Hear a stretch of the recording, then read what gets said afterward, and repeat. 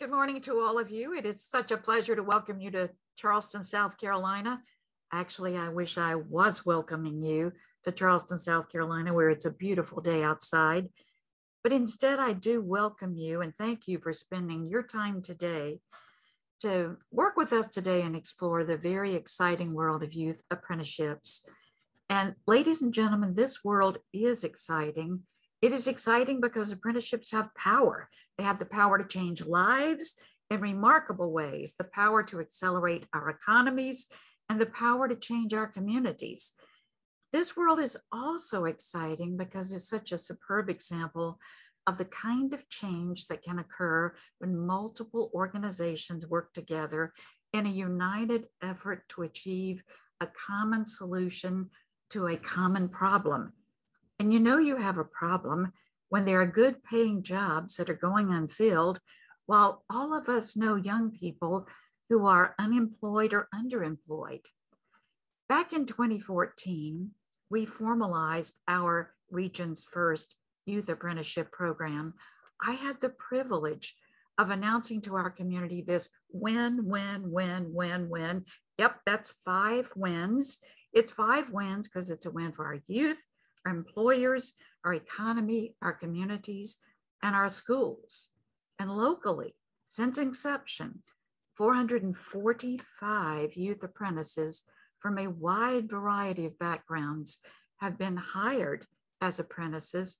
And we have firsthand seen the impact that youth apprenticeships can have on a student lives by opening doors to opportunities that heretofore were not open to them from students being hired into skilled career fields right out of high school and purchasing a home at the age of 19. Would you think about that?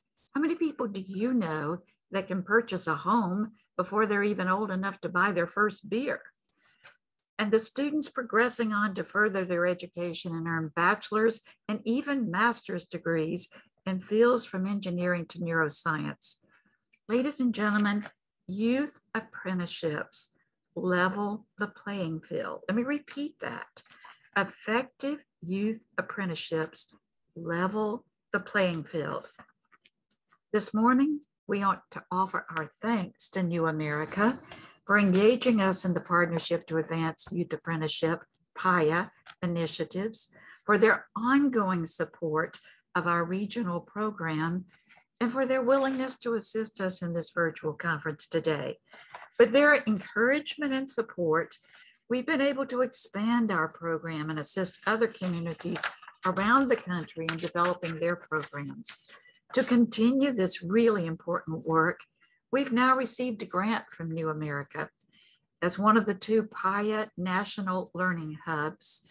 As a part of that effort, we are here with regional partners today to share with you, and, and I mean this, we're going to share with you the most significant initiative during my 31 years as president. Nothing has been as transformative as this. This game changing initiative was created not by any one entity alone, that's not possible, but by a truly collaborative effort. Effort that took place as a regional partnership, we came together to address critical workforce needs and to mentor the next generation to produce skilled workers. For a program like this to be truly effective, it requires the collective energies of multiple entities. No one entity can accomplish an effective program alone. Today, I'd like to identify to you the six partners who have made our program possible. Throughout the day, you're going to hear from most of them as they share their perspective, their insights, and their experience. First, first, and they are first, area employers. We call them industry champions. They're willing to hire and mentor 16 to 18 year olds. Without them, ladies and gentlemen, you just have another classroom training program and not a true apprenticeship. Area employers. Second, we're blessed to have an arm of the tech system called Apprenticeship Carolina. They serve as the intermediary with USDOL But I like to simplify that and simply say they hold the hands, they hold the hands of industry partners, the local employers, making it easy for them to handle the paperwork. They also tirelessly recruit and secure federal funding to support apprenticeships throughout South Carolina. Third, our local school districts. Without them, it wouldn't work. They recruit, support, and encourage not only the students, but their parents throughout the apprenticeships. And fourth, the Charleston Metro Chamber of Commerce. We have been very fortunate, ladies and gentlemen, to have a Chamber of Commerce that's taken an active leadership role in the support of educational initiatives. From the very beginning, the Chamber has played a critical role in launching and supporting youth apprenticeships, a critical role. Initially, initially they assumed the role of raising the funds to cover what I referred to previously as the ability to level the playing field so that every student, regardless of whether they had any money in their pocket, would be able to take advantage of this opportunity. Today, the Chamber continues to serve as a champion, encouraging employers to participate by hiring and mentoring and also getting local policymakers supportive of this program. And fifth, the funders. Level playing fields require money. As the program has grown, numerous other community partners have stepped up and recognized the impact of an effective youth apprenticeship program and they have stepped up and helped fund the educational expenses of our students. And finally, Trident Technical College. We have the privilege of serving as I call the convener of the other five groups that I mentioned. And we also enroll the students in college certificate programs in their career specific fields. Hats off to three of my colleagues, Melissa Stowasser, Denisha Seraphin and Mitch Hart. You're going to hear from them shortly. I hope you can see that what we have in Charleston is truly a collaborative effort. Again, I said this before, not one entity, I don't care how much they cared, could pull this off by themselves. We've developed this program that we've shared with you today with partnerships. As you develop partnerships and programs in your own area, they may look like ours, they may not. But it is our hope that you will form strong partnerships within your communities and work to ensure that youth apprenticeships work to ensure that they become the national norm. To share with us today the national vision for this really important work, we're delighted to have with us today Angela Hanks. Principal Deputy Assistant Secretary, Employment and Training Administration at the USDOL. Yep, I know that's a long title. She's an impressive lady. And prior to coming to the Department of Labor in 2021, she was the Deputy Executive Director of the Groundwork Collaborative. Please welcome Angela Hanks. Ladies and gentlemen, please welcome Angela Hanks. Thank you so much. Thank you so much, Dr. Thornley.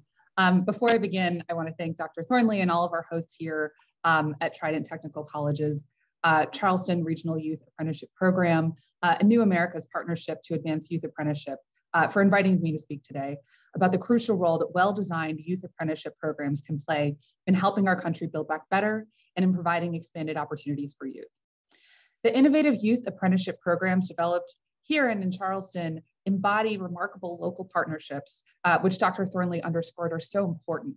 Uh, partnerships that are needed to increase the adoption of apprenticeship programs across the United States. As you all know, the last year and a half has brought many challenges uh, for you all and for the young people you serve. The pandemic has brought historic disruptions to both school and work. In the recovery, we need focused strategies to support our young people to reconnect and find more pathways to good jobs and good careers.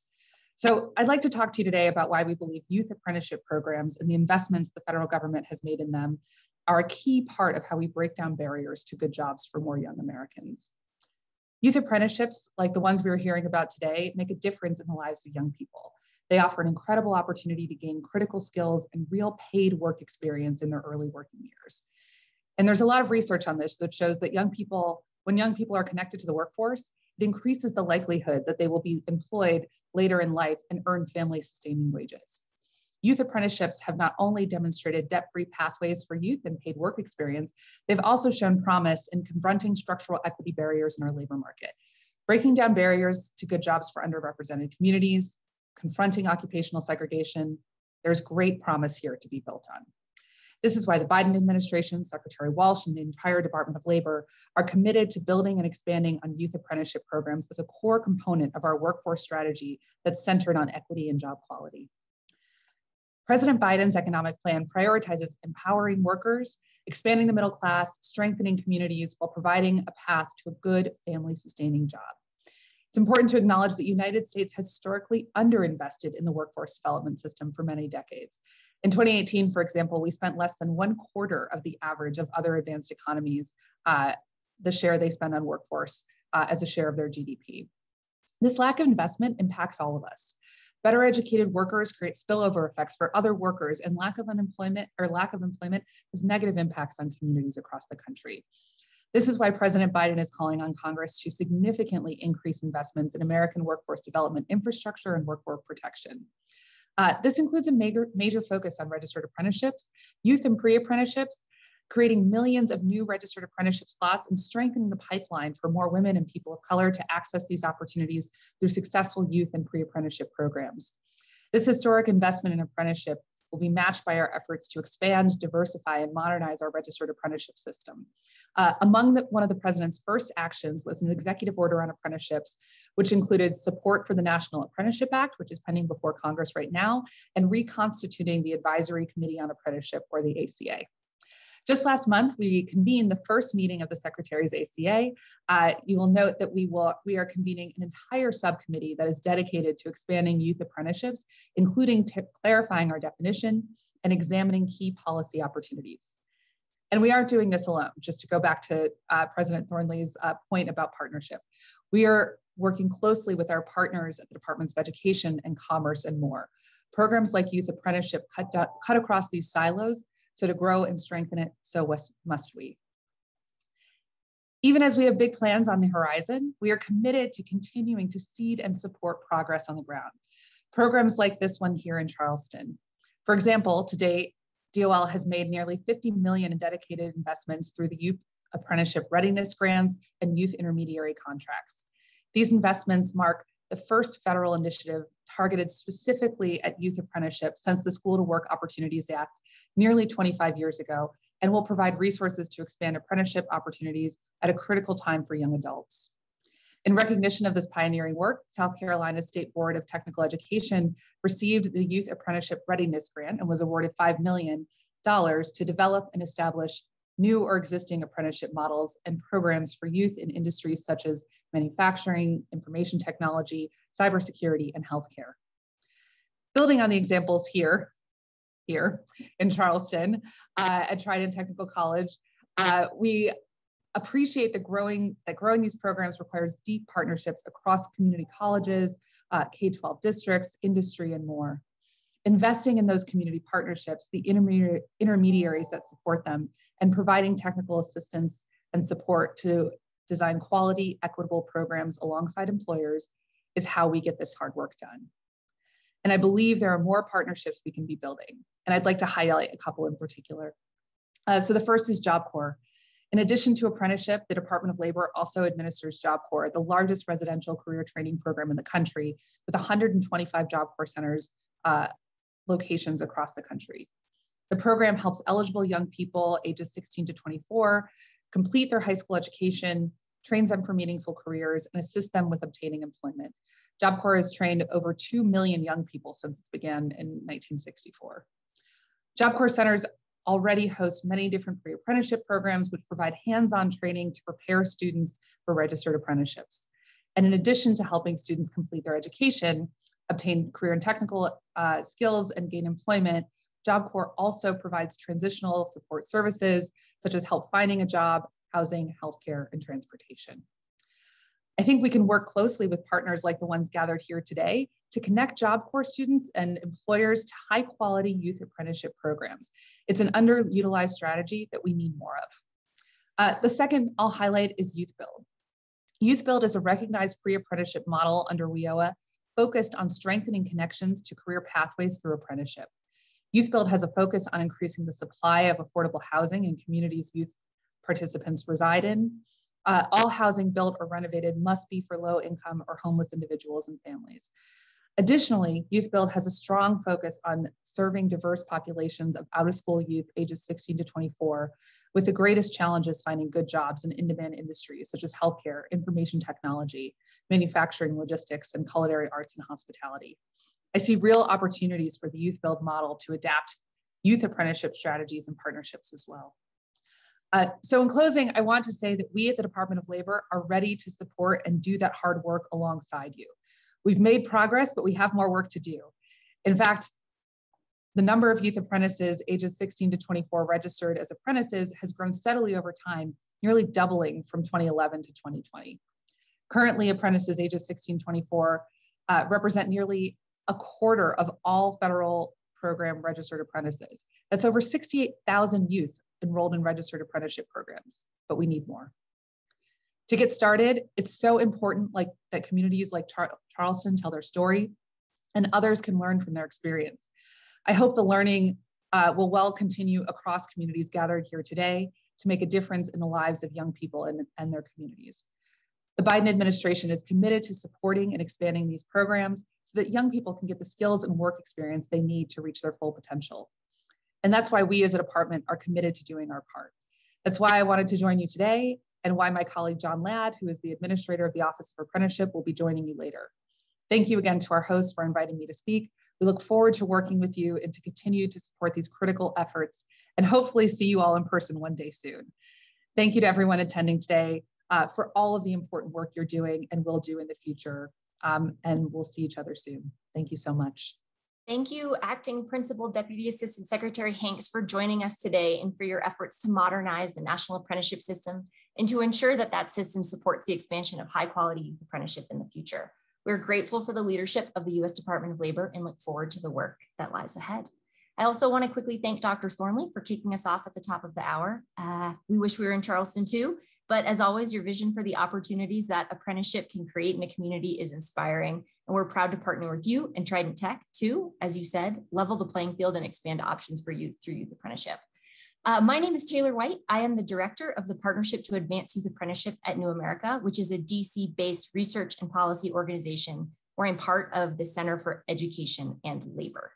Uh, I have a slide deck that I'm going to walk you through today as part of my introduction. Um, but before that comes up, oh, thank you. Uh, i just want to give a, a, warm and hearty welcome to everyone on the line uh, and thank you for joining today's virtual site visit. New America is very happy to be hosting this in cooperation with our PAYA national partner, Trident Technical College. Next slide, please. All right.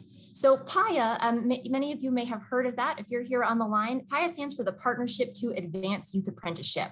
Uh, PAYA is a multi-year, multi-stakeholder initiative that we launched in 2018 with the goal of connecting, expanding, and strengthening the field of youth apprenticeship.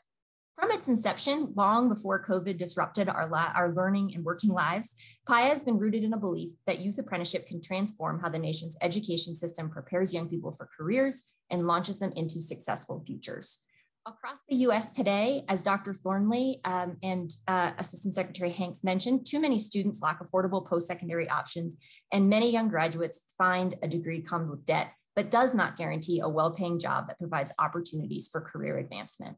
And many students who do begin college leave without having completed their degrees or gaining the experiences and networks they need to get a foothold in the labor market to jumpstart their careers. At the same time, as our economy has started to reopen, employers have again begun to show interest in building more nimble, more sustainable talent pipelines into fields like IT, healthcare, business services, advanced manufacturing, and the trades. Youth apprenticeship offers an opportunity to play a role for employers, excuse me, to play a role in developing a rising generation of talent, much of which exists eager and untapped in their own communities. Today, as we look to re-engage young people in our education systems and as businesses across the economy seek to address the talent shortages of today and tomorrow, youth apprenticeship is a unique solution to both of those challenges. Next slide, please.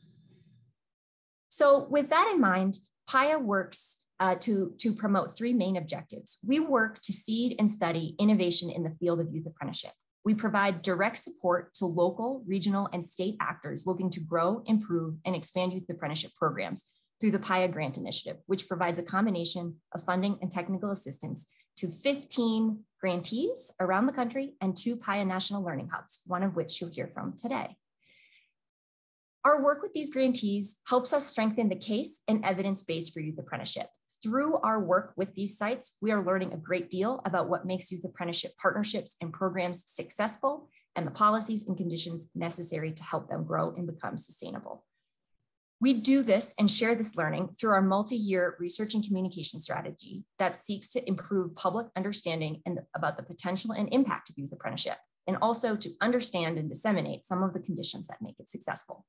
And finally, because we know that stronger networks and communities of practice can help break down barriers, establish group norms, accelerate learning, and generate fresh questions and ideas to drive continued innovation, PAYA proudly operates the PAYA Network, a virtual learning community of sites across the United States through which we share our learnings and seek to build bigger, stronger, self-sustaining field of youth apprenticeship.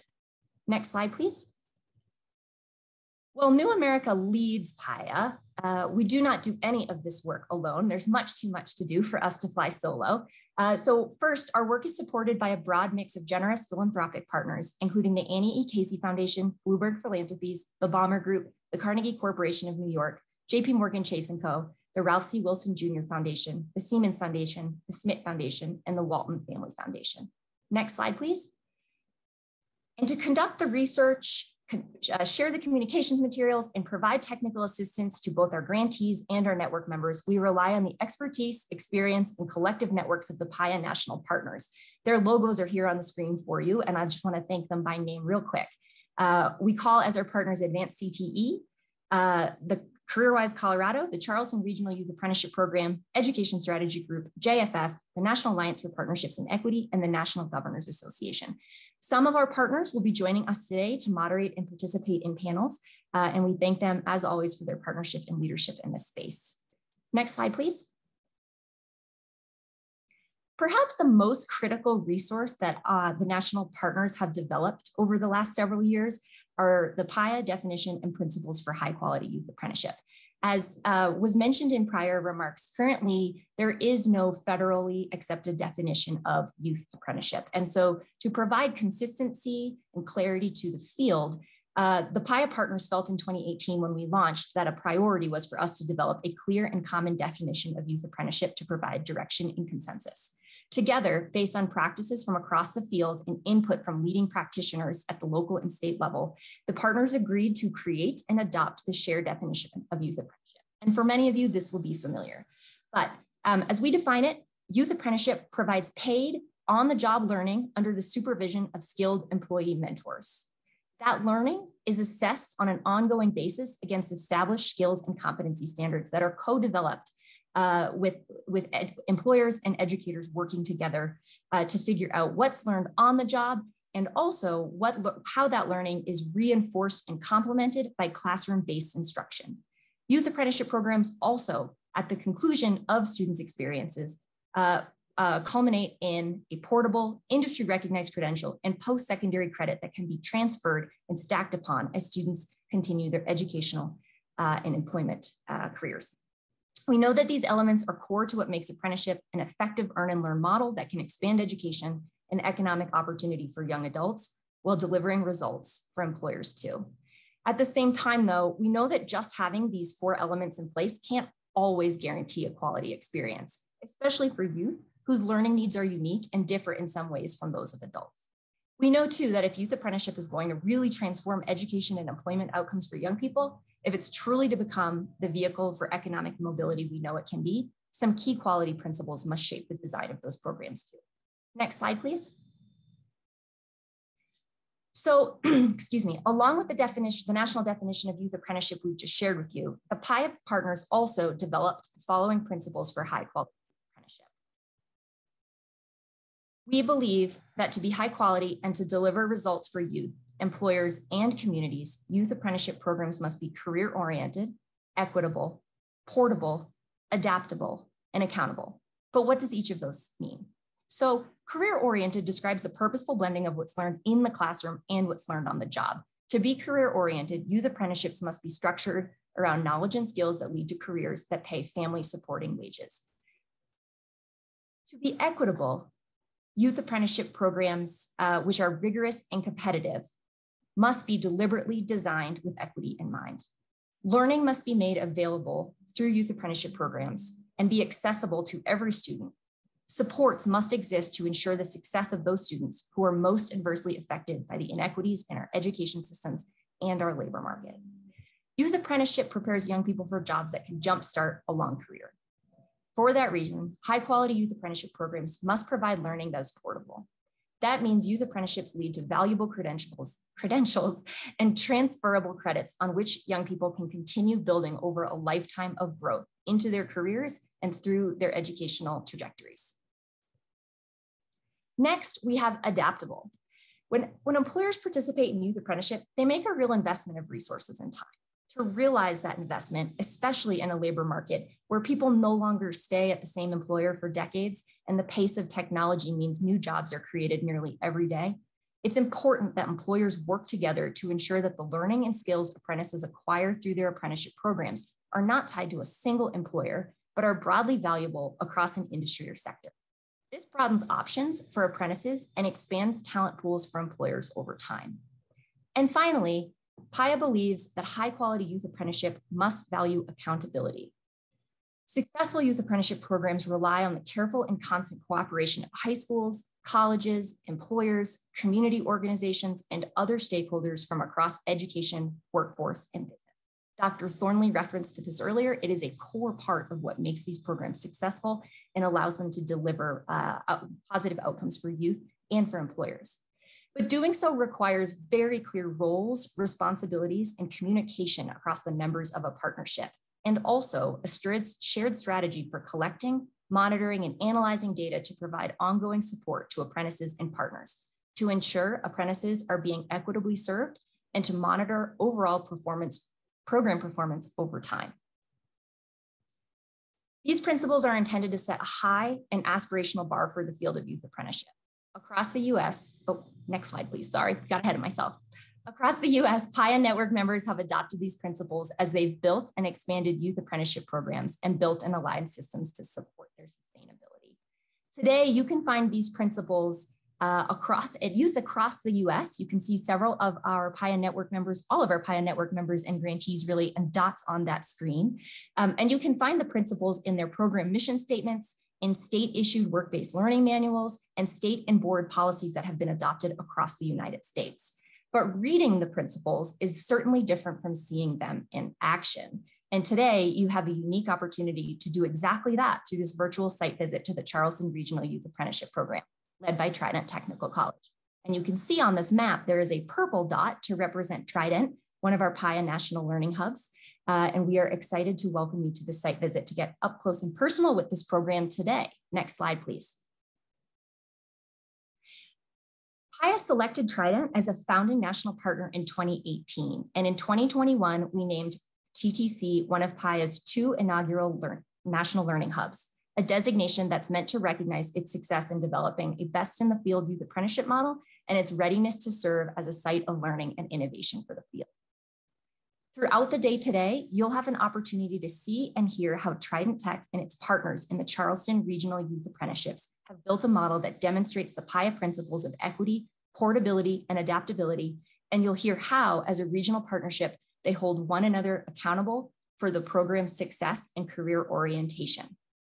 And while today, the team from Trident Tech and their partners will make all of this look easy, I can assure you it's taken a lot of sweat and tears don't think any blood, but definitely sweat and tears to grow into the exemplar program it has become and is today. But you don't have to take it from me. Next slide, please. In just a second, I'm going to pass things over uh, to Melissa, Mitch, and Tanisha from Trident Technical College, who will share with you the origins and impact of their program and tell you really their story. You'll have an opportunity to hear how, how the program began, uh, how it's grown, and what lies ahead for its work. Next, you will have an opportunity to hear from the apprentices themselves. Joining them will be family members who have been along for the apprenticeship ride Uh, and you'll have an opportunity to hear what it's been like to be a young person in one of these programs, to be a parent uh, or family member supporting them in their journey, and really understand the difference that these programs can make in young people's lives. Following that panel, we will hear from some of uh, the employer partners that are involved in the Charleston Regional Youth Apprenticeship Program. That will be moderated by Eric Seleznow from JFF, one of our PAYA national partners. Following that session, we'll turn it over to the educators. And uh, under the leadership of moderator Mimi Lufkin from the National Alliance Partnerships and Equity, we'll have an opportunity to hear how educators from the K-12 and post-secondary systems in the Charleston region create seamless pathways through youth apprenticeship to credentials and careers. At the end of the day, I will be back here on screen. Uh, I have the honor of moderating our final panel of the day, the future of youth apprenticeship, policy systems and sustainability, where you'll have a chance to hear voices from Apprenticeship Carolina and the US Department of Labor, who will help us think about the path to replicating outstanding programs like the Charleston Regional Youth Apprenticeships and what the path to scale might look like.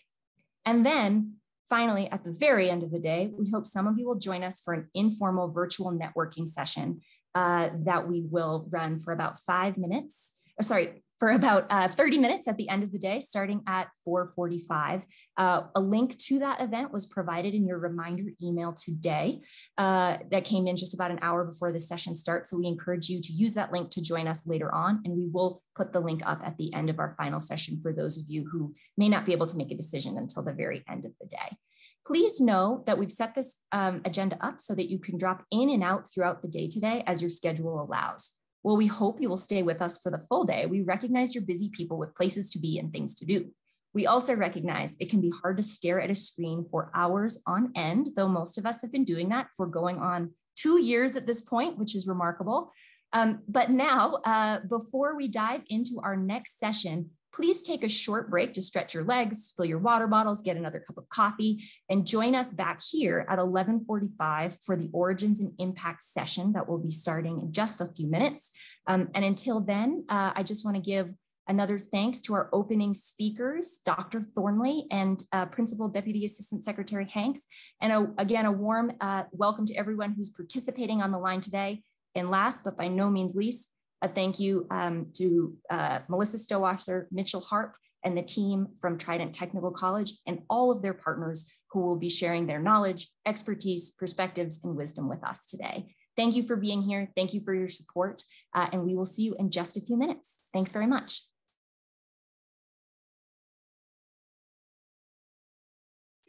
Good morning. And this morning, we would like to welcome you once again to the Charleston Regional Youth Apprenticeship Stories. Um, we are here to share with you the origins and the impact of the program that we were so fortunate to begin. And if we can start the slide presentation, um, that would be great. First of all, I'd like to talk about the Charleston Regional Youth Apprenticeship Program as a whole. Um, but I'd like to take a moment first to thank Deputy Secretary Hanks, Dr. Thornley, and Taylor White for their inspiring words and their leadership. Without individuals like these women, we would not be able to move this type of initiative across the country, let alone um, develop them with the um, fortitude that we've been able to do within our region. And so thank you to all three of you for your inspiring words today. Like Dr. Thornley said, I can too say that this is the most exciting initiative in my 39 years in education. I started out in the K-12 system and in post-secondary, and to all the things I've been involved with, youth apprenticeship has had the most power and impact from what I've seen.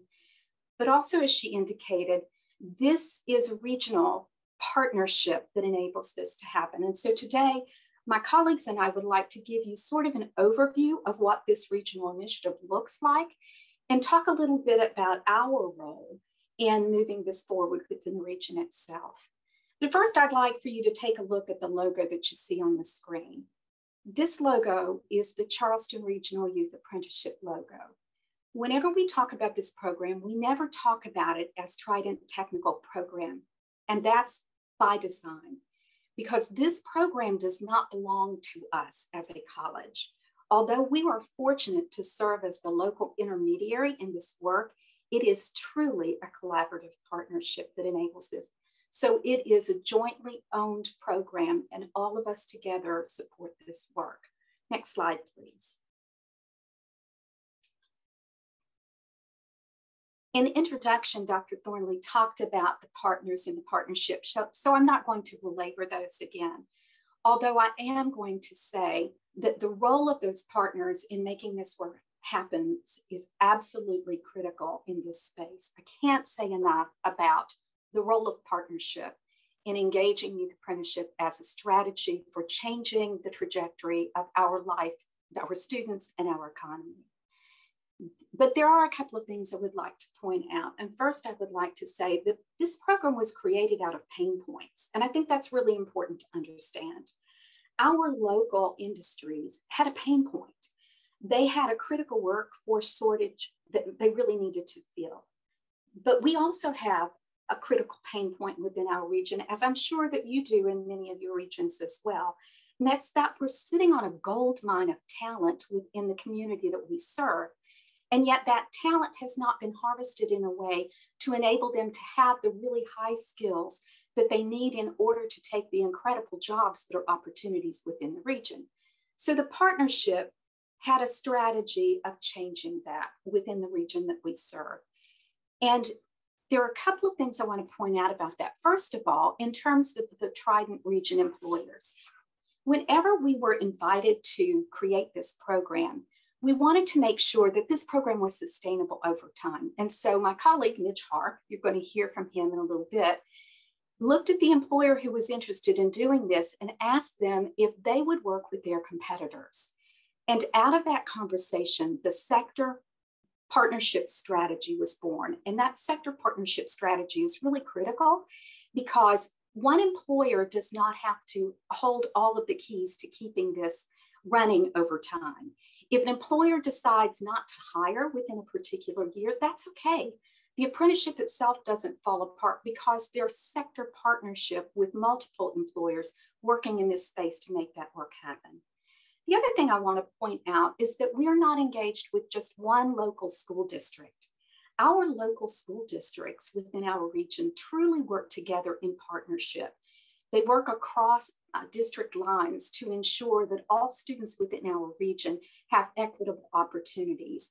They share ideas. And so those K 12 leaders working together in that space is really critical to our growth as well. Next slide, please. So when you put this together, what does this look like? Well, one of the things I want to point out is that our program is truly a registered apprenticeship program. This is not a pre apprenticeship program. All of the programs that we are offering here are youth apprenticeships that are registered with US Department of Labor. They share all of the components of a registered youth apprenticeship program. The students are enrolled in job related education, or what many of you may refer to as the RTI. They are going to work while they are in that classroom experience, receiving on the job training from really skilled mentors so that the work that they're doing in that classroom is immediately relevant on the job. And that's really critical to ensuring that they're really learning these skills at the level they need in order to fill those jobs of the future. And they're earning a scalable wage. So the students are really engaged in work within a career field to which they aspire, rather than pushing carts out of the parking lot of your local grocery store or selling fast food in your local restaurant, which so many of our young people end up doing in order to bring money into their pockets. So it's designed strategically that way. It's also designed as a two year program, but it is adaptable because all of these youth apprenticeship programs are competency based. And we can talk about that more as the day goes on, but they're competency based. So the student has a series of competencies that they must master on the job. And the employer keeps track of those competencies and ensures that the student is meeting all of those before they're awarded their national credential. Next slide, please. So what do the students get out of this becomes the question.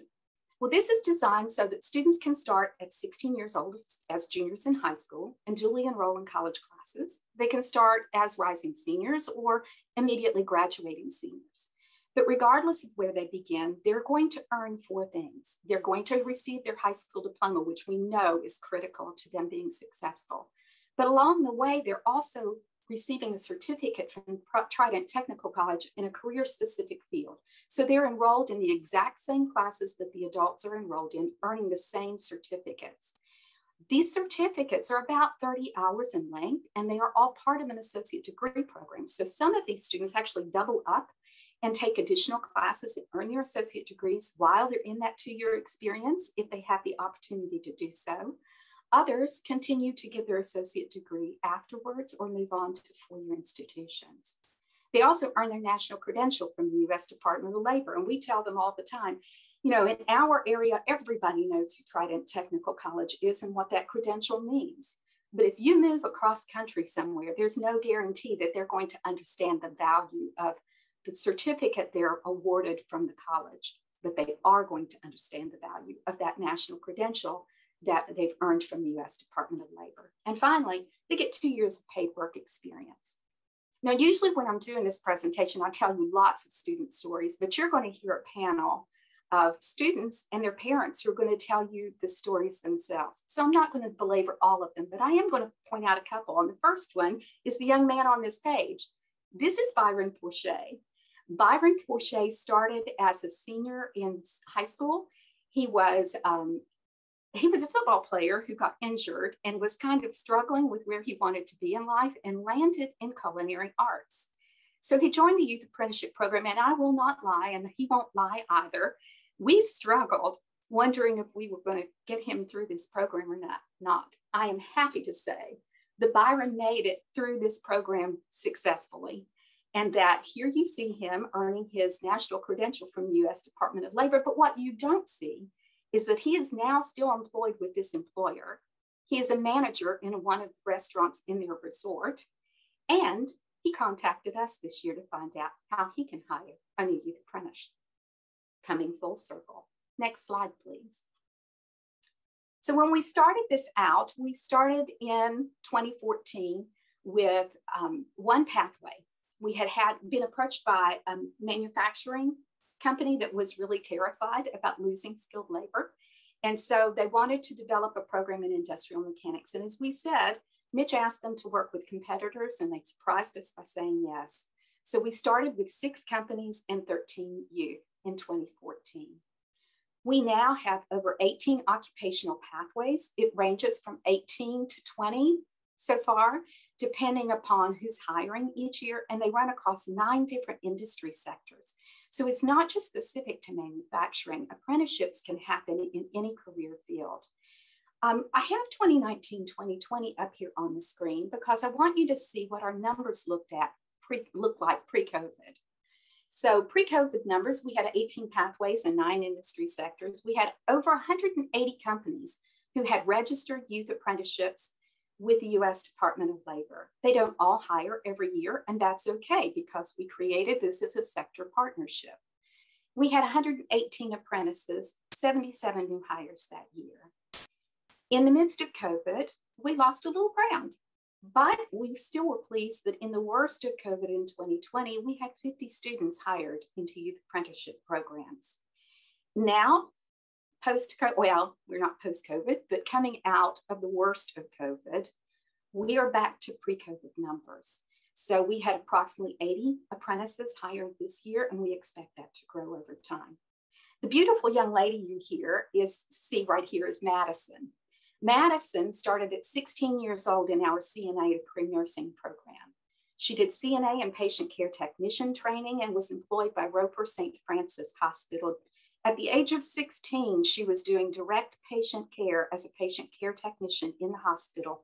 And the very first week on the job, she helped deliver a baby, Madison Crawford. Next slide, please.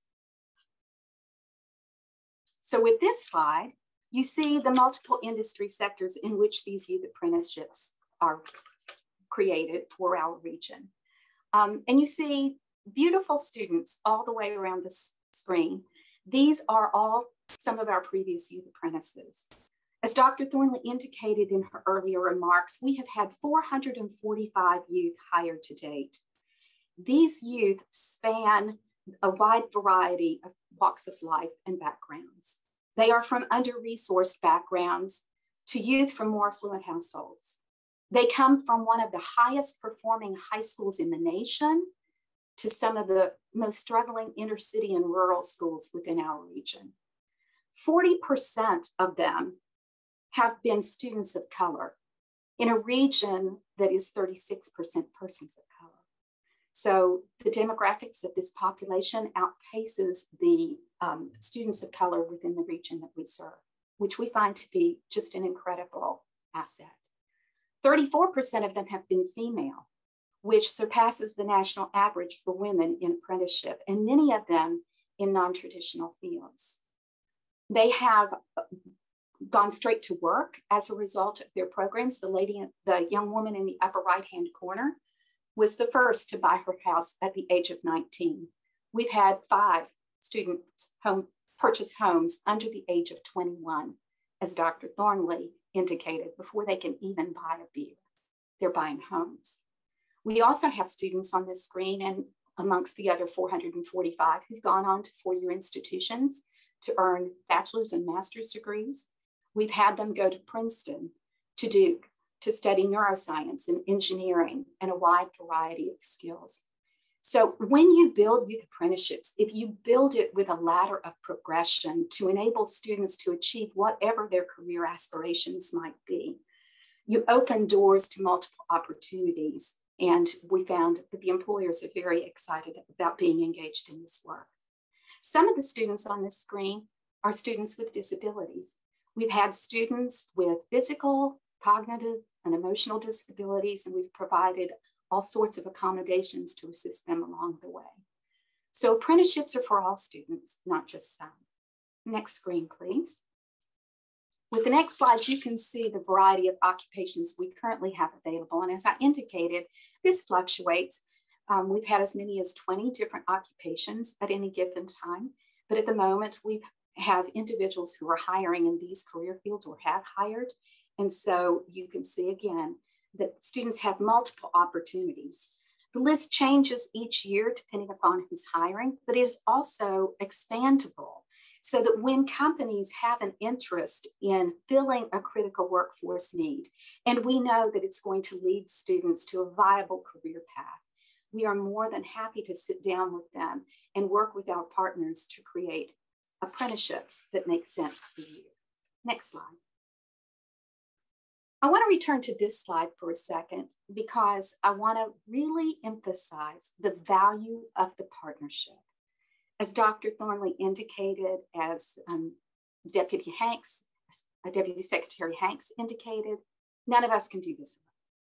This requires partnership, strategic work, and all of our partners have a critical place in this work. We also know from our experience that it is really critical to have a local intermediary to hold this partnership together and to ensure that the day to day operations take place. So it is our role as a college to serve as that local intermediary. So for the rest of our session this morning, we really want to take a deeper dive into what it takes to be a local intermediary and the types of things you have to consider engaging in as you begin to develop these partnerships and youth apprenticeship programs that are successful for your area. Next slide, please. One of the things that we do is we serve as liaison and support for all of our local stakeholders. We pull everyone together and we support them in this work. We engage in lots of communication between the partners uh, or amongst the partners as we move through this. We also ensure funding and financial management. Dr. Thornley talked about leveling that playing field by ensuring that we have the educational expenses covered for all of our students. And so it is our role as the intermediary to really make sure that we are able to leverage those funds that are avail available within our region. They may be um, state dollars, they also may be philanthropic dollars to enable this work. And we collect and share the relevant data so that we can really begin to um, show program improvement and to also look at where we're having issues that we need to resolve as a community in order to ensure that all of our programs are equitable, equitable and that all of our programs are designed to meet the needs of our local industry needs and also our local student needs. So We have two divisions in our college who are really critical to making that work happen. We have the Division of Apprenticeship and Employer Partnerships that's led by our Dean Mitchell Harp, and we have the Division of School and Community Partnerships that is led by Tanisha Seraphin. Both of those teams are going to share with you a little bit about how their groups engage in this effort to ensure that this moves smoothly and that all of our partners are sustained within this work. And so with that, I will turn this over to Mitchell Harp. Thank you, Melissa. Um, if you could go ahead and turn to the next slide, please. Um, as Melissa said, my, my name is Mitchell Harp. I'm the Dean of Apprenticeships and Employer Partnerships. Uh, we are the employer-facing part of the, the program. Uh, we work with the employers on almost anything and everything you can think of, but our, our two primary goals with the employers, first of all, is to recruit employers, um, to convince them to partner with the college and join us in this effort to start youth apprenticeships all over Charleston. And second of all is to retain those employers. I often tell my team um, that we need to be their best friends. Uh, and yes, we do jump when they when they call us. Um, some of the things you're gonna I'm gonna go over here you see on the screen, um, but those are really the two primary goals of this. I mean, we are the sales team for the program. You, you can't do an apprenticeship without an employer. And as Melissa said, we, we, we learned very early on that even though we were very thankful for the employer who reached out to us in 2014 and asked us to, to help get this started for them, but we were more thankful for them when we actually asked them if they would work with their competitors because um, if you're going to sustain a program and we're going into our eighth year of programs um, you've got to have employer engagement you've got to have employers who are committed. Um, and yes that takes individuals like uh, my team who actually we call on the employers constantly um, for various different things. But i'm going to briefly go over the slide right here to sort of give you some insight in terms of what my sales team does um, to keep our programs going First of all, we recruit and educate employers. Um, as I said, um, I, I, really do mean educate because um, many employers have no clue what an apprenticeship is. Um, a lot of them think it's internships, and we have to educate them. That's a whole lot more than that. Um, but we actually sit down with them. Um, I often tell people it's a boots on the ground approach. It's door to door sales. if you're going to do this correctly, if it's going to be done with quality, you've got to sit down with those HR managers, those operation managers, uh, the CEOs, whoever, I'm going to explain to him about the partnership and explain what the expectations are. Um, when I say we want to be their best friend again, and we, we're, we're jumping when they when they actually call us, uh, we do everything for them. You know, as an intermediary, um, the first things we do is we actually assist in developing uh, their training plans and also developing their programs and standards for the apprenticeships. As Melissa said, all of our programs here in Charleston are USDO um, certified or credentialed. So basically, we have the help the employer identify the RTI. Um, we're a technical college, so obviously we have a lot of wonderful programs here. We have advisory boards that employers sit on. So most of our, our suggestions for these employers, um, they go with, um, but ultimately it's their program. So we, we honor what they want um, and we help them develop in that manner. We also actually help them identify competencies um, based on their job descriptions or evaluations that they provide us. Um, we provide that for them. Um, we put it all together for them and we work with Apprenticeship Carolina, who our state entity is, um, to get actually registered to the United States Department of Labor. Um, we don't leave our employers though. Once they, they decide to join us and once they decide to, um, to partner with us to offer these young people the opportunity, um, we definitely make it an easy button for them. If they have a question, they call us um, and we, we help them and guide them through that area. Um, but we also work with um, being a community college. We have the advantage of um, working with the internal people here at the college, uh, meaning the faculty and the leadership to actually help the program keep, keep flowing smoothly, you're saying. Um, you know, every year we start the youth apprenticeship program once a year. Um, it is a full calendar year, believe it or not, though. Um, it's October, and we're already reaching out to our employers to find out if they're going to participate next August. Um, we have a huge recruitment event that Tanisha will talk a little about in a minute, um, which is really our kickoff season where we actually get young people to actually apply for the apprenticeship programs. And my team actually connect them, those applications with the employers who are participating. It usually takes us four or five months to actually place, you know, 80 to 90 kids, um, which is our average um, of placements every year. And then we, you know, once the apprenticeship starts, again, we actually continue providing that assistance throughout the duration of it. And finally, as you can see, we do collect um, data um, with our employers to actually help them manage their apprenticeships. If you could go to the next slide, please. Uh, one of the things that we developed a couple years ago um, to actually help um, track the data that I talked about um, was two years ago. Uh, I kept on getting asked, how do we know what's going on on the job? And I'd always tell people who ask me that, that we have wonderful partners and I trust them exactly with what they're doing.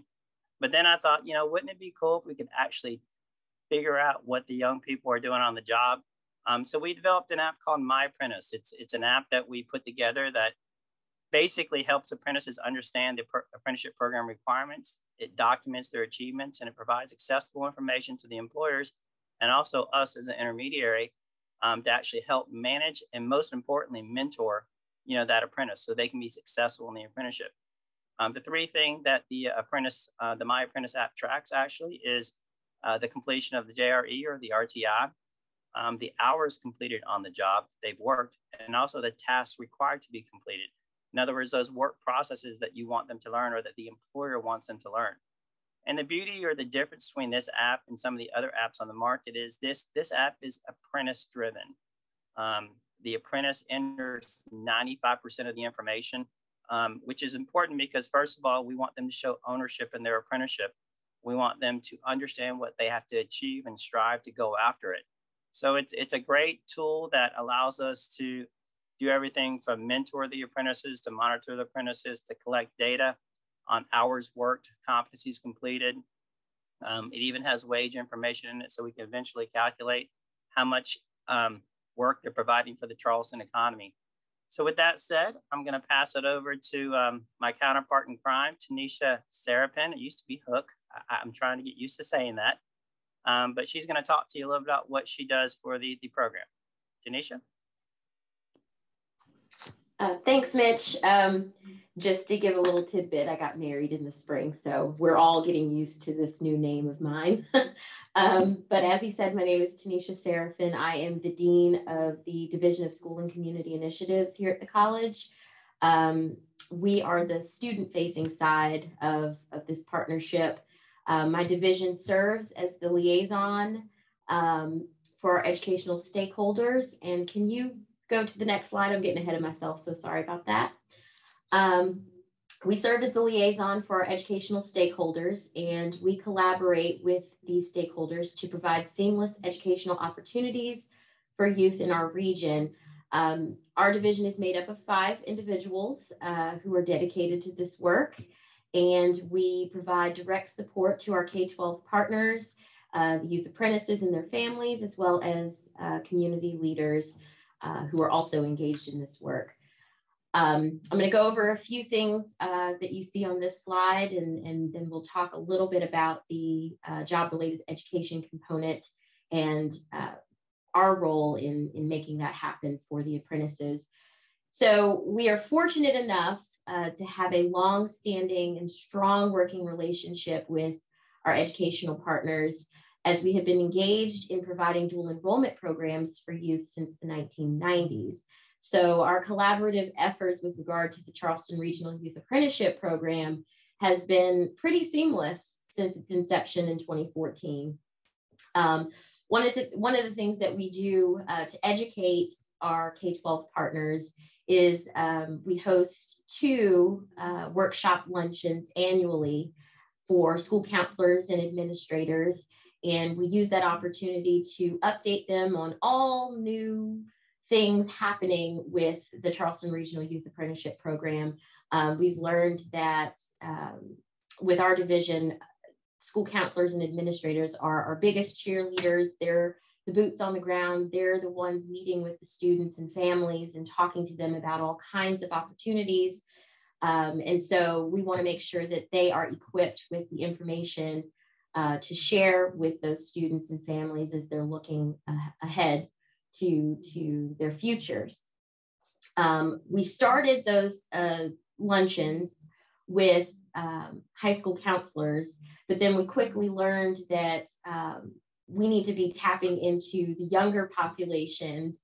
And so we have also uh, started to include our middle school counselors and we may even um, expand even further and start uh, partnering with our elementary school counselors and administrators so that we can ensure that we are a part of um, moving that pipeline forward and, and starting younger uh, as students are, are making their plans. Um, another piece of that, uh, we're engaged, our division is engaged with lots of different recruiting events. Um, we're participating in parent nights and information sessions at the high schools and even uh, during IGP meetings for, for middle schools. We are participating in college and career fairs. Um, and we're even doing virtual presentations right now. Um, we've been invited by a few of our high schools to um, do virtual presentations for students in their career technical education classes to kind of help promote the program. But one big event that we are extremely proud of um, uh, is our annual youth apprenticeship information session that we host. Um, it's usually going to be um, the first Saturday in February every year, and that's typically when the program officially kicks off for its hiring season. Um, we we typically do it on campus. Uh, this past year, of course, with COVID, we were um, restricted to doing it virtually, but um, we typically have an amazing turnout. Um, students, families, school counselors, administrators, community leaders, community organizations, all are invited to uh, come and learn all about the youth apprenticeship program. Um, we also uh, work with Mitch's team to uh, invite employers to that event so that they have the opportunity to speak with students and answer any questions that they may have as they're learning more about the program. Um, the other piece of, of what we do um, in terms of, of engagement and support, we, we provide, um, we serve as kind of the intermediary on the student side in the sense that if the students are experiencing any hardships or, or they're going through some sort of uh, difficulty, we step in and we connect those students to support services offered here at the college. Um, we also monitor uh, student progress and final grades in those uh, youth apprenticeship classes, and I'll talk a little bit in a second about that job-related education, but we we also monitor that progress for the students and, and what their grades look like so that we can um, ensure student success and identify student support needs, any wraparound supports that we identify are needed for, for helping that student along and, and making sure that they're successful. Um, in addition to that, uh, Mitch mentioned a little while ago that um, we we review those applications when students apply for a position um, in one of our apprenticeship pathways. Um, those applications come to my team. We review those. We also participate in interview um, processes as needed. Um, and we hand those applications off to Mitch's team, who then collaborates with the employers to determine which students are going to be hired um, for that upcoming academic year.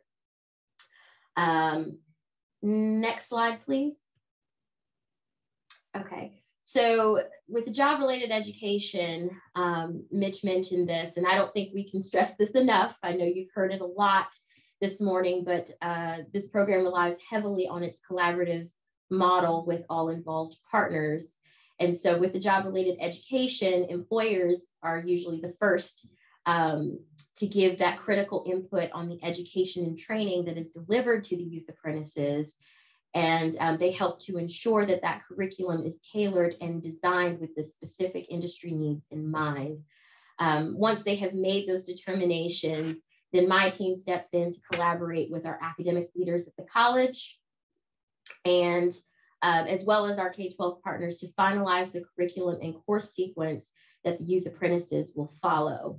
Um, and there are three ways that we develop and deliver that JRE or RTI, as some of you may um, be familiar. The first is that the college is, is the primary educational provider. We provide all of the related courses for that respective pathway. Um, for example, all of the courses required in our industrial mechanics youth apprenticeship pathway are credit courses that are traditionally offered at the college. Um, this particular way of delivering the JRE is incredibly helpful for those high schools or school districts that have high schools who are not um, able to offer a particular career and technical education program in that subject area. And that opens the door to give students more options in CTE. The second is that some high school courses could be counted for college credit. For example, youth apprentices in our culinary arts pathway who complete the um, high school culinary one and culinary two classes uh, could also receive college credit for those classes, and those two classes would count as our um, the first two culinary courses in the pathways uh, JRE. And then the third is that some high school courses are required as a part of the youth apprenticeship curriculum. Our project Lead the Way Engineering Assistant Pathways, for example, requires students to, to complete several high school PLTW engineering courses as a part of their um, progress in the youth apprenticeship program. And um, that is, is it for me. Um, I think I am going to kick it back over to Melissa to, to finish out the presentation. Thank you so much for joining us today. Last slide, please. And I will just wrap this up quickly and say to all of you that we are again delighted to have you here. I know that we probably just panicked you telling you that five people in Mitch's team and five people in Tanisha's team worked to make this happen. But let me assure you that we started out with Mitch and Melissa and driving the show. It grew over time. Um, and let me also assure you that both of those teams have multiple other responsibilities for the college. So it's not just running the apprenticeship piece. The other thing I'd like to say is we gave you a quick overview and we're already running over time on this, but um, we do want to let you know that we are having workshops in the spring, April 4th and 5th at our site in Charleston, we hope we pray.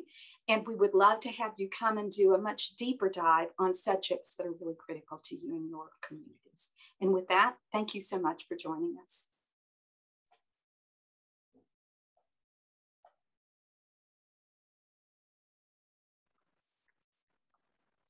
Thank you so much to the Charleston Regional Youth Apprenticeship team at Trident Technical College. My name is Kelly Betty, and I'm a senior policy analyst with the PAYA team at the Center on Education and Labor at New America. And I'd like to invite you to join us at 1225 Eastern Time to hear directly from youth apprentices and their parents at our next panel, Expanding Options and Opportunity, the Youth Apprentice Experience, which will be moderated by Elena Silva, Director of Pre-K through 12 Education at New America. I'm Elena Silva. I'm the Director of Pre-K-12 Education at New America.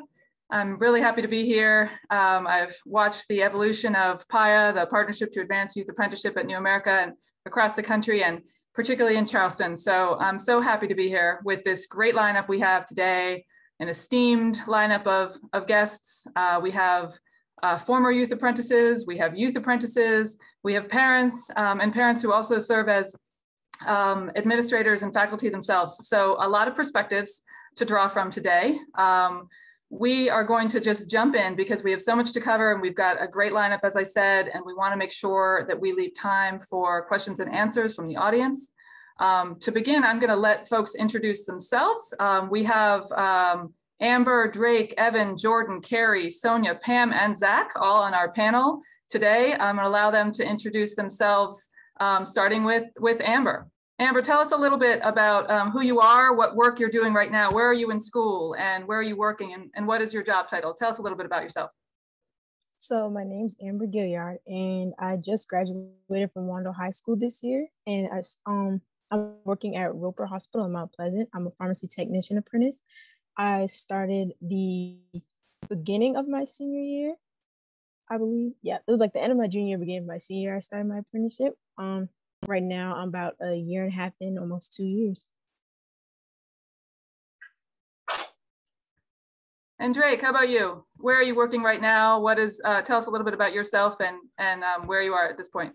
Sure. Um, I graduated Ashley Ridge High School 2019. Uh, one of my engineering teachers told me about the youth apprenticeship. Uh, I was able to join up with KION North America, and I've been well ever since. I've been a, a industrial engineering apprentice. Um, I was able to get once I graduated from the, or I guess I was done with the apprenticeship. Um, I was able to become a technician at KION. I'm still at the, the same company, and uh, I'm still with going to Trident, and I'm trying to get my uh, transfer credits for the Citadel to get my bachelor's. So, pretty cool. Very cool. It's very cool. Evan, how about you? Can you tell us where, where, where you are, who you are? Sure, thank you. Thank you so much.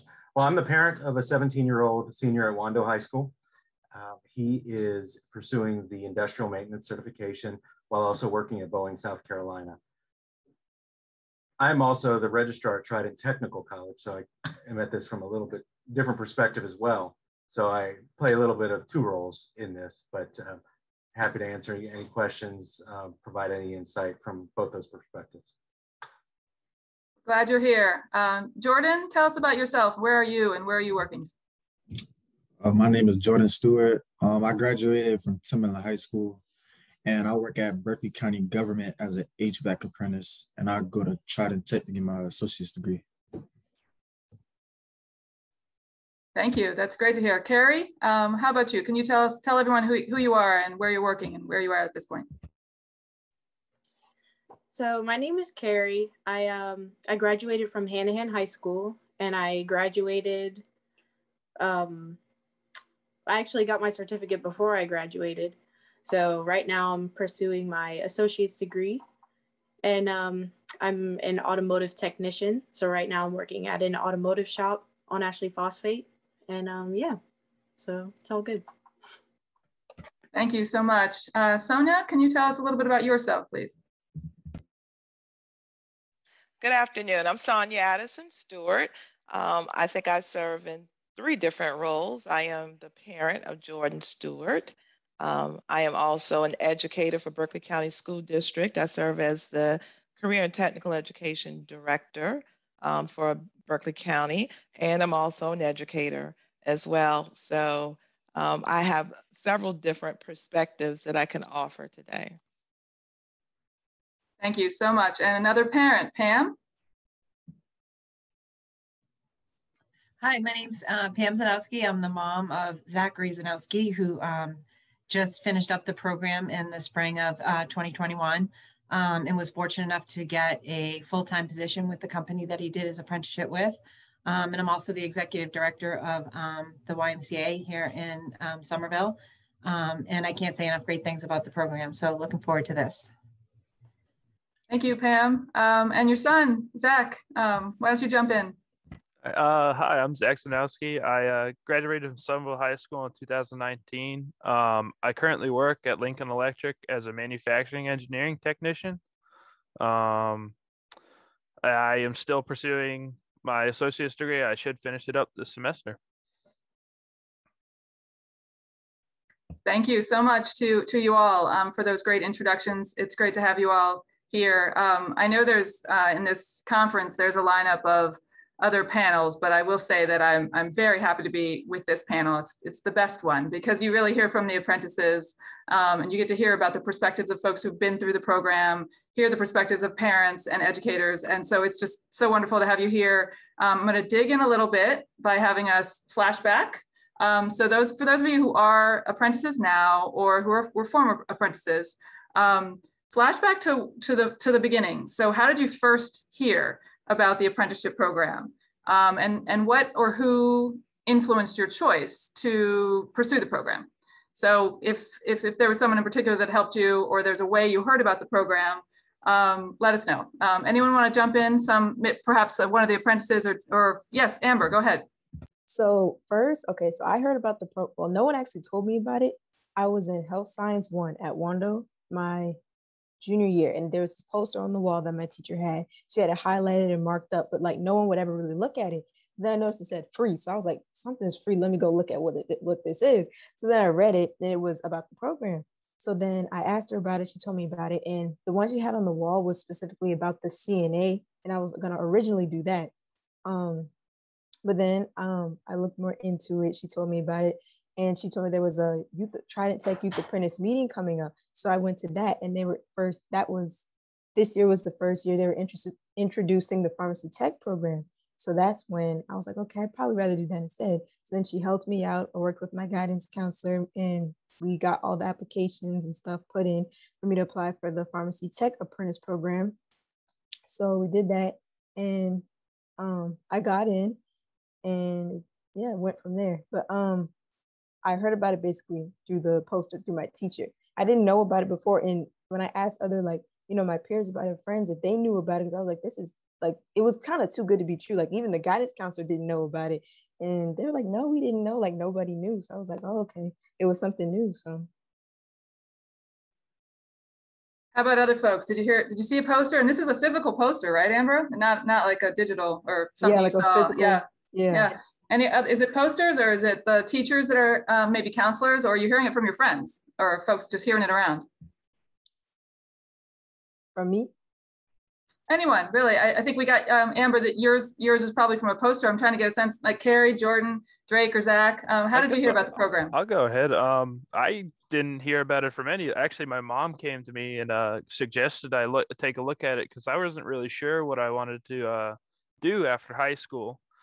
Um, it, you know, uh, it was a good way to kind of get my foot in the door in a something I might be interested without, you know, having to go for a four year degree. Um, you know, getting a lot of money in debt and not still not maybe not knowing what I want to do. Um, I didn't know anything about the apprenticeship program to my mom told me back in maybe March or April. And she was like, you should try it. And I was just like, no, mom, because I'm not really used to doing anything new. So she was like, you know, you should try it. So we signed up for it and yeah, went on from there. I actually had um two companies call me. One was in Charleston and then I had another one right there at Berkeley County Government. So I went to the one in Berkeley County Government and had an interview there.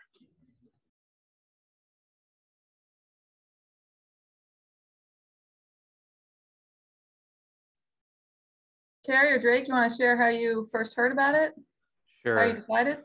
Um, so yeah, so when I was in uh, my last engineering class in high school, uh, my teacher, Dr. Reeder, she she we didn't have any posters or anything, but she kind of just word of mouth mentioned it to the entire class, and uh, I actually went home talked to my dad about it, and um, two of my buddies that I know, uh, they were actually being mentored by my father at VTL. So I talked to them, and they're like, "Hey, this is a super awesome program," and then I was able to I talked to my guidance counselor, and then I was able to talk to Ellen, and um, she signed me up for that initial meeting day, and it was it was pretty. It worked out pretty well. I didn't even know that they had a, a PLTW kind of uh, way you could go as well if you already took engineering courses. So, I mean, they had everything there. So, yeah, word of mouth, pretty much. And Carrie, how about you? Yeah, so basically like Amber, I like walked into class one day and there was this beat up poster and I was like, dang, like I had nothing, like I knew nothing about it. So I was like, let me look it up because I know good and well I'm not paying for college. And it ended up working out really great. And I don't know, even like the guidance counselors, my teachers, they were like, no, honestly, I don't think you should do it. Like, because you're going to be so backed up with work and stuff like that. And I was like, I'm going to do it anyway. And I'm really glad I did. Yeah, that's great. So we have a we have a parent effect and a poster effect, and it sounds like some teachers were were in it as well. Um, it's uh, it's great to hear that the the stories of how you first hear about it because I, as you all know, youth apprenticeship is is not as widespread as it could be across the country, and there it's not something that a lot of people necessarily know about.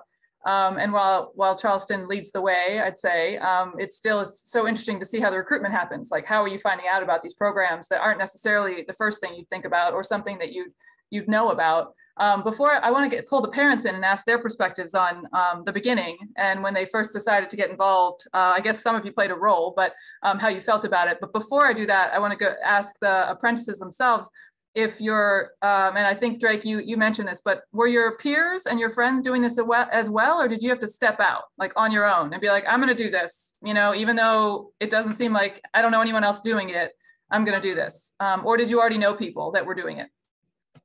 Yeah i kind of i already knew um, two other people that were doing it and i i actually convinced my buddy to do it with me um, but eventually he just i guess the work in school got to him so he kind of just went away from it um, but yeah I, I did know two kids that did it as well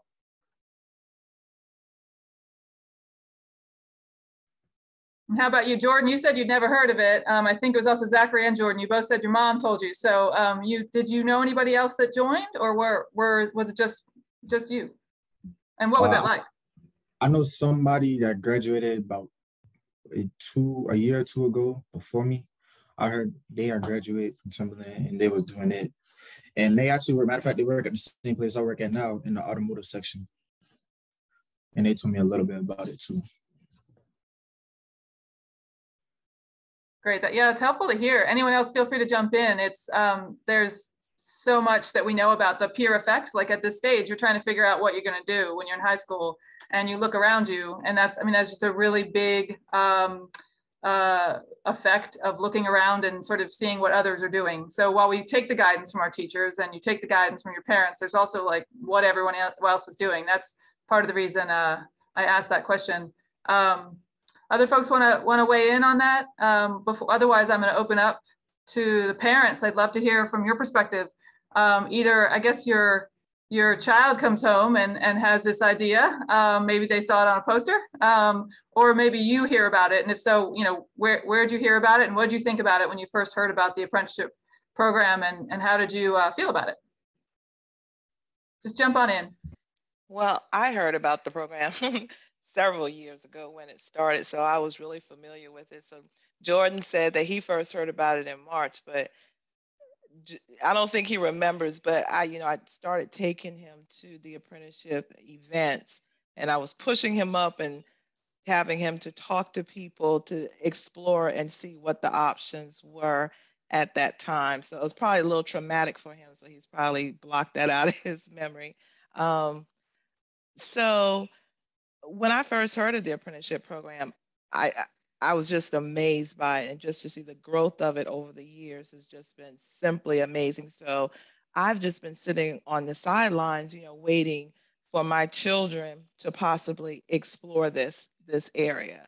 And so Jordan was the child that took advantage of this, and I'm I tell him all the time how fortunate he is to have this opportunity. But even though you know he's fortunate to have this opportunity, it is still very challenging, as he will probably talk about in a little bit. It's it's a challenging opportunity, but there's so much growth in it as well. Um, so again, I've known about it for a long time. I was excited and and grateful that Jordan took advantage of the opportunity. Yeah, Jordan, it probably helps to have your mom be the CTE director, right? So um, you would know about it. Evan or Pam? I guess I can jump right in. Uh, thank you. Um, I, was involved in the Youth Apprentice Program from the get-go. Our, our, dual enrollment office at Trident Tech obviously were the heavy hitters, but at the time I was uh, an assistant registrar and me or my office now, uh, we were responsible for sending grades to the companies, to the high schools, and, and, other enrollment information. And, you know, at the time, years and years ago, not that long ago, my, my child was in elementary school, so I didn't think much of it. But, it, it, you know, going back two years in February of 2020, I, I, don't know, something just hit me and, and I mentioned it to him. Uh, my son uh, really likes to work with things with his hands.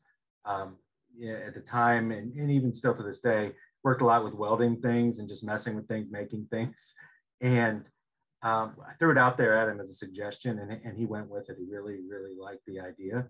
Um, I tried not to help him all that much um, from a sense of doing it, obviously doing it for him, but I empowered him to take, take ownership of the process, um, the admission application process, the resume writing part of this, the application, and, and he did that. He, you know, I helped him, we helped him prepare for his interview with Boeing, South Carolina and uh, rehearsed it really with him during the initial part of the pandemic for for weeks we really practiced and rehearsed and he, he obviously did well enough to get the job and he's been doing great ever since. Um, so that was my role in, in it. Um, obviously from as a parent i also like sonia i often remind my son how fortunate he is to be a part of this and you know it's a great opportunity. You know, not many uh, kids their age get this opportunity. Um, often have to rem- remember that, you know, my son's a teenager. Um, they're going through other teenage stuff at the same time. So they're balancing a lot, whether it's finishing their high school, finishing or working with the company, taking the college classes, but also being a teenager and having that teenage life. So I think that it's a it's a balancing act. Um, sometimes they have to give up some opportunities that other teenagers get to do or choose to do. So it's it's obviously it's it's challenging time for the teenage student, but also for the parents as well.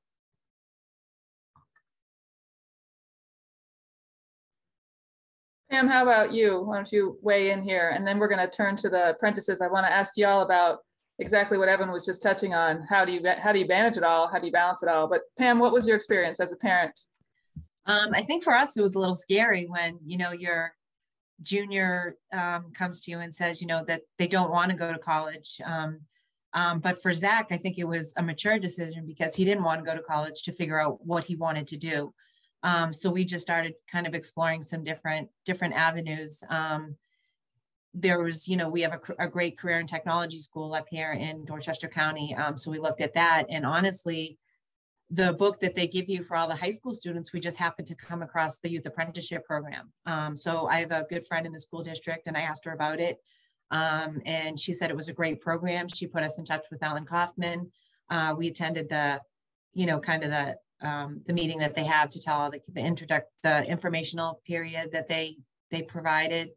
Um, we attended that and Zach kind of explored some different avenues and kind of like Evan and Sonia said, it was a it was definitely a learning experience. They had to sit down and write cover letters and resumes and go through the interview process. And I think for us too, it was it was just as um, you know, waiting for him to get those interview results back was um, you know, it was kind of scary, you know, and, and you're going through that with them. But like both of them said, uh, we we constantly tell Zach how fortunate he is to be able to, you know, have been a bit able to be a part of this program. Um, and at the same time, it is a learning experience because they are finishing high school, they're going and taking college classes, and in addition to that, working full time. So it's a lot, um, but we're we're proud of him, and, and we are, you know, he's very fortunate to be able to have gone we to have found this program.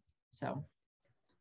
Yeah, so to, to, second to all of you, or third or fourth, or whatever it is, that the it is certainly a privileged place if, if, you're fortunate to be part of this program. However, it's a lot, right? I think uh, maybe Sonia said it was a challenging opportunity. It's both. It's amazing opportunity. It's also a really big challenge. So we want to name that.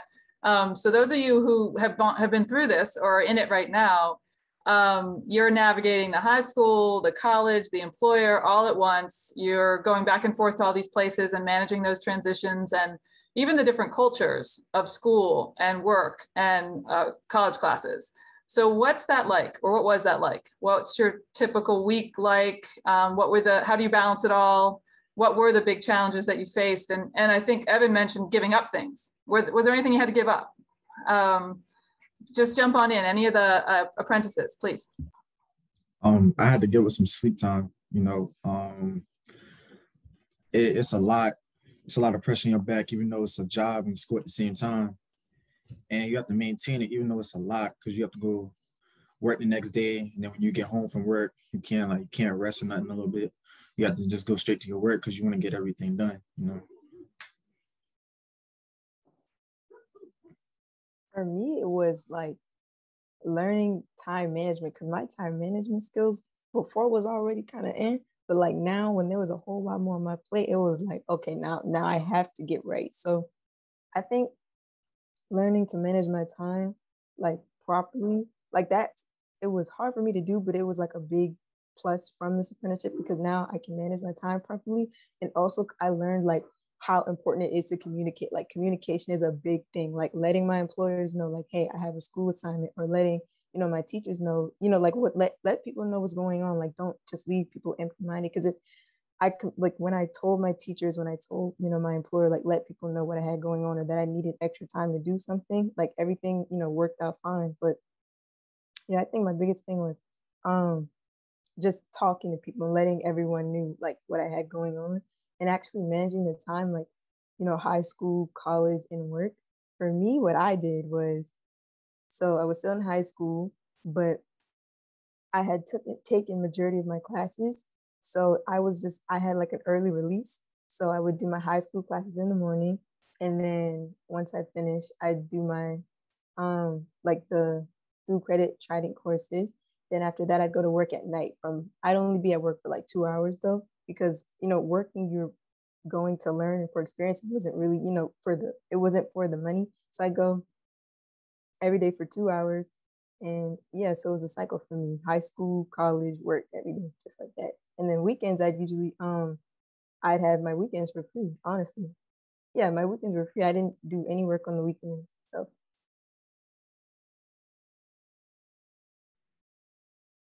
it's a lifelong uh, challenge to figure out how to balance the time and the work and all the things you have to do in your life. Um, and to mention again the points that the parents were bringing up just about being teenagers. So, um, Carrie or Zach or Drake, um, you want to jump in? What was your experience like?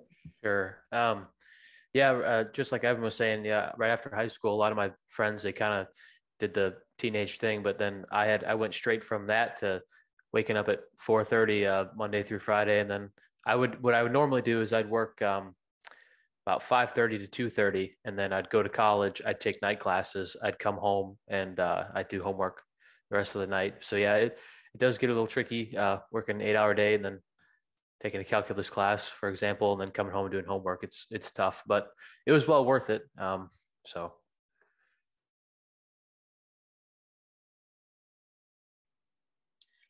yeah um like like he said, it's it's mainly like a juggling act to be honest. Like I was working at the time, I was working two jobs. I was going to high school. I was a junior at the time. And um, I was also going to the college classes at night. And then, um, yeah, so I was working seven days for like two years. And at, at the beginning, I was still playing sports. So I was still playing Powder Puff too. But um, yeah, like he said, it's it's a juggling act, but honestly, it was worth the sacrifice. Like I like if I had to go back, like I really I wouldn't go out partying with them, to be honest, you know, like it is what it is.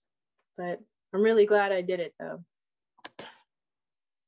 That was like another big thing as well. Like my friends, like or like friends on school, like she said, going out to parties and stuff, not being able to go party because we're doing work. But um like a lot of my friends are like, why are you pushing yourself so hard? Like, why are you doing all this? But my thing personally was I was trying to think long term because I did not want to go to school for four years. I was like, I'd rather do this now and get it knocked out the way than graduate. And now I'm done, you know, making money working. And then, you know, I don't have any debt. So I think a big thing was like thinking long term and being motivated, thinking about the future and the end, like what's gonna result, what's gonna come from all of this. So thinking long term is an incredible skill to have at any age, but particularly um, when you're in high school. So uh, it, kudos to all of you for having that foresight. Um, Zach, did you want to jump in on this? Um, and then I then want to want to remind just before you do, I want to remind the, the audience, please feel free to drop questions. Um, we're going to move to questions in uh, 10, 15 minutes. Um, so drop questions in if you have them and we'll try to get to them. Um, Zach, how about you? Yeah, I'll jump in here a little bit. Um, you know, a typical day would look like for me, I would go to high school in the morning, um, go to Trident to, uh, from about noon till four, um, and get off and go straight to work and work till 11. Um, so yeah, it, it definitely takes a toll on you, but it, like everybody else has said, it's worth it. I now, um, obviously I liked it here. So I, I work full time for them. Um, and, uh, it's it's a great experience. Um, the stuff that I've learned has been amazing. That stuff I never thought I could do before, um, and it's great.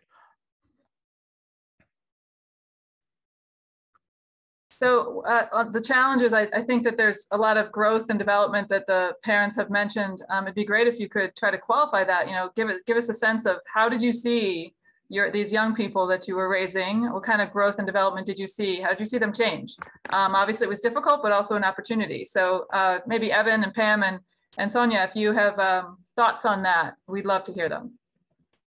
Sure. I you know like i said teenagers so obviously saw maturity um, change for the better um, you know like i said teenagers but one thing that i saw that really impressed by that i certainly didn't have when i was a teenager um, uh, or until recently, to be honest with you, is financial management.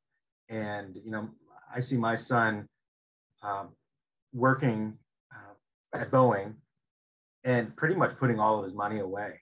Um, I couldn't imagine what I would have done with the money that he has saved up.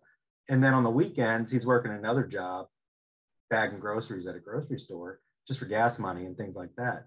So maybe not the way I would have done it, definitely not the way I did it. And I, am I'm impressed to see that, but at the same time, it's that time management because I'm as a parent, I keep telling him and reminding him, school first, you're a student first. No matter what, you're a student first. But at the same time, I know that he's got these other responsibilities, and it's hard to to get him to understand that. But he, he knows that. I mean, he, he, at this point, um, it's a little bit more difficult telling a you know a middle school kid that that's um, wanting to you know play basketball, football, those things. But at this point, you know they're understanding that, and you know I think some of the the student speakers today have have even mentioned you know the the value in this program as opposed to jumping right into that four year university setting and the the amount of money that it, it saves because it, it's incredible the the savings and the graduating without debt i mean that's just an, an amazing um, opportunity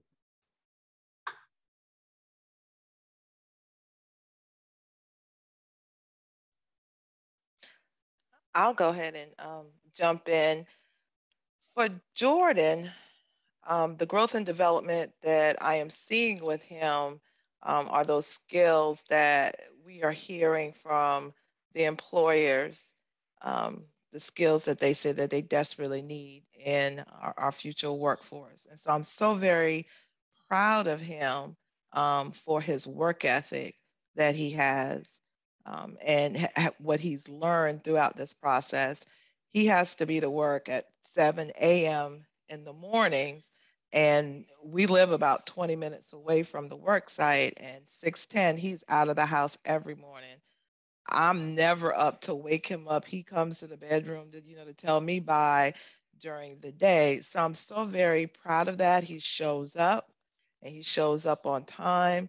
He stays he doesn't call out. And so i've been trying to express to him that my gosh that's a huge part of it right there that you have you you continue to develop these skills and some additional skills um, workplace skills. You get the education component and you will be so marketable. And i'm telling him this constantly. So i'm, I'm trying to work with him because i know those skills are are very important even communication. You know i remember when he first started uh, working, he was like, oh, I'm working with a lot of older men and I don't have anything in common with them. And, and, they're talking about hunting, and I've never gone hunting before. And I said, find a common ground because this is what you're going to have to do. You're going to have to communicate with your with your coworkers. And now he's coming home and he's talking about his coworkers um, and giving me different stories. So these types of skills, I've seen a lot of development with him in that area, a lot of growth and development. And, um, you know, I plan to continue to encourage him in that area. Um, and also in just all of the skill areas that he needs. And he, and he gets the support all around, you know, through um, his mentors and also um, through the apprenticeship program and how, you know, they assist him as well.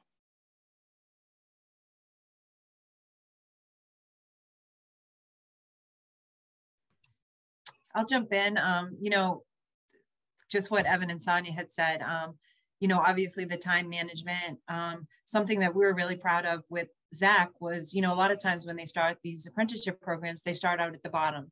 You know, they start out doing the, um, you know, he was on the floor for a long time working on the machines, and he knew that, you know, as, as great experience as that was, that isn't ultimately what he wanted to continue to do. Um, so he kind of found his niche, and when he found out that hey, I'd like to be the one behind the computer actually programming the machines.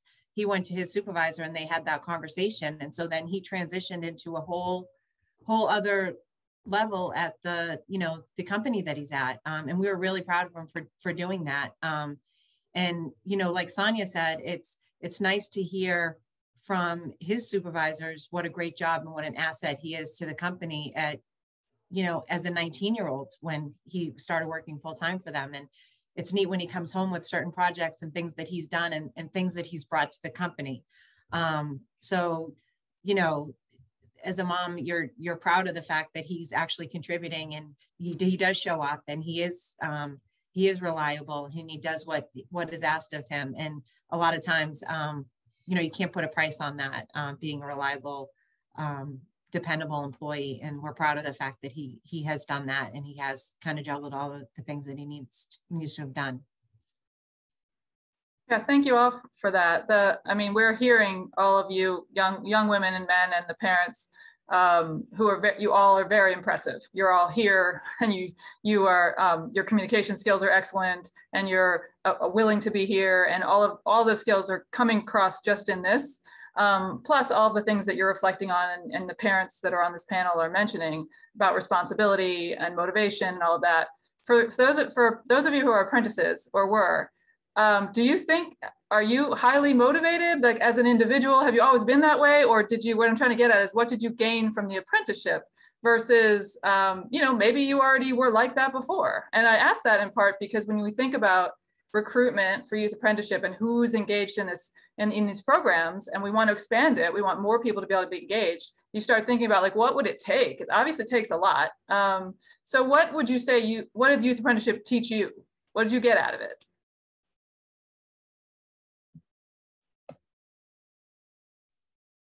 Um, so for me, it taught me that okay, I'm not gonna say I was immature, but I'm not like I wasn't as mature as I thought I was. Like I thought I had all my stuff together. I'm like, oh, like now, okay. So before I started, my guidance counselor and teachers told me it's not gonna like it's not gonna be easy. You know, it's a lot of work. You're gonna have you're gonna have a lot of of what is it, a bigger workload. I went in there. I was like, you know what? I make you know I make good grades in school you know, I never really struggled in school. Everything was good for me. I'm like, I'm about to go and this is to be a breeze. But no, I started it and, you know, I was struggling because it was a lot of work. And plus, you know, I was in high school. So I wasn't, I wasn't used to doing college work or, you know, how the classes would be, would be more, uh, more work.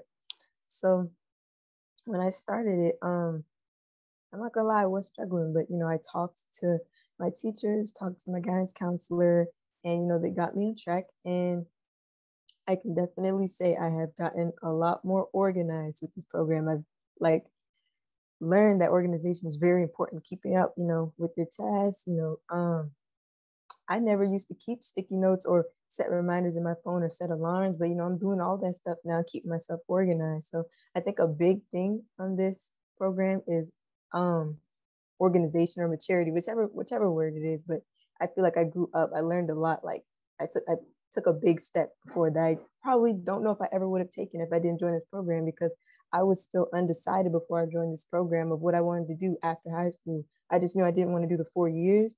So I didn't know if I would, you know, go to Trident or, you know, what I would do. So yeah.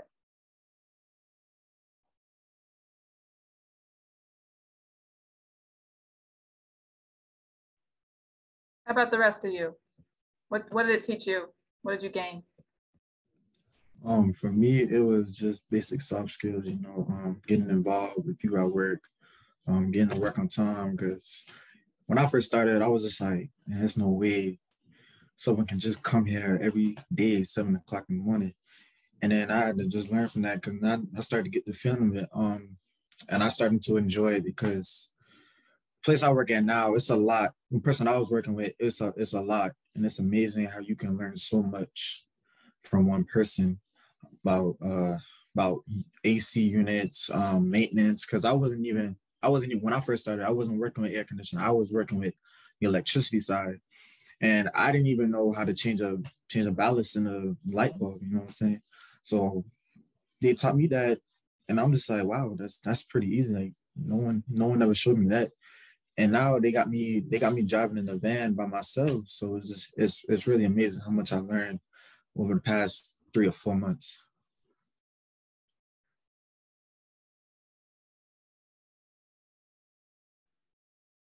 Drake or Carrie or Zach? Sure. Um, I think one of the biggest things I got from the youth apprenticeship was uh, like the work side of it. Um, working at KION, um, I started off, like Pam was saying, I started off on the floor uh, assembling forklifts, and then eventually I transitioned over into the IE department.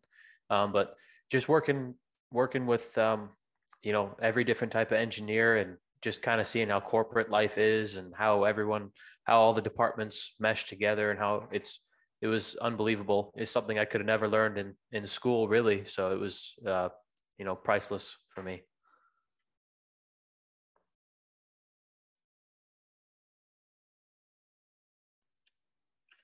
Yeah, I've always I've always liked a busy schedule, you know. I think my whole thing was trying to like be able to stick up for myself in certain situations or you know, even just like trying to be less shy because like the idea of like being here, you know, 2 years ago would have like scared me. Like I never would have done it, but now like I don't know, it's definitely taught me to you know, speak up and I don't know, be less shy, especially working with a ton of guys. It's like you got to speak up sometimes, you know what I'm saying? So I definitely learned a lot and and it was it was great.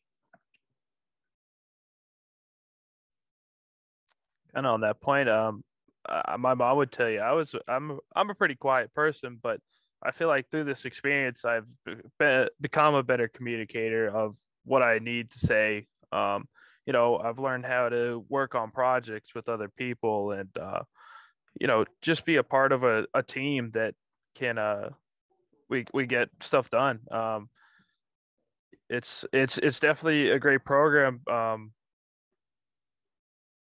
um, I like, I learned a, a lot about how stuff is manufactured and, um, it's it's amazing how much stuff that you don't notice that you use every day that behind the scenes takes so much effort to make.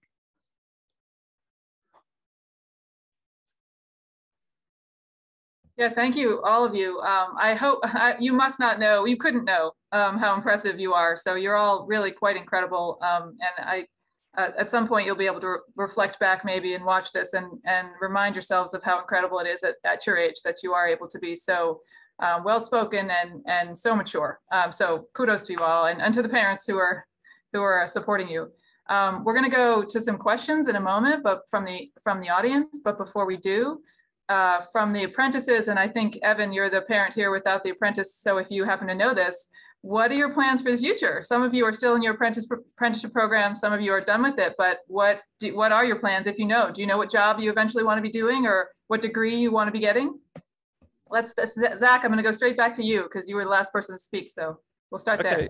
there. Um, actually, in the spring, I'll be leaving uh, Lincoln Electric and I'll be going to Middle Tennessee State University for uh, mechatronics engineering.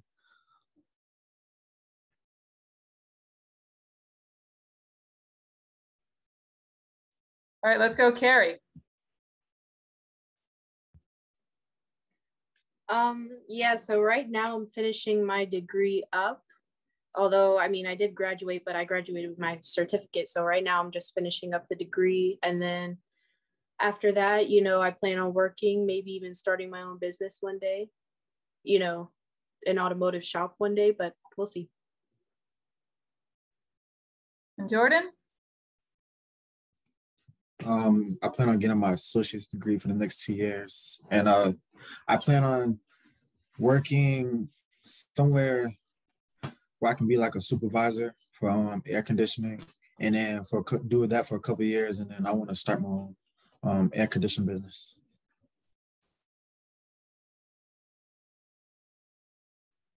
Amber or Drake? Um, so for me, um, but can I can I tell you how I came to the conclusion of what I was gonna do? Okay, so you know I work as a pharmacy tech at Roper right uh, now at the hospital. So I thought I was going to be strictly limited to just working in the pharmacy, but that was not the case. Like I've been all around, you know, like in surgeries, like I've done a lot of stuff in here. So, you know, being in the hospital, I met a ton of different people. And there's, I realized how much health careers there are. There's a lot, like a lot more than I thought. Cause you would just, when you think hospital, you think, you know, doctor, surgeon, nurse, like, you know, stuff like that. But um, every day when I would go in the radiology room, to drop off meds in there for, for the radiologist and the radiologist techs. They'd be in there on their iPads in the dark, just, you know, watching a movie or something like that. Because, you know, in the radiology room, it's quiet. They only, you know, someone only comes in there when they need a scan, you know, and it's quick. So I was like, hmm, that, that looks fun because, you know, you don't, you know, you're just in the dark, you know, doing paperwork. So started talking to them and um got to got to talking more and more about them and they let me uh mentor them. So i um came in i think it was three days i watched them? Yeah like three days. So um i was like wow i really liked it. So then i came to conclusion that i wanted to do rad tech which is radiology tech and that's a two-year program. So I'm taking the prereqs for that now. Then this August, I'll be taking um, a rad tech program in Greenville.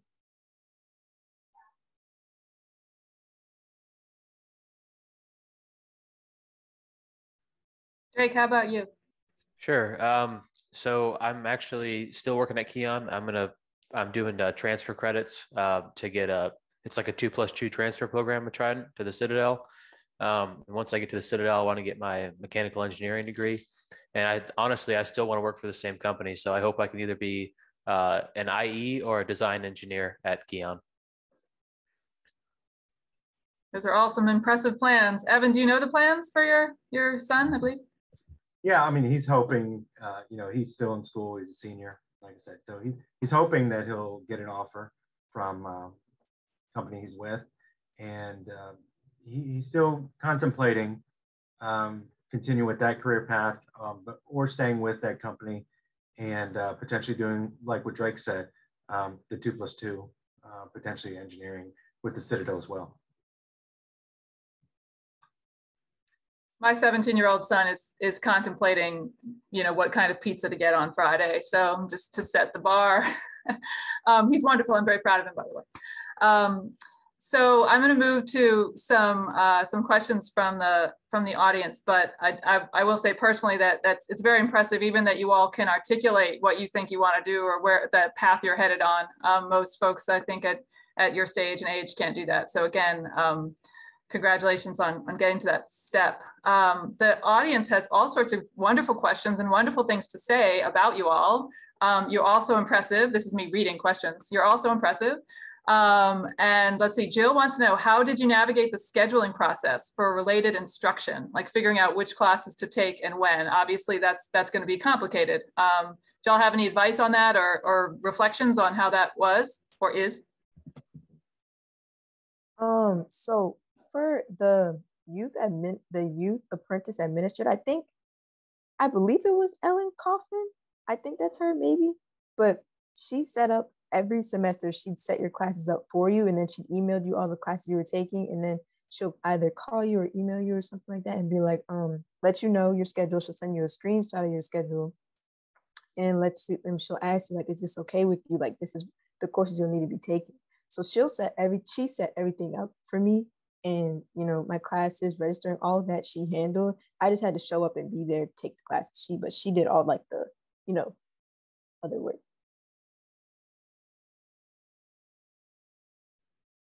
other folks, and I'm going to just jump in with other questions too, so you can respond to that or a related question, which is um, another figuring out. How did y'all figure out transportation? Um, did you all drive yourselves or take buses or get rides, or how did you get to all the places that you needed to be?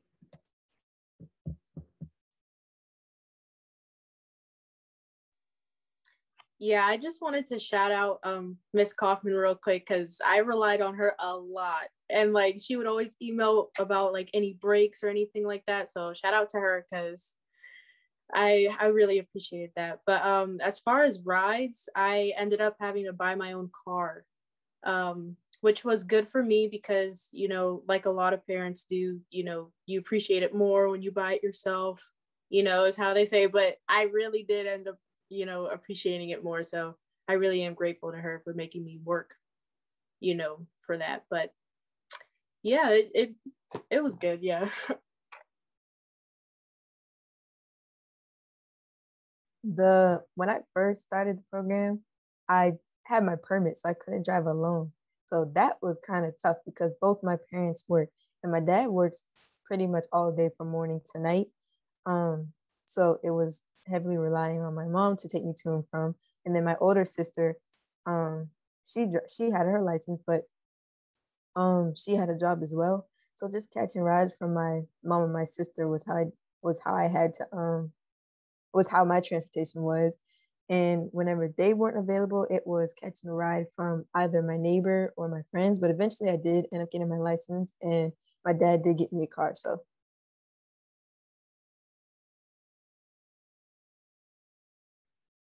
So I'm going to continue to say, folks, just jump on in. Anyone that wants to, parents as well, um, if you have reflections on your own kids or experiences, was there stigma um, from friends or family members or, or anyone really about your cho chosen path of apprenticeship instead of traditional college? And maybe even Sonia, I would actually ask you from a CTE director perspective, you know, what your thoughts are on that. But Evan, I see, I see you. Go ahead. Okay, I, I guess I'll go. Um, I, I was just going to say these opportunities weren't available to us when we were our kids' age.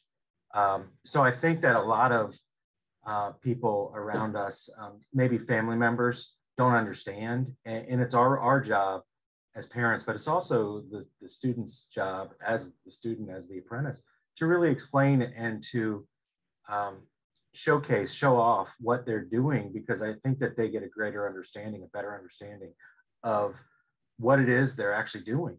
And for for us, you know, I work at the college. It's great for us, for all of these uh, young people, the, the students, to showcase this, to talk about it back at their their schools, in the community, churches, synagogues, whatever, so that it encourages other people as well because there's so many opportunities that are probably going untapped.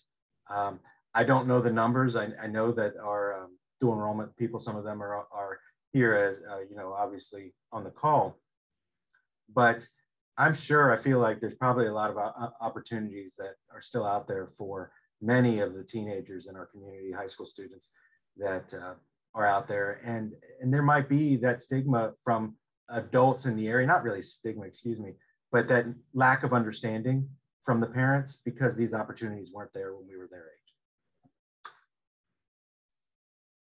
I, I would definitely say the same thing. Um, when I explained the apprenticeship program to my mother, and just to give you a little background, my parents both went to four year college. Um, you know, my husband and I did. And so even on my husband's side, it's the same way. So trying to explain this to my mother for her to understand, um, you know, was was a little challenging. And then sometimes people say, well, oh, but he's not going to college. No, he's in college. He's going to school, but he's also getting the benefit of, you know, working in his area while he's going to to college. And so I have even I started talking to Jordan about different opportunities very early on and how people receive their education. And I will even tell him my daughter went to a four-year school and I and I think he's better off than she was because she went just to school and some of the things that he's experiencing in the workplace now and has worked through, she's just now going through that. So he's going to be so much um, further advanced in that that area. So I think, like Evan said, making sure that we spread the message. I know I've been trying to do my part, talking to people, talking at you know people at church and at different organizations about the amazing opportunity that this is and how it can propel your child to their to their future goals. We're going to have to wrap up in just a few minutes, but um, I, I, I want to end with another uh, last last question, um, which is really about how to expand awareness about this. Um, I, I, it's building off of what you just said, um, Sonia. Do you all have suggestions? And I would look to the apprentices. Let's hear hear from you first um, about how to get the word out. Some of you found out about apprenticeship by chance. Um, some of you had parents that were, you know, pushing you or supporting you or telling you about it. Uh, what about your peers, your friends, the people you know at high school, other teenagers in your high schools or other high schools? How would you get the word out to them? What do you think would be most the most effective way of sharing this? Go ahead, Drake. I saw you go in.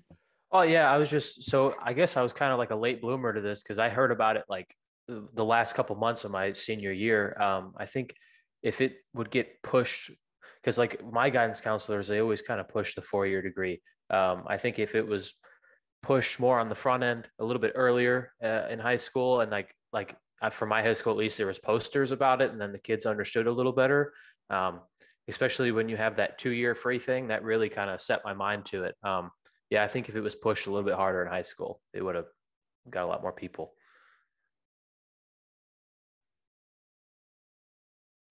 How about the rest of you? Jordan carrie ambers zach? What would you suggest? Honestly, I think it would be best coming from like people who are actually in the program right now or like who have been through it because you know i know teenagers and they they aren't going to listen to you know adults who are like oh yeah you know you should do this because it's good for you. You know not every teenager is going to respond to that but if you know someone who's still on their level you know just like comes to them and be like this is what you should do because it's free. You know what i'm saying? And like here's why because you can learn so much and you can like just really grow and you know build your future based off of that. So yeah i think that'd be really important. I think like what she was saying that exactly like at my school um or at my high school at my high school wando you know we have meetings in the pac sometimes which is like the uh, auditorium. I think maybe if you set up some like presentations like a quick presentation just get some students in there tell them about it. Um and I think honestly, posters or flyers would help a lot. Like posters in the school for the actual apprenticeship would like because kids are looking at the the walls are blank. If not, something's there, the kids are gonna look because it's you know it's like what's that? Because the walls are always blank.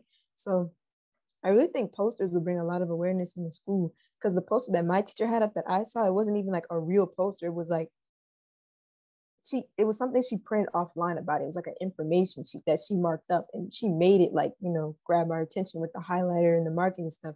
So I really think maybe like presentations, if you go to different high schools, maybe talk a little bit about it, it could be quick and posters would help a lot.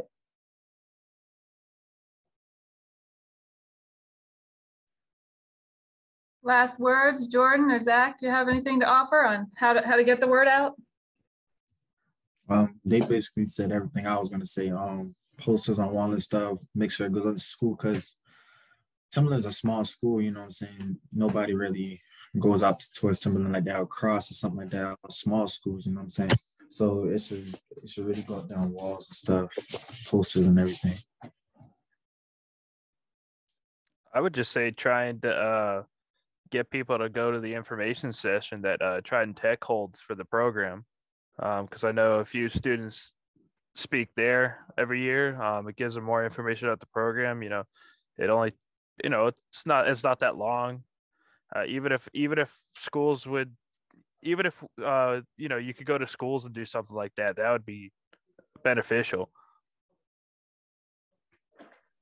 Excellent. Thank you all so much. Um, we're going to wrap up now, but again, my deepest appreciation that you all joined today, that you were willing to share your stories. Um, congratulations to y'all on how far you've you've gotten, and good luck to you and all your future endeavors. Parents too, thank you so much for joining and sharing your perspective. Um, it's been great. Thanks so much. Thank you again to our moderator, Elena Silva, and thank you to all of these inspiring and impressive youth apprentices and their parents for sharing their experiences. Now I'd like to invite you to join us at 1.30 Eastern time for our next panel, where you'll get an opportunity to hear from the employers. From finding talent to developing it, the employer's case for youth apprenticeship, which will be moderated by Eric Seleznow, the Senior Advisor and Director of JFF Center for Apprenticeship and Work-Based Learning.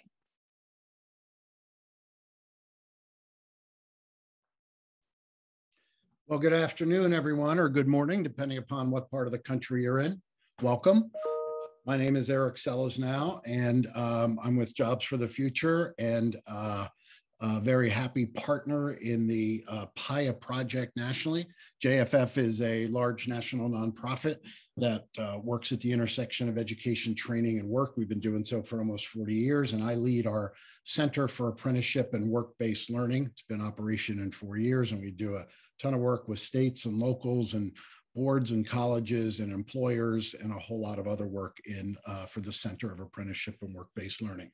Um, while this will never be ex as exciting as having a bunch of apprentices on, uh, like the previous section, which was outstanding, by the way, kudos to you guys for that one. Really smart young people, but it's almost as cool because we have real live employers here and people who work with uh, these young people and provide them opportunities. And I'm going to guess, and you can disabuse me of this notion, I'm going to guess you've been totally impressed by many of the apprentices that you have had as youth. And we're going to talk a little bit about that today.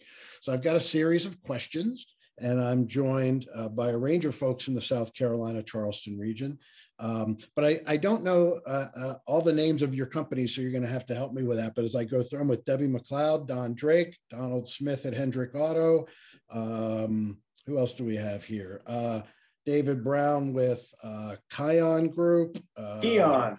Roxana uh, with HCA Healthcare, and the rest of the introductions I'll let you do. But we've got a great group of folks here um, who provide uh, not only opportunities to students and are helping out young people advance, they're also developing a pipeline of the future. Um, they're uh, spreading uh, uh, good skills throughout their community, not only with their job, but certainly in maintaining work skills and work values, and really is a big issue in um, training our next generation of workers. I wish more folks around the country would do what the Charleston region has done, but um, I always tell people across the country where we go that there's a lot of programs out there that are doing youth apprenticeship. Look at Charleston first. That region, great relationships with employers, a good central intermediary with Trident Tech, and a range of very good partners from K to 12, community college system, employers, uh, and business associations. So with that, I'm not going to waste any more time. Um, the monitors of this uh, session might want to give me the hook or a warning when we've got about five minutes left, because I know me and this group will love to talk about this issue and can talk about it uh, for uh, uh a, a lot more time than we have scheduled today. So give me a heads up if we're running over. But um, thank you, um, Melissa and Mitchell and all the other folks at Trident for helping organize this session. Um, so let's just jump in it, right? I mean, we talk about apprenticeship as being employer driven uh, whether it's youth or adults, uh, we in the apprenticeship supply side of things need to make sure we understand what employers' issues are, what their concerns are, what their skill needs are, what their future workforce challenges are. So we really need to get the employer's point of view on this. Um, and then there's the other side of what the system can do in providing appropriate students to help the employer solve that problem. So we want to sort of address the history, how your programs came together, um, tell us a little bit about your company and the program. How's your experience been to date? And we want honesty. We don't only want to hear good things. If you had a student who had challenges and you had to sit them down for a while, that's fine too. That's part of the process. Uh, but we do want to hear uh, very much how they how these things operate. So in other parts of the country, we can sort of replicate some of those themes that you're doing. So I'm just going to jump right in here, and I think I'm going to start with Debbie McLeod. Debbie with um, all right, Debbie, tell, tell us a little bit um, about your company and what you do for your firm, Deborah. Okay, so I'm Debbie McLeod from McLeod Information Systems, and I'd like to say thank you for having a, having me on today. Um, we are a cybersecurity company. We're one of the first in the state of South Carolina to put a registered apprenticeship program in a cybersecurity business. Um, the I am the president of the company. I'm also the apprenticeship director. And the reason that we chose to do this is because of the job shortage. There's approximately 3 million short worldwide in um, cybersecurity. So we, my husband and I collaborated and we decided that it would be beneficial for us uh, in the industry that we're in to grow our own pipeline. So I love that term, grow your own. Uh, I often use that with apprentices because you're in fact doing that. Um, and cyber is a really interesting space to get to. There's a number of cyber apprenticeship programs across the country um, at various stages because I think it's still all being worked out. Um, so you looked at the job shortages, you looked at um, which is very situational, right? Pandemic related, post pandemic, you don't know where you're going to get your workers from. So you decide to grow your own. So, what did you do? How did you connect with this system? Um, uh, and did you know how it was going to turn out when you started? Um, so, what I did, because I have my um, histories in education, I knew that schools have intern programs I was I was in one myself. So my first approach was to contact the local school district about having interns, and I got no reply. So I decided to investigate that a little further. And in my investigations, I came across Apprenticeship Carolina, who came, sat down. They brought the local school district in. We sat down and we talked. We explained what we wanted to do. Everybody agreed that it was definitely needed. And they, through doing that, um, we partnered with Trident Tech for the educational portion of this um, program. Mm-hmm, mm-hmm. So, um, so that's an interesting uh, experience. Um, was it Trident that you so Apprenticeship Carolina is known for having, I call them navigators, but apprenticeship consultants located throughout the state. They're usually attached to a community college, which is great.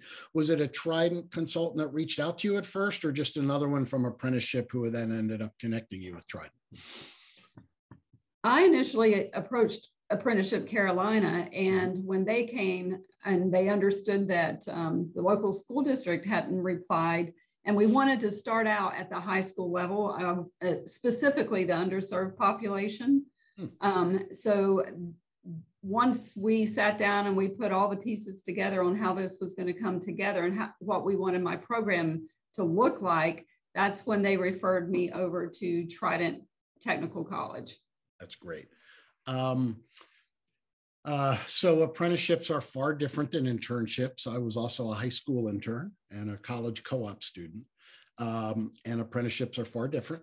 Um, uh, and I think you've made out on the deal with that, right? Um, I mean, it really is, um, you know, a real way to integrate integrate a possible pipeline of workers where interns are mostly just for the experience of the student. Did you encounter any unexpected challenges or problems or was it like you were discovering new and interesting things every day that worked for your program design? So far we haven't um, had many challenges. And in reference to the internship the purpose of that is with cybersecurity we wanted a limited amount of obligation from the student. So the internship pro- program lets them know and lets us know is this a good candidate for an apprenticeship? Mm-hmm. So that's the purpose of doing it that way. Um, but through the whole program, we really have not, everything has been pretty much what we expected, except for what we did not expect is everybody who works in the company wants to participate with the apprentices. they everybody sees that as the most energetic and exciting part of our company. So that was a little unexpected. And then how much we love what we're doing and how much um, we have seen these apprentices grow through the program. It's been way more rewarding than what we expected. You know, I've heard that before, Debbie. That's an excellent proposal, uh, excellent uh, uh, uh, comment to make. Uh, we are working with a healthcare, a hospital up in New Hampshire, and the staff were actually fighting over being assigned the apprentice because it, it, sort of changed their organization. You know, they describe it very similar to you, and it it it juiced up the staff, and everybody wanted to help out. And you know, I mean, as as far as recruiting future students, what a great welcome for them to have everybody interested in them. Um, so, uh, so how long have you been doing this, and how many students have you uh, been able to bring on? Uh, you know, there's a lot of questions about scale. Oh, did you bring on 100 students? Did you bring on 10 students? Um, uh, you know, and there's uh, a lot of policymakers and politicians like to say we want 10,000 apprentices. But the reality of the workplace is not everybody's going to absorb a huge number, and that's fine, right? But um, you know as long as you're doing that sort of work with somebody. So how long have you been involved in it? How many students have you been able to serve?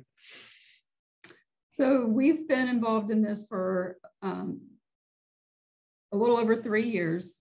And we have we just took on our third apprentice. So it's relatively one each year. It's what mm-hmm. it's been equaling out to. Uh, we are a small business so we have to take these uh, um, new apprentices in as the funds become available to do so.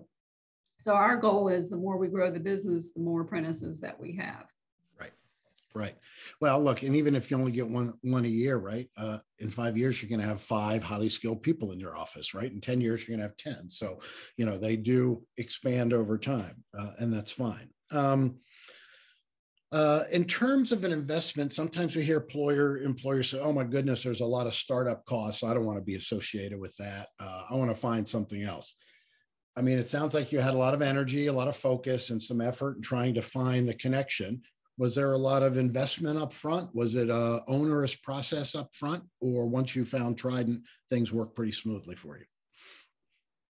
There wasn't a lot of um, investment on our part. And as I just spoke at an international conference last week um, to cybersecurity people across the world.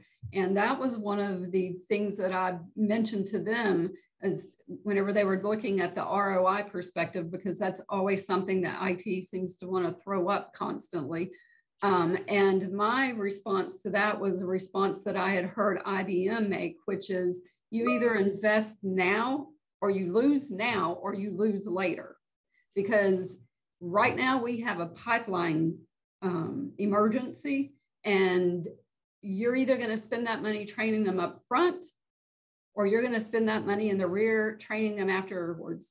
So you pick which pathway you are wanting to lose, but mm-hmm. you're going to either lose now or you're going to lose later. So as far as an ROI, we personally feel like it we're already seeing that growth and whether we see it in dollars, we or or it's more so that we see it in the lives being changed. And that to us is way more rewarding than seeing the dollar signs. So let's talk a little bit about the logistics of this and working with Trident and doing something called a registered apprenticeship, which seems to have a lot of mystery, myth, and perception surrounding that term around the country. But um, uh, I, I want to, uh, you know, how was it working with your local colleges, Trident? Um, and uh, was it a burden, if you will, in registering the program? I hear lots of employers say, "Oh my goodness, the paperwork was terrible and it's so hard." And I usually hear that from employers who never tried it. Um, but I'm wondering how that experience was for you. Was it onerous? Was it easy? I wouldn't say that it was exactly easy because there was the cybersecurity um, education outline had to have quite a bit of tweaking. Mm-hmm. Mm-hmm. but um, and that had to come with us sitting down. Um, once we got that put in place, and I wouldn't say that's exactly tedious and laborsome. Whenever you already have in mind what your expectations are and you already know what your career field demands, that makes it a little bit easy, um, easily accomplished.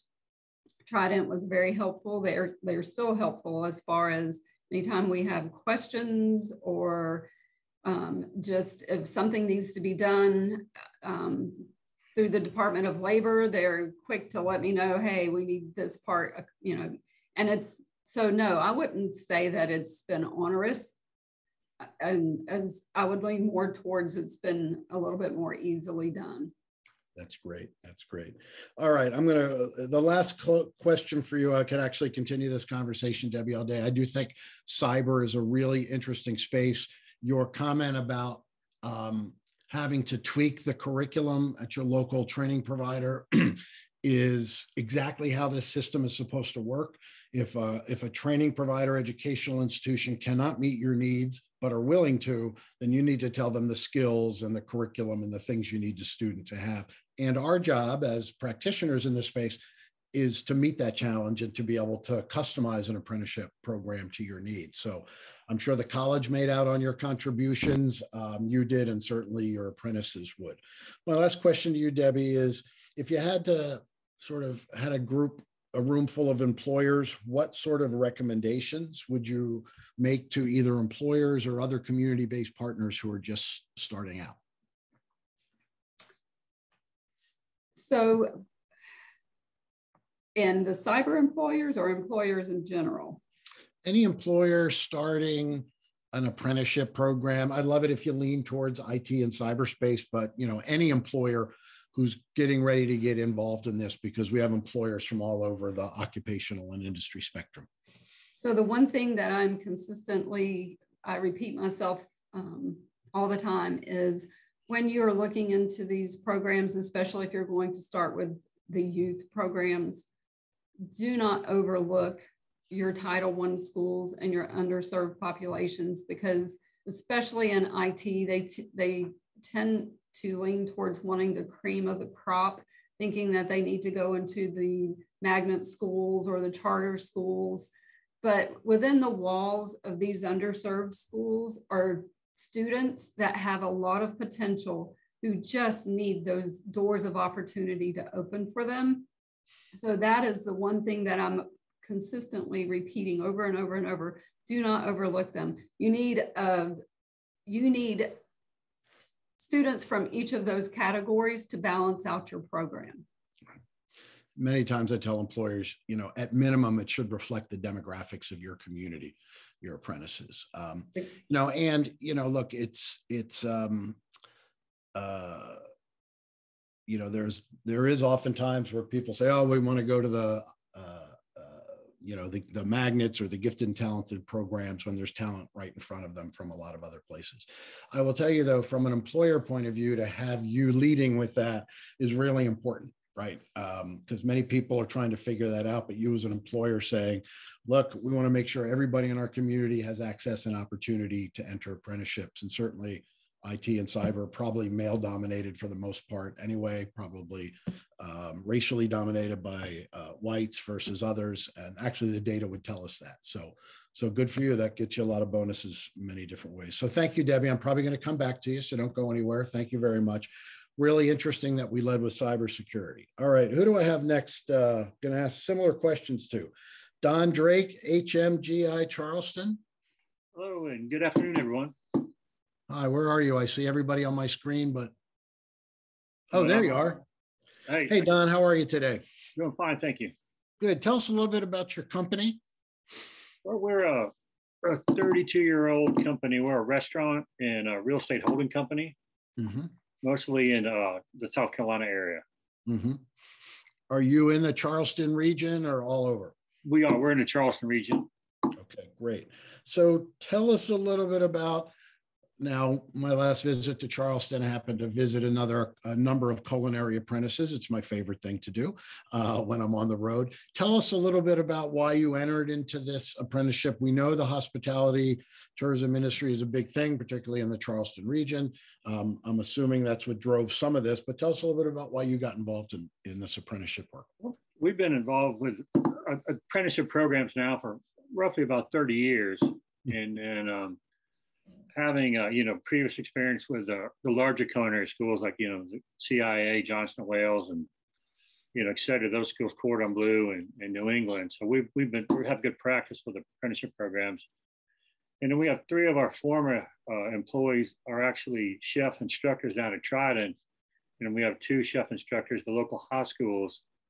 So we we got a really good feedback when Mitchell uh, approached me about this new program we were really excited about it. Um, it's like everybody else, we're experiencing, you know, a labor shortage. And, you know, with the last visit to Charleston, you're well aware of, a, uh, a, of the numerous restaurants that open consistently in, in, in, the Charleston area. So labor pool was pretty tight. But uh, it was pretty easy. Uh, it was pretty easy fit for us having, you know, many, many years of experience with uh, the other apprenticeship programs we're involved with. Mm-hmm. And are they, mm-hmm. I'm sorry? Are your apprenticeship programs front of the house, back of the house, um, chef and cooking? Are there other occupations, or or where, where have you settled in on your occupation? Mostly, they're in uh, you know in uh, uh, I'd say probably the more majority of probably eighty five percent of them are in the back of the house. The other fifteen percent are in the front of the house.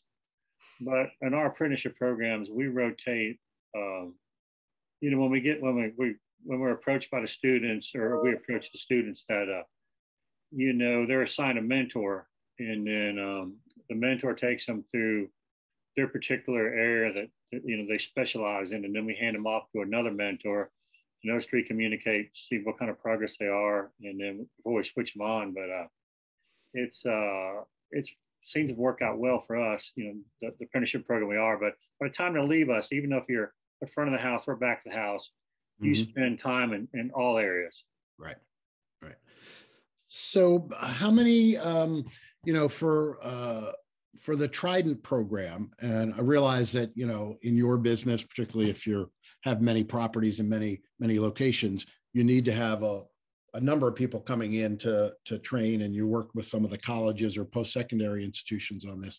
So, when when you first started talking to Mitchell about bringing high school students in, Um, did that make you gasp? Did it make you stop and think? Were you worried about alcohol on premise? Were you worried about kids showing up? Uh, or or what? What what was some? Oh, I can't say that I was I was worried about all the above, uh, for sure. Um, especially when um, you know, the, like the first round we got, you know, they were really young. You know, some of them were uh, 15 to uh, 17. Mm-hmm. And then, you know, you were, you know, have children of myself, my own. And I was like, oh, because, you know, uh, a restaurant can be, a, you know, it can be a, uh, you know, it's a really fast paced moving environment.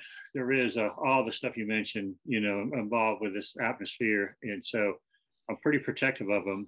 Um, I really, really uh, get, uh, before we start any kind of communications, I sit down with the parents and the kids, and then we talk about the job, what's expected of them, how this is going to work, transportation, schoolwork, uh, all the above, and then we let it we let it roll for a little while, and then we sit down again with them to make sure that you know they're keeping up on their grades, you know everything's going well at home, along and on and on the work front.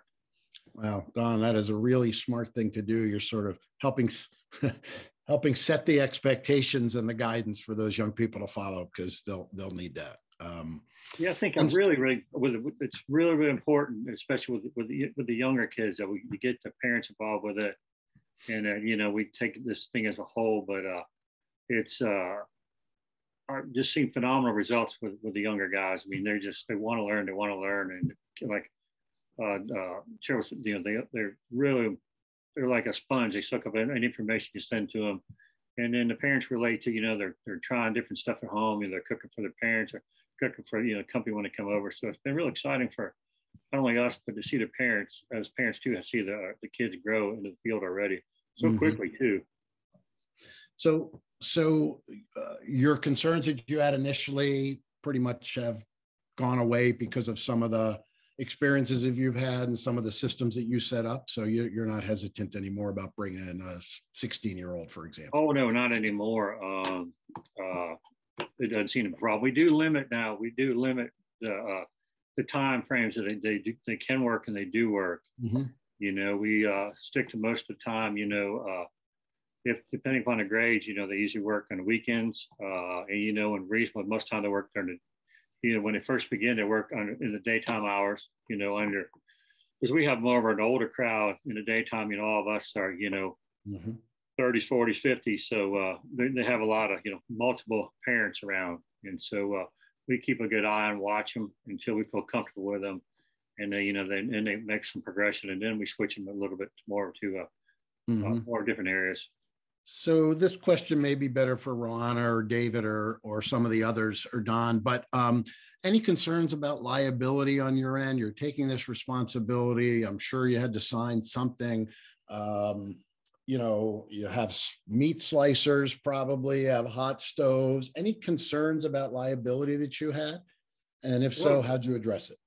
Oh, uh, you know, of course, we always, you know, stress safety in the kitchen. And then, you know, uh, when it comes to the, the, the apprentices, uh, you know, any kind of uh, workman's comp and stuff is covered by the college. And so it's under the contract, you know, they sign with those guys, mm-hmm. which, you know, takes some of, you know, some of the liability off of us. But um, we always, you know, stress, you know, a, a safe environment. But I don't really have any concerns because, you know, everybody practices good, you know, work practices, you know, in, in the kitchens, mm-hmm. just because, you know, again, you know, it's, we try to keep everybody a safety level. So uh, it's been working out well. Uh, I don't really have any concerns. That's great. Um, and uh, can you estimate of? Well, I had a I had a CEO in Switzerland's apprenticeship program say to me, "Look, if they apprentice for me, that's great. If they move on to one of my competitors, that's fine. It's good for the industry. And if they leave me and go back to college, that's fine because it's good for the country." Um, how do you feel about uh, hiring the uh, do these folks stay with you after they go do they spread their wings and go on for other jobs tell us a little bit about what happens at the conclusion of an apprenticeship well when it comes to especially the ones that come from uh, you know the, the culinary schools directly i'll find out if you can get them in their last quarter of their education and then you go into your apprenticeship program usually we have probably a 100% retention rate. Mm easy stay with us for you know probably two three years. A lot of a lot of them have a you know career, you know, stay with us, you know, for the for the for as long as they, you know, until I got out of college. But um, you know, I always always stress, you know, being I, you know, I did my apprenticeship myself, you know, years and years ago. Uh, but you know, um, I encourage everybody to you know to, to come in, learn as much as you can, and then uh, go on in your, you know in your field and, and, learn from the next guy you think is you know who can uh, mm-hmm. you know somebody you know I try to learn on the best chef you can and go to the next chef and learn the best you can because you know when you get an opportunity to open your own place usually only get one crack at it if you go hey mom dad can you loan me some money to open our own restaurant you know usually only get one you need one to be successful so uh, we have a you know an excellent track record of people who graduated from our apprenticeship program and who've left you know our, our restaurant group are you know, they have their own restaurants. Some of them have, you know, corporations themselves and multiple restaurants. So, uh, whatever doing, you know, and with the help of Mitchell and his crew, it's been really, really successful. We've helped, uh, you know, uh, I think we've contributed to the field, you know, where they, I think mm-hmm. when you leave Magnolias or our, our group, I think you can work at any restaurant in the country. Yeah yeah, Yeah. that's some uh, serious uh, restaurant business down your way. Um, all right, and lastly, uh, before I go to um, Ro- Roanna, is what recommendations or advice do you have for anybody in hospitality, or really any employers who are just starting out on this? We're working with sites all over the country, and the hardest thing for many of them is to get started. So, what sort of recommendations or thoughts do you have? Well, um, like you know, the, uh, speaking for myself is you know you want to tweak your program to fit your needs. There's not one set program. Just set parameters, and then you tweak yours to, to fit whatever your needs are, whatever your uh, establishment is, what type of food you're doing. But um, works works out well. But you know what we're doing now, uh, we're working on is, you know, like somebody mentioned before, you know, the underserved or the minority community uh, is mm-hmm. that uh, we have a lot of the restaurant workers who realize that you know they never really graduated from from high school. You know, they they, they the reason to err their way. So now they they want to want to get a certificate. They want to get their education. So we're really working on that program now, where uh, we're putting them through our apprenticeship program. We're getting them the education, so at least they're getting a GED. They're coming out with a working certificate, so uh, they're feeling a lot better about themselves, and we're giving them a reason to mm-hmm. further uh, pursue their career. Because you know it's hard to pay the you know it's hard to pay your rent and your bills uh, you know on on minimum wage. So uh, we try to give them a you know a way out. And with that program, you know, you guys out there think about it. It's such a win-win situation for your local community, the people that you serve. You know, they can come out, you know, with a with a high school education, with a journeyman certificate, and with a college education paid for without owning any college debt, student debt. It's you know, it's a win for everybody. Wow. I highly encourage you guys to get involved and get started, you know, as soon as you can. Great. I'm going to edit this, cut that out, make a commercial out of it. That uh, you're absolutely right. No college debt. And, and to me, these programs are not secondhand. They're not alternatives to college. They're uh, everything, uh, in my view, is equal to the preparation that two or four years can give you in the uh, in the workplace in the marketplace. So, uh, oh, very, very much so. Yeah. So, Don, thanks so much. Um, stick around. We may come back to you. Um, I got a bunch of questions for all of you. I'm sure they're going to give me the hook too, not too soon, but Roanna, am I pronouncing that right? Roanna Payne with HCA Healthcare? Yeah, it's Roanna. Roanna, I've seen you before. We may have had this conversation before. Um, anyway, thanks for joining us, Roanna. Tell us a little bit about HCA Healthcare, if you would. Well, um, we are Trident Medical Center here in Charleston, South Carolina, which is a subsidiary of HCA. We are about a 300 bed hospital. We're an acute care trauma hospital, and we have had apprentices with us now for five years. Wow. So um, we started out, Mitch and I were friends away from work, and he approached me away from work, just socially chatting and telling me about the program, and asked if we might be interested in having youth apprentices in our patient care tech program. And I said, hmm, sounds good. I've got to run it by HR, got to talk to the CNO, you know, to the C suite and make sure everybody is happy with what the idea. And Mitch and I pitched it and they said, go for it. And the rest is history. So the moral is never go out to dinner with Mitch because he's going to hit you up for apprentices. nah, we, we, we talk about everything. And um, it was a good segue. You know, Mitch did the right thing and laid some creativity. And I'm not sure, but I believe we are the first hospital in the Charleston area to use the patient care tech apprentices. And mm-hmm. they've rebranded us to pre nursing apprentices mm-hmm. now instead of patient care tech. And the other hospitals have since jumped on board as well. Oh, wow. That's, yeah, I've seen that happen in communities. You know, uh, you, you can't get the upper edge on the competition because you all are, are challenged. You're all are struggling for the same talent, right? In the same labor shed. So, so it's tough. So, you know, you've been doing this for five years. You've obviously had some apprentices that have completed uh, their work with you. Um, so, as you look back on the last five years, um, how has that worked out? Have they stayed to continue to work with you? Have they advanced on to college? Have they dropped out and gone to see Don and work in a restaurant? What, what sort of reflections do you have now at the last five years? We've seen the gamut. We've seen some that have started and have just flat out said, This isn't my cup of tea, mm-hmm. and have left the program. We've had others from a scholastic standpoint that could not keep the grades up to make the program work. We had others where parents were pushing them through the program and they did not want it and finally spoke up.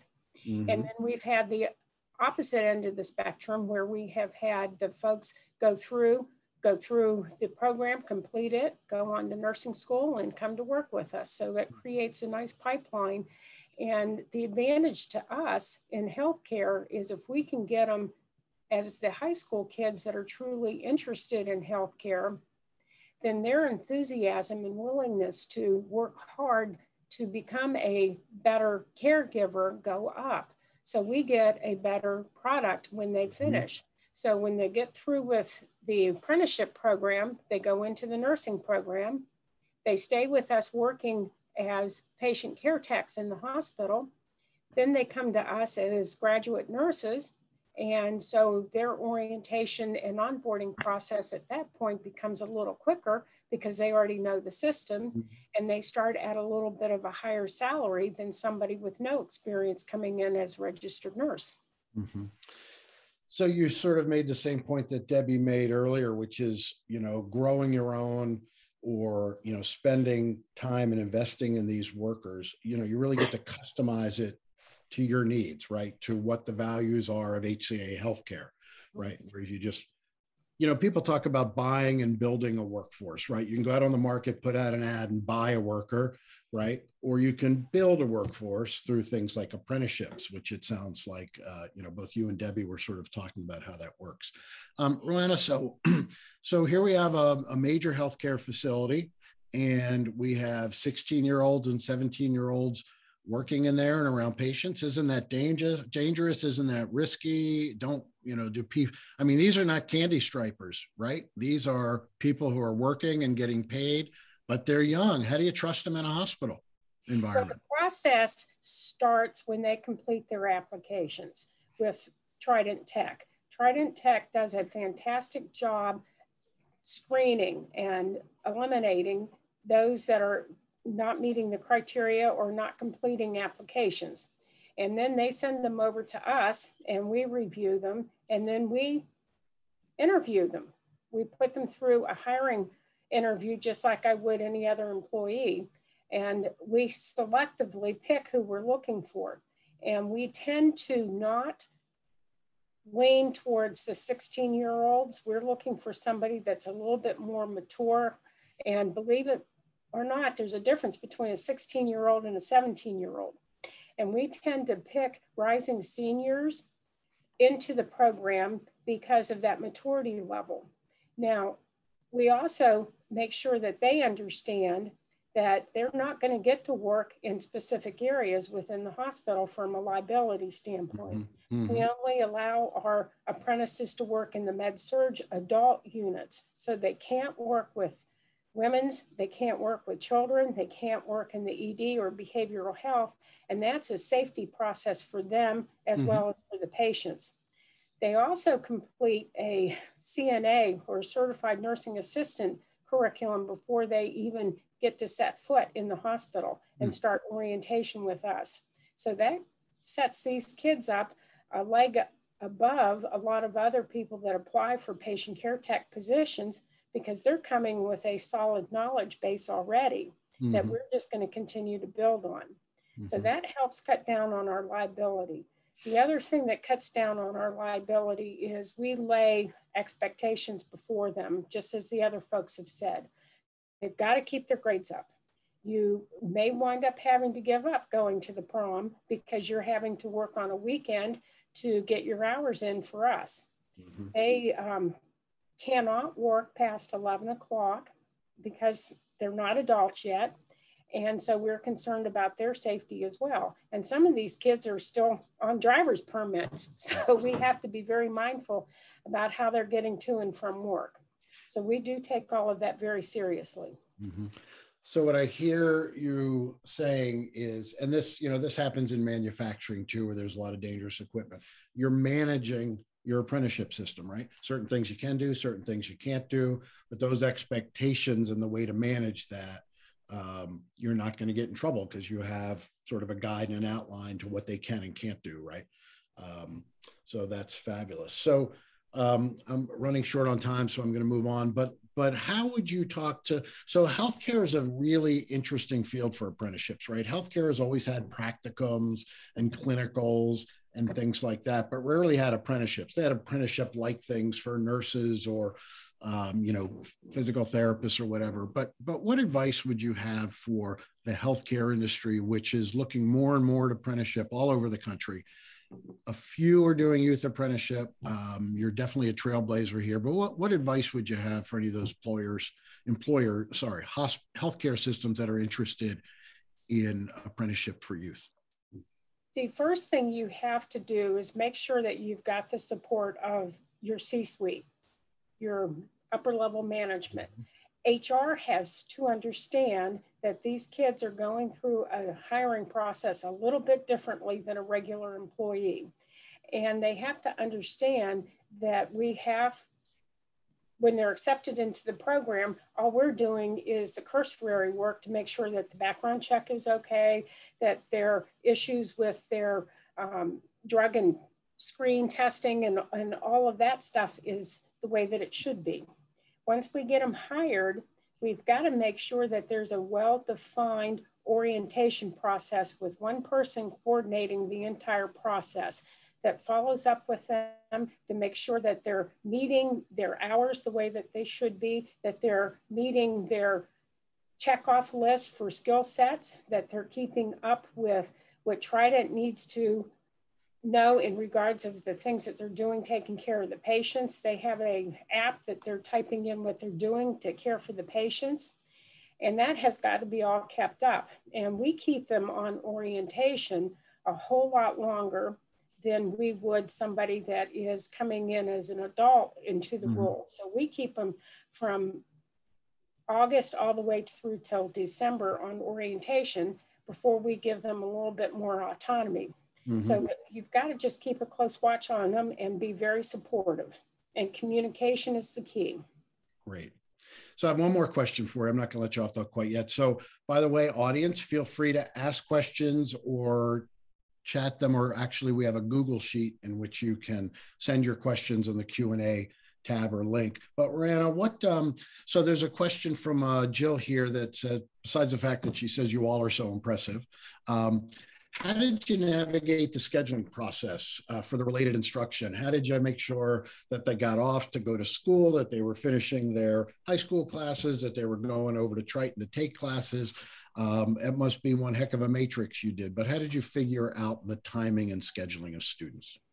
That was easy. it, truly, out of out of everything, that was the easiest part because Trident Tech tracks their grades for us. Then, as they finish their coursework, I get their grades. And anybody that does not pass a course, then it becomes my decision through the hospital to determine whether or not we're going to keep them on through the program. Are we going to wash them out of the program and let them stay on as a patient care tech? Mm-hmm. So that piece was fairly easy. And what I do is um, sit down with the kids when they start and they tell me what times that they can work. And then I build their schedule based on what they tell me that they can work. And some of these kids choose to work a 12 hour shift on a Saturday and maybe an eight hour shift on a Sunday, or they'll work four or five hours after school in the afternoon. And we've got the support of our managers on the med surg units that allow these guys to come in and work those type of hours while they're on orientation. Then once they come off orientation in January, then it becomes the manager's responsibility to manage their schedules with them and they're met to meet the expectations of mm-hmm. what's required of the patient care techs on those floors. Okay, that's great. That's great. And and Debbie and Don, do you have scheduling problems? I mean, particularly in the restaurant business, you guys probably have scheduling that changes every week or two. Um, just real quick, because I need to get to Don first, uh, and then David. But um, Don, any scheduling problems in your industry?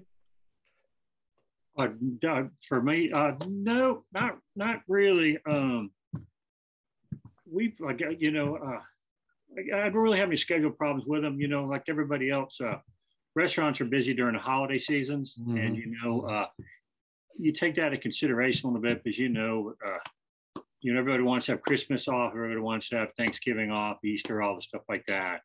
If anything, that's probably the only time we really have scheduling issues would be during the holiday season, and then um, we just deal with that, you know, as best we can. All right. And uh, Debbie, how about you? You're you're pretty. I assume you're mostly a nine to five operation. Scheduling an issue with you? Correct. We're mostly nine to five, so hours are and scheduling is really not an issue for us. Okay. Great. Great. Yeah. Hospitals, you know, 24 hour operations are a little bit more challenging. Um, let's talk to Don and then I'll, we'll wrap up with David. Um, and uh, Don Smith with, who are you? Hendrick Auto, is that who you're with, Don? Tell yeah. us a little bit about that. I'm Don Smith with Hendrick Automotive Group. I'm Director of Community Relations, and I'm the guy to go out and hire the youth apprentices. All right. So, how big is your organization? Do you have multiple uh, sites and dealerships and all that, or just one central? How, how big are you and how many apprentices do you take on a year? Well, basically, we have nine stores, a body shop, and a, and a consolidated business office here in Charleston. And we have 105 stores nationwide. Mm. So, why? Uh, I mean, I think I know the answer to this, but I don't know why, how, and why did you guys get into apprenticeships? It's a, I mean, this is a terrific industry because there's it's always changing. There's new things people need to learn, whether it's sales or finance or body shop or or mechanical. So tell us a little bit about why you got involved and where do you focus your apprentices on? Okay, basically, um, I was a GM of, a, of a, the Volvo store here in town for 20 years, and mm-hmm. I found out that we had to go out and recruit technicians. And basically, after a couple years, I realized we had to grow technicians. So when the youth apprentice program came about, um, we just signed up because we said we got to grow apprentices. So the best way to get them is out of high school and right into the dealerships. So um, before then, um, we was in the high schools doing a lot of volunteer work. So we started talking about the youth apprentice programs to get people interested in being technicians. Because most people thought technicians was a dirty job. They didn't. They'd never been in NASCAR and seen how clean the floors are and the settings are and everything in, in the automobile business going to computer, it's computer driven. So they didn't know that. So we sold that the whole time we was in high schools. Yeah, it is. It is so far different than it was 10 years ago or even five years ago. Um, so what, uh, uh, again, it can be a dangerous location, an auto body shop, if you don't know what you're doing. How do you manage risk and liability? And uh, where do you focus your time with the students? Is it on me- mechanical work or other sorts of uh, occupations? Well, basically, we make sure we we we've had a mistake because when we started it in four years ago, um, I was recruiting everybody I could could recruit. Anybody wanted to be a technician, I said, just sign them up to be a youth apprentice technician. So the first year I fell on my face because we're getting 10th and 11th graders that had no clue about it. And then we found out some 10th and 11th graders didn't have driver's license, so they couldn't drive a car. Right. You know, so after the, after that, falling on, on my face for a while, um, we kind of focus on serious 11th graders who was serious of being a technician. And I talked to their parents, I recruited them, I recruited their parents and make sure that they wanted to be apprentices.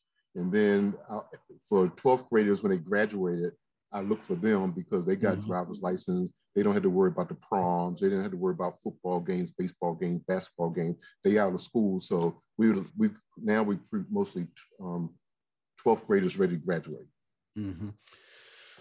Uh, I love hearing uh, uh, good things you've done, but also hear about mistakes that are made because I think that's how a lot of people can learn. And there's a lot of pressure just to throw students uh, students into jobs. Um, but my question is a little bit more specific. It's not on the list that I have, but but I run into this all the time. So you have nine stores. Do you have apprentices at all stores? We have just... apprentices in all stores, but Volvo and Volvo get their apprentices from the Volvo plant. Okay. You know, they they run their apprentices through the plant. So one of the really important things about apprenticeships is that the site location has a supervisor mentor, has somebody who gets it, who can not only supervise the student, make sure things are safe, um, also provide support and encouragement as needed. How do you spread that across nine shops? I mean, that's not the easiest thing to say, okay, everybody, we need to get you all on the same page with this apprenticeship work because you might have somebody who's been around for 40 years says i don't want to be bothered with some kid or other people who don't quite understand what you're doing or are in the same position. How do you deal with with spreading that culture across all nine all nine sites? We get that a lot. Okay one thing every store looking for technicians. Mm-hmm. it means a technician shortage like everybody else has a shortage. Another thing that if you live in Summerville or north charleston or goose creek you work in the North Charleston area because you cannot get to West Ashley from Summerville in the morning to get to work. And I found that out by mistakes. Um, you live in Mount Pleasant or Johns Island, James Island, West Ashley, then you work on the Savannah High, Highway stores. So that's how we kind of focus it. But everybody want me, like our Toyota store is right across street from Tech, Trident Tech. Toyota store, they do the best job. Our Toyota store does the best job in, in training youth apprentices and they want all of them, just like I want all the youth apprentices to come through Trident Tech. But if you can't have it. You got to spread the love to everybody. Okay, great. So, um, uh, and you guys are new car dealers for the most part. Well, we sell we new car dealers, but we sell new and used cars. New and used. Okay, so there's there's there's plenty of work to go around. Okay, um, uh, so, what recommendations would you have, whether it's the automotive industry or anybody on that supply chain, or really just any employer, when you start out? What would you tell them to avoid uh, in the first year, and what would you tell them to focus on in the first year? It's probably totally different in restaurants and hospitals and in the, in the automobile business because, like I say, I focus on 12th graders ready to graduate because I know they're serious and then mm-hmm. I still talk to all the parents, you know, because I got to, I'm, I'm selling everybody because this is a career. You know, if you be a technician, technicians stay with you forever. You know, we got technicians that have been with Hendrick's for 35, 36 years at one manufacturer. So I, I, I sell hard and say, this is a career. You know, you start off, this is what you got to do. You got to go to school, you got to work, while you're in school, you're making money, you're making good money, where some of your friends are going to college and they ain't, they still living off of mom and dad. You know, I have a lot, you know, we have 35 youth apprentices that we recruited. Um, we have nine youth apprentices that dropped out of the program. But we out of the nine, we had five that stayed with the dealerships.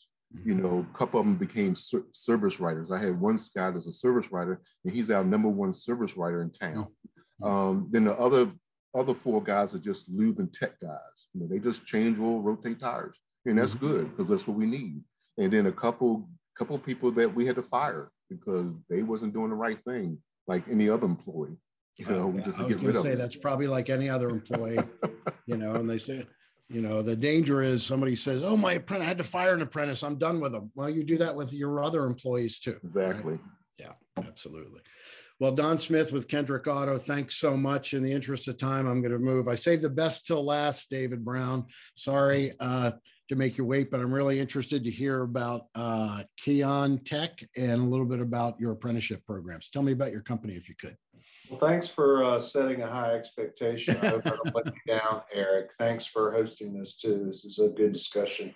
So, um, so I'm with KION North America. We're part of the KION Group uh, which is a company that's headquartered in Germany. Um, worldwide, about 38,000 employees. Um, we're the second largest company in the world manufacturing um, material handling equipment. So you think forklifts, pallet jacks, reach trucks.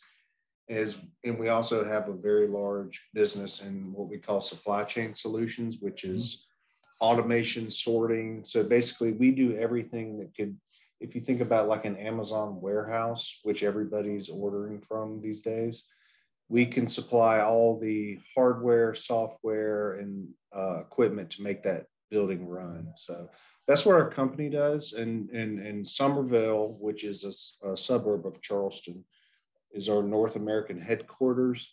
Um, we've got about 300 employees in North America right now, probably going to be 500 within the next year and a half to two years. Hmm. And um, how did you get engaged uh, with apprenticeship? Did it, uh, you know? Well, you know, Eric, I've been in the company for five years, um, and I came from another very large uh, German manufacturing company that had an adult apprenticeship program or a regular sort of true apprenticeship program, not a youth apprenticeship program um, where we grew our own folks to become um, mechatronics technicians, um, mechanics, electricians, etc. So I was familiar with the concept from mm-hmm. that experience, and then um, and and also that company that I was previously with had a very tight relationship with Trident Tech. So shout out to Mitch and Rob Wiggins and those guys over there. Um, so when I came to KION in 2016, um, I saw the opportunity not only to tap into the youth apprenticeship program from a um, labor supply standpoint, but just as much as a community outreach program. Um, so I view it as sort of it's it's two two ways. Number one, it helps the company, but number two, it's it's helping to support education in the mm-hmm. community. So um, so we started back in um, I think late 17. So we've had about four years worth of experience. We've had some ups, some downs, um, but overall, it's been a very good experience for us. Mm-hmm. And the um, and uh, let's see here, Don. I know you have a meeting coming up, so when you do have to go, just sign off. Thank you very much for your time. So, um, so David, what what are you focusing? How many do you take a year, and what are you focusing them on? We usually take maybe two mm-hmm. a year. Um, we're not a huge company, so um, and most of those folks work in our manufacturing processes. We do have one gentleman who I think was on the previous panel, um, uh, who came in with a clear desire to go to four-year uh, ME type degree. So we got him on board, and he has completed his apprenticeship and will begin um, finishing his last two years for a mechanical engineering degree at the Citadel here in South Carolina, um, beginning next year. So he'll end up hopefully becoming one of our star mechanical engineers that supports our manufacturing uh, mm-hmm. operation. Mm-hmm. Um, and in manufacturing, any liability issues for you guys, or do you just manage it away from hazardous work? We do a well. First of all, you have to be 18 to operate a forklift. Mm-hmm. Okay. And we make forklifts, so that's kind of a dichotomy for us. Um, so we also, like I think Don or someone else mentioned, we try to steer more towards the folks that are seniors or even post grads, maybe just graduating from high school. So mm-hmm. they may already be 18. Um, but we appreciate Trident Tech providing the liability insurance for us. Mm-hmm. Um, we have had one case of a youth apprentice that engaged in some, let's say, I guess you could call it horseplay, which mm-hmm. ended up costing him his job because mm-hmm. it was a, a, safety incident. Mm-hmm. Um, those things happen, you know, and it could be a great year old kid doing it, or it could be a 38 year old person doing That's it. right. Right. Right. Really important lessons in the reality of the workplace, I might add, which is the other byproduct of apprenticeship, right? It's not just to figure out the skills in the occupation, but how to get to work on time, how to get along with people, and how not to horseplay. Um, Absolute. so, do you have any trouble with your apprentices getting to the jobs or transportation issues? We got a lot of questions about that. Um, or do they make it okay? No, we always uh, no, they all make it. Um, you know, obviously we have attendance standards that are in place, and and one thing that Trident Tech does, which I would commend to other parts of the country, is they have last year did not have, but in typical years they have like a recruiting um, event on a weekend in February where there's like a, a, a job fair almost. So, and the students attend with their parents and at that point, they get to go around and see different companies and meet with reps from the companies. And we get to talk not just with the students, but with the parents to find out, you know, Mhm. is this student going to be able to make it? Are they reliable? Can they get, do they have transportation, et cetera? So um, to me, that's one of the greatest value adds that Trident uh, gives us here in Charleston. Mhm. Did you, um, um, we're gonna have to wrap up in a minute or two. I don't know. They're probably gonna give me the hook. Yep, I gotta wrap it up. Um, but real quick, um, if I could, uh, David, um, did you, uh, have to sell it up the chain to your leadership or are you the leadership who had to sell it down the chain to the on-site supervisors, online supervisors? Uh, did not have to sell it whatsoever um, because the people that I partner with that are my peers had also worked in other companies that had engaged with apprenticeship. So, um, and, and our company has a lot of new leaders in it. A new meaning relatively short in the company. So we all saw this as a great opportunity to try to mimic some things that we'd seen from our previous lives. So it was great. That is great. That is great. And, uh, you know, there are a lot of foreign companies, Switzerland, Germany, et cetera, who are familiar with apprenticeship. So it's not a big a leap with those companies as well. I'm going to have to sign off. But Debbie, I got one quick question for you because I think it's a good one. When you, um, uh, hold on, David, I, I'll get back. But Debbie, did you get, um, when you had to talk to an international cyber audience, were they saying youth apprenticeships? Are you nuts? Uh, did you get any of that or were they fairly well accepting of it?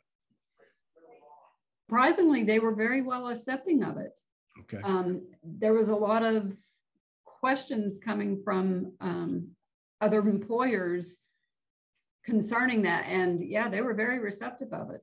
That's great. That's great. So I guess security clearances will become a very important thing for their future, and they better watch what they do so they don't blow their security clearance. Exactly. Great. Um, and uh, David, I you know I just wanted to talk about you know the you know college, college, college is the call we all get. You gave a great example of a young man who came to the apprenticeship program, then went on to be a mechanical engineer, is trying to become one. Do you feel that any of the students feel like they're less than college material, or do they? Do you think they're getting? They feel they're getting an advantage? uh, uh, over college? Um, do they see it as a second rate program, do you think, or they see it as a top rate program?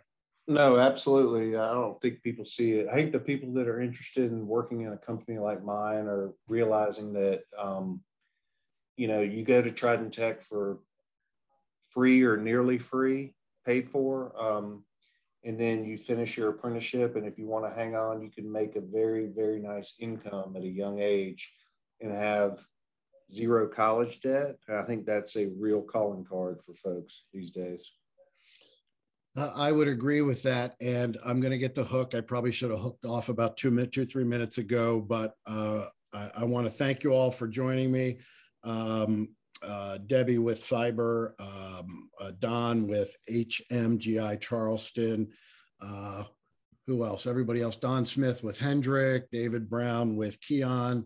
I'm sure I forgot Rowana with HCA Healthcare. Anyway, thank you all. You guys got an incredible employee employer culture down in the Charleston region. I know in a large measure that's to the foundation that our friends at Trident has laid and some of the key partners they have, including employers. So I want to thank you for your time. I do this nationally, and I have to tell you, I'm always so impressed with the folks in South Carolina and Charleston. With that, I'll sign off. Thank you. Sorry I ran over, and uh, let's continue on to the next session. Take care. Thanks, Eric. Thank you. Bye. Thank you.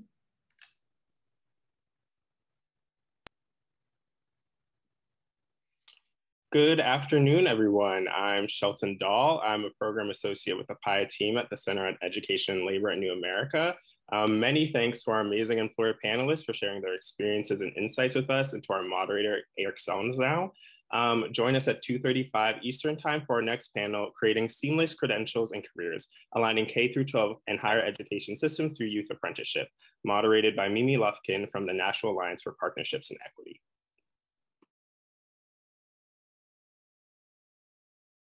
Hello, everyone. It's a pleasure to be here with you this afternoon. I'm Mimi Lufkin, CEO Emerita at the National Alliance for Partnerships and Equity, and I have the great pleasure of getting to facilitate or moderate today's panel. Um, and I'm mostly interested in hearing from the panelists myself, so it's my intention here to get on to the, the Q&A part of this as quickly as possible. Um, but before we begin, what I'd like to do is to go ahead and have each of our panelists introduce themselves, if they would, where they're from, the role they play um, in the, um, the Charleston Regional Youth Apprenticeship Program. And maybe they could tell us one thing in one sentence that you love the most about the youth apprenticeship work that you're doing. All right, so I'm going to start with Sonia. Why don't we start with you? Good afternoon. I'm Sonia Addison Stewart, and I'm the Career and Technical Education Director for Berkeley County School District. And I work with the apprenticeship program um, as far as encouraging students to participate and also, um, you know, creating a seamless pathway between our programs and opportunities that the students have in the youth apprenticeship program. Um, and you said one thing I love about the apprenticeship program? One thing I love about it is that, you know, I was on a panel earlier and I've seen the panels of um, the students that participate in the apprenticeship program. It's just the growth and development that I see in these students, um, how they have just grasped the skills that our employers are desperately saying um, that they need to see. And so to see these students actually practicing and practicing effective communication and understanding those work and life skills is gratifying to me. Thank you, Sonia. Mark, how about you? Good afternoon, everybody. My name is Mark Blacklock. I work for Dorchester School District 2. I'm the Career and Technology Coordinator. Um, and like Ms. Um, Stewart, I work with recruiting kids for um, the uh, Youth Apprenticeship Program. And I think the biggest thing for me is just the um, quite honestly, the surprise that a lot of kids have of how great the program is, you know, even their parents and the opportunity they're provided. Um, and then as it transitions into the program, um, just all the different skill sets that they learn, soft skills, technical skills, um, and how prepared they are once they complete the program uh, for direct employment, um, along with all the, uh, you know, benefits of, you know, getting potentially some college paid for and some you know work experience and different things. I, I think overall it's just a great opportunity, and um, yeah, I just enjoy working with it and the students. Great, thanks, Mark.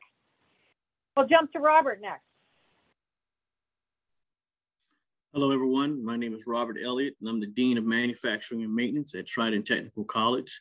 Um, within my division, uh, as far as apprenticeships are concerned, I have industrial mechanics, uh, air conditioning refrigeration, welding, automotive technology, and machine tool technology. So a good number of apprenticeships within my division. And uh, one, I would say one thing that I really enjoy about um, just being involved in this program is um, just providing that exposure and opportunity to students that wouldn't un, wouldn't uh, ordinarily have this opportunity. Um, a lot of students aren't four-year college bound, and to be able to give these students these skills to go into the workforce, I think it's a great, uh, it's an awesome program. Thanks, Robert. Thank you. Let's jump to Richard. Good afternoon. I'm Rich Gordon, Executive Director of CTE with Charleston County School District. Um, you know, they stole my thunder a little bit. I love all those things about the apprenticeship opportunities we give our kids and watching them succeed. I think my favorite part about apprenticeships is the recognition ceremony at the end of the year when you see the students go up on the stage, their families are there, their business partners are there, Trident Technical College is there, and it really feels like um, like a family event, and we're all part of the same team to see young adults succeed, and whatever that looks like. Um, you know, many of these students go into the workforce, but many go to the two-year schools, technical schools, and, and, and some go to four-year schools as well. So there are multiple exit ramps on this highway. Um, but by far, I mean, that recognition award ceremony is, is fantastic. And that's my favorite thing about the apprenticeship program. Great. Thanks, Richard. And Trisha. Yeah, hi. I'm Trish Weig. I'm the Director of School Counseling at Cane Bay High School. Um, and so you guys took everything I was going to say, but um, my favorite part truly is seeing the excitement on the kids' faces and the parents' faces, um, especially when they come in in the summer and they know they're now going to be a youth apprentice and working on that schedule and and just talking about you know their career goal and how it's going to match and and just seeing that piece of it. That's that's probably the most exciting part. Great, thanks, Trisha. Mm-hmm. Well, what I love the best is the fact that that all of you um, talked about the fact that it's really about the transformation that happens for your students, and that's um, the focus of your efforts. And and I I know that today's presentation or the the panel title for today is creating seamless pathways to credentials and careers, aligning K-12 and higher education systems through youth apprenticeship. Um, so I have some questions I want to talk to you about um, a variety of groups of people who are impacted by this work and how um, how you play a role in either a leadership role in that or a facilitator of those of those relationships um, and the impact that that work has on your own institution um, and also you know whether it's students parents faculty um, even systems within your institution. So I'm going to start, uh, Robert, with you first.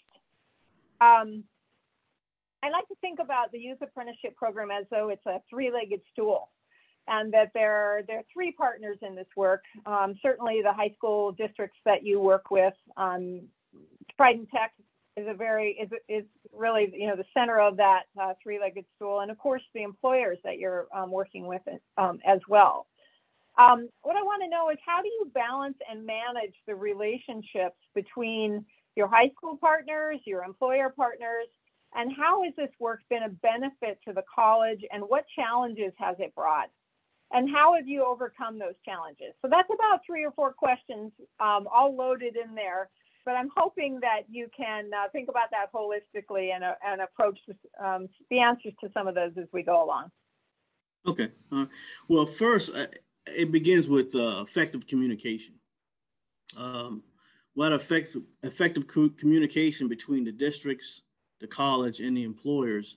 You know, this program wouldn't been it would not have been as, as a success as it is.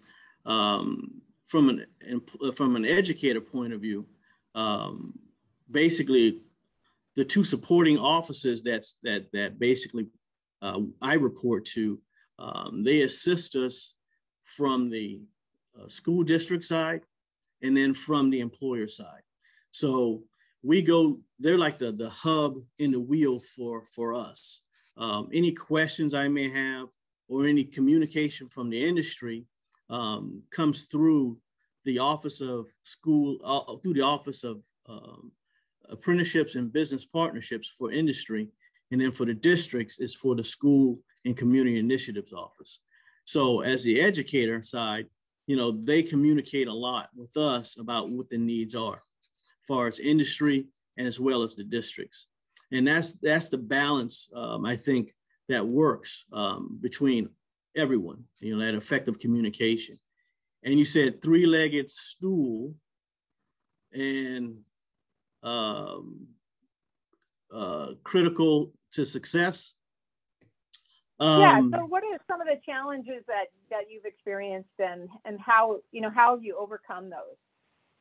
Well, Um, some of the challenges in the beginning was scheduling, um, trying to schedule the students' uh, high school schedules along with the college schedules. Um, but that has since been ironed out and, and, and pretty much flows very smoothly um, right now. Um, in the beginning, that's where it was. But other than that, there's really, it, it's not much of a challenge out there for any student um, looking to get into this program. And you spoke about uh, benefits. Um, I think the greatest benefit um, is that the college has the opportunity to work closer with the school districts and industry partners. All, all of us working closely together to benefit these students, um, to impact our community. Um, I feel before the apprenticeship program, there was a little disconnect between, I think, the technical studies and some of the school districts. Um, the technical side, we already had a relationship with our industry partners, but didn't really have that strong partnership with the uh, schools, the school districts. And now that we started the apprenticeship, it's like we're, we're all basically communicating together, um, coming up with new initiatives, uh, new programs um, to get these students out there, um, getting them exposed to, to uh, different um, career sets that, that are available to them. And you said overcome challenges. That was the last one, I believe. Um, basically, I said it was it was just um, scheduling, and I think we have that pretty much uh, down now. So now it's just the program just runs pretty much seamlessly and smoothly. That's great, great. Thanks, Robert. Um, Richard, I'm going to jump to you uh, next. I I want I want to sort of play off of something that Robert mentioned, which was how um, the startup of this um, the youth apprenticeship work has impacted, it sounds like it's impacted college in terms of growing new programs and new initiatives and sort of the, the spin-offs that have occurred from that work. I'm curious how becoming a partner in, um, in the Charleston Regional Youth Apprenticeship Program has impacted even systems in your um, district or programs as well and um, has the experience of doing this work caused you to look differently at the way you operate other CTE programs um, in the district? What what's sort of been the spillover of the this effort? Well, it has significantly impacted the systems. Um, I think regionally and and specifically also in Charleston County School District as well. Um, as you can imagine, the youth apprenticeship model or that program is you can say the pinnacle of what work-based learning experiences can be. Um, you know, if you look at the continuum of, of career awareness when the kids start in elementary school, uh, maybe they have guest speakers or a job shadowing event, uh, maybe some career fairs, even elementary into middle school. Summer career camps is, uh, popular, where kids get from career awareness to exploration. And then finally in high school, we look at career preparation. They're taking CTE classes. There are some clinical experiences, internships, whether they're during the school or summer, or of course, uh, apprenticeships like the youth apprenticeship model that we have. Um, it really gave us a, a mindset as to we're going to begin this whole process with the end in mind. So if we wanted a, a, student to participate in a youth apprenticeship, what does that look like as the child articulates from kindergarten all the way through high school and even articulate to um, technical school as well? Um, and to do that, we had to provide access and opportunity. And I'll go back to that um, as many times as I can.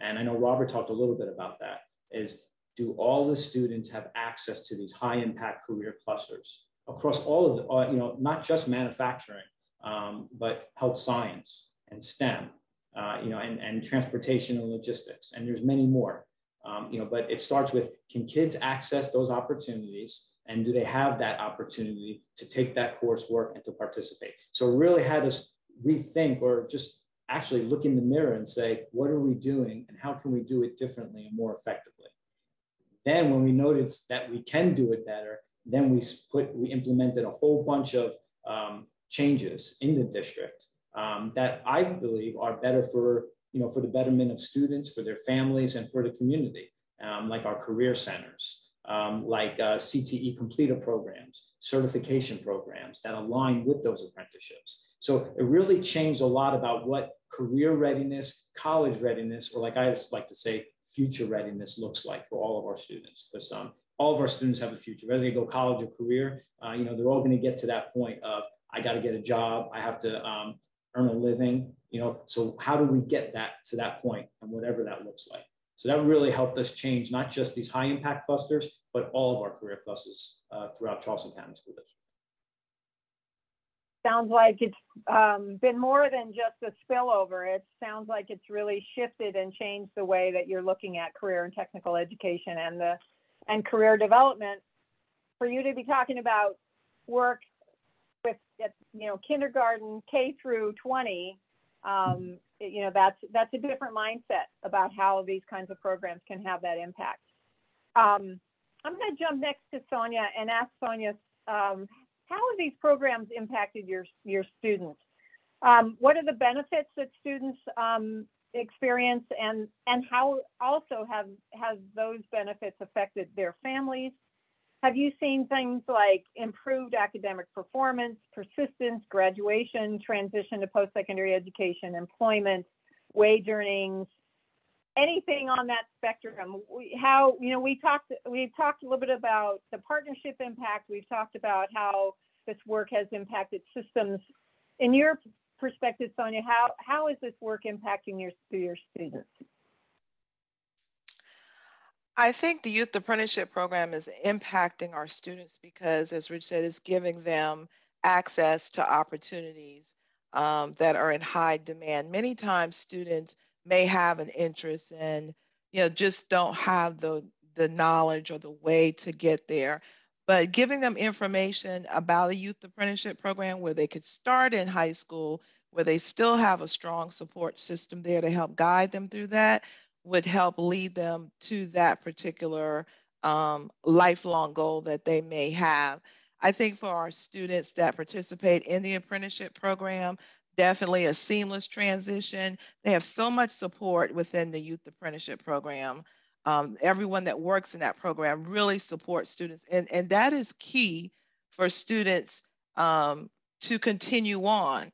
And the students that typically don't have access to certain programs, um, or may not participate in certain programs is because they don't have that support. And I think in the youth apprenticeship program, they do have that. So they've gained that, they've gained access to careers. And we also find out that the skills, again, I spoke about this earlier, the skills that the students develop that are youth apprenticeship, that are youth apprentices are phenomenal. You know, when you hear them speak, when you hear them speak about their growth in regards to like managing their time, these are skills some adults don't really have um, at this particular time. You know, learning how to communicate, working with um, others as a team. Those are skills that are so very much needed in our students today. And the youth apprenticeship program definitely helps um, our students to develop those skills. So I think, and all of these things lead to lifelong success to the in their future goals. So it really helps to build the foundation um, for our students to help propel them to where they need to be. I think I want to become a youth apprentice. Sounds like sounds like a great thing for anybody. um, I'm going to jump to Mark. You know, we looked at this from a systemic perspective, and now um, Sonia's comments about student impacts um, Mark, can you tell me a little bit about how um, being involved in the youth apprenticeship work has impacted your relationships with employers? And how have employers affected the quality of your CTE programs? Do they have a, you know, the back and forth about the input in relationship to improving um, CTE programs um, at your district? Excuse me. Um, have employers been involved at all in um, developing educator skills, um, learning more about the industry, any kind of professional development opportunities? And of course, how do employers engage with students and support students to ensure their success? So if you think about this in terms of, of the employers you engage with, what do you think's happened or how has this impacted them? Sure. Um, I think you know, from the onset, it strengthened our, our partnerships with our local businesses and industries. Um, no doubt. Uh, you, you have these partnerships that you've already developed um, district-wide, school-wide, you know, throughout the region. And, you know, when those folks are able to come in, albeit not so much recently due to, you know, our, our, our pandemic situation, but even through a virtual platform and stuff and really start engaging our students early on. Mr. Gordon hit on it perfectly when he mentioned, you know, the K through 12 kind of initiative that we have. Um, you know, you have your, your elementary students really just becoming aware, your middle school students um, really trying to explore, and then at the high school level, when, when we implement these, um, these different programs to work-based learning, especially the youth apprenticeship program, that's, you know, you, you're hoping that you've got a, a, a student that's been exposed and, and been interested in a particular pathway for their entire educational career. And if you've got these business partners that's been around and they've had students that have come through the program, they've learned just as much as we have as far as, you know, how to tweak certain things and, you know, how to develop uh, uh, the, the, you know, the way that they interact with the students. But, um, you know, it's just really exciting to see that kind of grow. And, you know, you mentioned as far as you know, professional development, not necessarily on a technical kind of official global effort, but you do see teachers and programs reaching out to those partners that, especially ones that are new, that have come in and, and maybe weren't, you know, a, a business partner that we had, um, you know, for a long standing relationship, but a new partner that joined um, because they had, you know, they were interested in becoming a, um, uh, part of the part of the apprenticeship program and working with our teachers to, to help kind of um, cultivate and, and fine tune some of the, the skill sets that we teach in our in our courses. Of course, we have our state standards that we're going to hit and that we're going to you know model our course after, but especially when you talk about regional needs and, and things that employers are looking for in our region, that's potentially different all across the country. And so when they can come into our classrooms and, and really um, have a good dialogue and communicate with our teachers about what they're looking for when the students get to, um, you know, graduate or, or get involved in, in the youth apprenticeship program or any type of work-based learning, um, that's really powerful because now we're, we've really tapped into what industry needs and we're trying our, our best to be able to implement that in our classroom. Um, and you know when it comes to the, the employers kind of reinforcing student success i think um, you know like mr elliott said at the beginning that, that communication is key from the beginning. If we can have clear communication and expectations um, all the way through the program now we've we've at least created that dialogue that if if a student does start to struggle or has challenges you know we have a comfortable dialogue with with our partner to be able to discuss that um, and vice versa. And, you know, you, you have great mentorships that kind of come out of this too. If a student isn't necessarily involved in an apprenticeship, you know, you can have these business partners become mentors for other students in our buildings. You know, it just, it opens up really, again, going back to what Mr. Gordon said, just that plethora of work-based learning that we always try to provide all students, no matter what their circumstance, no matter what the, um, uh, career pathway is, there's something out there for every student at quite honestly at every grade level. And you know, when when you just have that open line of communication and you're building those relationships, you're supporting your students, you know, the great things can happen out of that. And we've just been very grateful and and I guess to some degree very lucky and and you know that we've got such great partners and, and great students in the program. Um, but yeah, I mean, you know, it's it's a give and take, but you know, in the end, we just want our students to have the best opportunity possible, and um, we've just been, we I feel like we've been very successful with that. That's great. I'm sure there's, um, it, you know, the the benefits of this work is probably as much for um, you all and your students, and the employers benefit from it as well. I I would imagine and Mark, you can tell me if I'm accurate about this, but that um, having uh, youth apprentices in some of these companies and, and businesses has changed the workplace, has changed the um, the relationships that employers are having with pe- young people. And I'm I'm kind of curious um, as a quick follow up. Was there ever any pushback from the beginning when the program first started? Um, from employers about, I don't want these people in my, you know, just sort of, eh. Well, I think, you know, there's, again, setting aside the, the whole pandemic and the, and the, you know, Yeah. the obvious concern there, I think a lot of it had to do with, um, you know, when you, when students are going through the process and getting interviewed by our counselors and starting the whole process, soft skills has always come up in every conversation we've ever had with with industry and business partners. You know are you guys teaching soft skills? Do you have a curriculum for that? And yes we do. In dorchester county we use a um, an online platform microburst to uh, to help uh, with some of our soft skills training. Um, and that's been very effective but again it's one of those things where you really need to be able to put it into action. And so when you get on the job and when you're in these programs, that the, the technical skills they're going to teach our, our students and some our students know a lot of the technical skills, but they're going to be able to hone those skills on the job. It's those soft skills that we are constantly trying to, to push, trying to emphasize. Um, and so I think that's the, the piece that was that was always, you know, across all pathways and clusters and and industries, you know, everybody wanted to, um, in, you know, get the the uh, the assurance that we were going through that with our students before they were going out there. And and yes, I mean, we have that in place.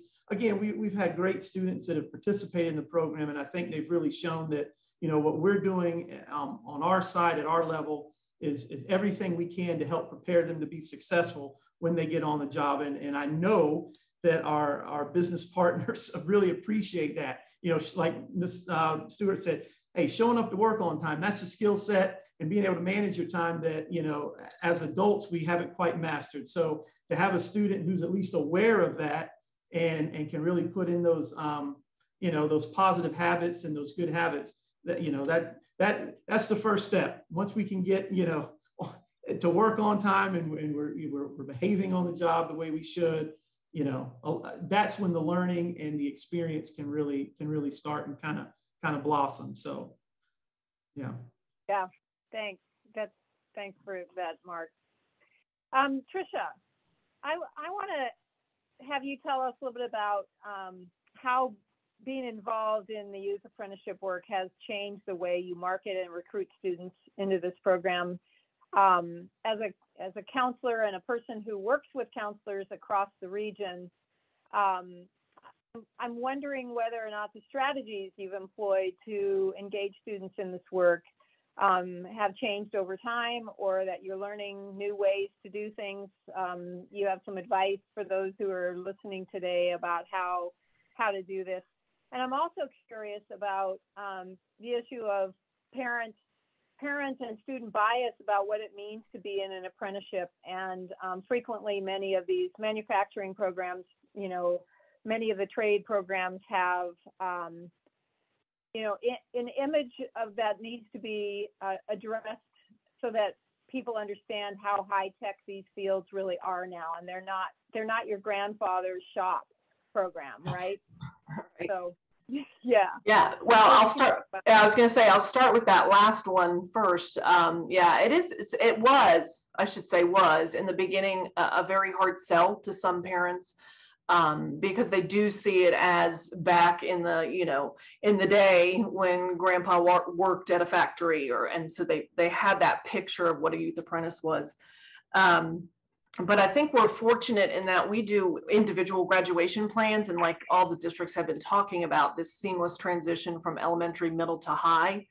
Um, working with our kids, helping them identify, you know, what their what their skill sets are and helping them identify potential careers. And then when they hit the high schools and, and are here with us as counselors, um, we get that individual time with them to be able to talk about their, you know, what their career goals are, have their parents in, um, discuss the youth apprentice programs. And so they those came about at a perfect time as we were kind of revamping and going back into those, you know, looking at those trades.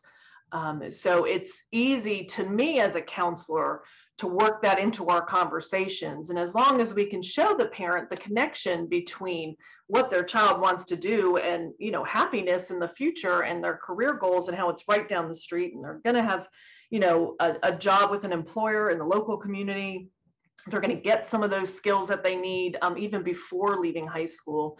Um, in the beginning, it was a hard sell, but now we have parents that just come in and that's all they want to talk about. They want to see how the youth apprentice program can be connected to their child's goal. Um, so, you know, I think, um, and Sonia was in the beginnings of this when we first started them in Berkeley County. Um, and so we really focused hard on training all the school counselors, not just high school. We reached down to middle schools, making sure they understood what they are. Um, so we can take our personal biases out of it. You know, we can take our personal opinion out of it and actually speak about youth apprentice programs um, from the benefits of the student. Um, and so the counselors all receive training every year. Um, we make sure that's part of our, our IGP process um, and what we talk about. And then we, you know, Trident Tech does a great job educating our parents. Um, they do yearly meetings with our parents. We push that information out. We have parents calling in August to know when is, you know, when is the youth apprentice meeting. Um, so we can go down to Trident and, and visit with the employers and hear more about the programs directly from Trident. So do you would you say that over time the strategies that you've used to do outreach to youth youth in, in this program have have you used some sort of non-traditional um, resources to get to, to students in, who are in communities that um, that may not necessarily have access to this this effort or may not be as well informed? Do you find that a challenge um, yeah, and well, I, yeah, I kind of open that to everybody. If anybody else, yeah. Patricia can address this first, but maybe everyone else can think about this a little bit. Yeah, I we find it a challenge. I know in Berkeley County we're such a large county, and some of our high schools are so far from Trident Tech, and transportation's an issue. But you know, we've been working through all of those issues and all those concerns to try to help you know get those students there. Um, so I think just you know, I think we've done we we've just honed in on the conversations with our parents um, and actually making our IGP meetings purposeful. Um, more so, and those are our individual graduation plan meetings than just checking a box with a parent. Um, so we make sure we have enough time, especially with 10th graders, um, because that's the year we're really talking about them, really recruiting and trying to get them in AccuPlacer and all the testing that required, you know, that's required for it and laying out their coursework. Um, so if if you know, the biggest challenge I know in Berkeley County we've had is the transportation issue. Um, if we can jump that hurdle, then then you know we do so much better with some of those kids. So, can anyone in the group um, give some examples of ways in which you have jumped that hurdle? Are there some um, avenues that you've used to try to provide, whether it's transportation or other barriers that students might face to accessing the program? How you've um, addressed those? I, I would say in regards to, to transportation, I think um, when the apprenticeship allowed students that um, were graduating to participate, opened up doors for more students to live out in the rural areas to participate. Um, my son is a youth apprentice. We live, you know, in a rural area, St. Stephen, which is, is a good little ways away, and understanding that he would need to do high school and travel to Trident even though he had transportation, it would have been a bit of a challenge. So we knew that if he had this opportunity, you know, when he graduated, it probably would be a little bit easier um, for him. Also, with the program and them reaching out to find employers even closer to some of our areas has been very beneficial. Um, so students may not have to travel as far to work if they live out in the rural area. So that has been really beneficial, trying to hone in on some additional employers that are closer to where those students live who are out in the rural areas.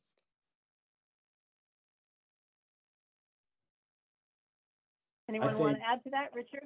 Yes, ma'am. Um, I think number one, the messaging and getting the word out is still our number one obstacle. We have hundreds of school counselors throughout Charleston County School District. And one of the panelists just mentioned about the IGP process. All IGPs are not created equal. Some counselors are very CTE forward. Here are CTE courses, career readiness, internship, apprenticeship. They roll with it, they drink the Kool Aid. And what we need to do is to take that and bottle that and mimic that so that all six well, tens of thousands of CCSD students get a similar experience, similar messaging. I understand that it's not the only thing that has to be put out during an IGP conference. I understand that. I've been in them as a parent and also as an educator at the school level. But like I said previously or earlier in this panel, every child has a future and a career, we hope, unless, of course, they're independently wealthy and maybe they don't have to work. Um, but for most of us, we have a career, whatever that means. And, and it's hard to argue against an apprenticeship. It really gives the, the kid a competitive advantage. Can you imagine on your resume, uh, you know, a, a two-year apprenticeship with Boeing or Bosch or Niwick, Mercedes-Benz? I mean, and a recommendation from one of the supervisors at the at the uh, corporation. I mean, these I mean, that that is worldwide, and, and, it just opens up so many doors and puts them at an advantage compared to others. Um, and so again, it's that perception and getting that messaging out continues to be our two biggest obstacles in Charleston County. Yeah. Yeah, I think, um, you know, when we talk about access, you mentioned this earlier, Richard, this notion of, um, you know, making sure that all students have access to programs. And it's, it's more than, it's more than anyone can enroll or, you know, you open the doors and say, y'all come, right? A lot of people can't even get to the threshold. And so part of your part of the responsibility here in in terms of really looking at equity in these programs is how is it that I reach into my community in order to be able to bring students you know into this in whatever way it might be whether it's addressing this from a cultural perspective an image perspective um, you know a financial perspective um, you know trying to break down all those barriers so that that students um, can have access.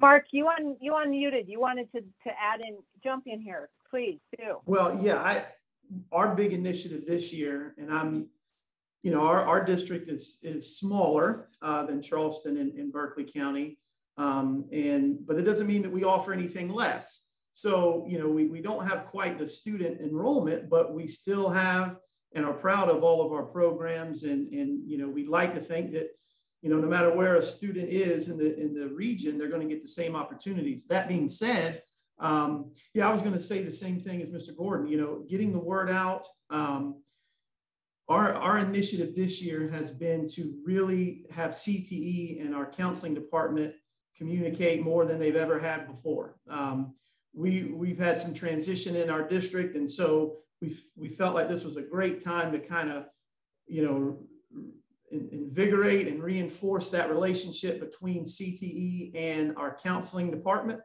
And so we've made, you know, uh, we've got several meetings on the books to be able to go out and meet with counselors at our middle school and high school levels, um, especially to really try to get our counselors excited, but really just get them as much information as possible, because that is a extremely difficult job to have I guess, uh, you know, 45 minutes to an hour of an IGP meeting, and you're trying to not only get a student to graduate and take care of all the requirements they need, you know, just to be successful in the school, but also try to plan out, you know, the potentially the next 40 years of their life through a career, 40, 50 years. And so, you know, I, my appreciation for the counselors is, is extremely high.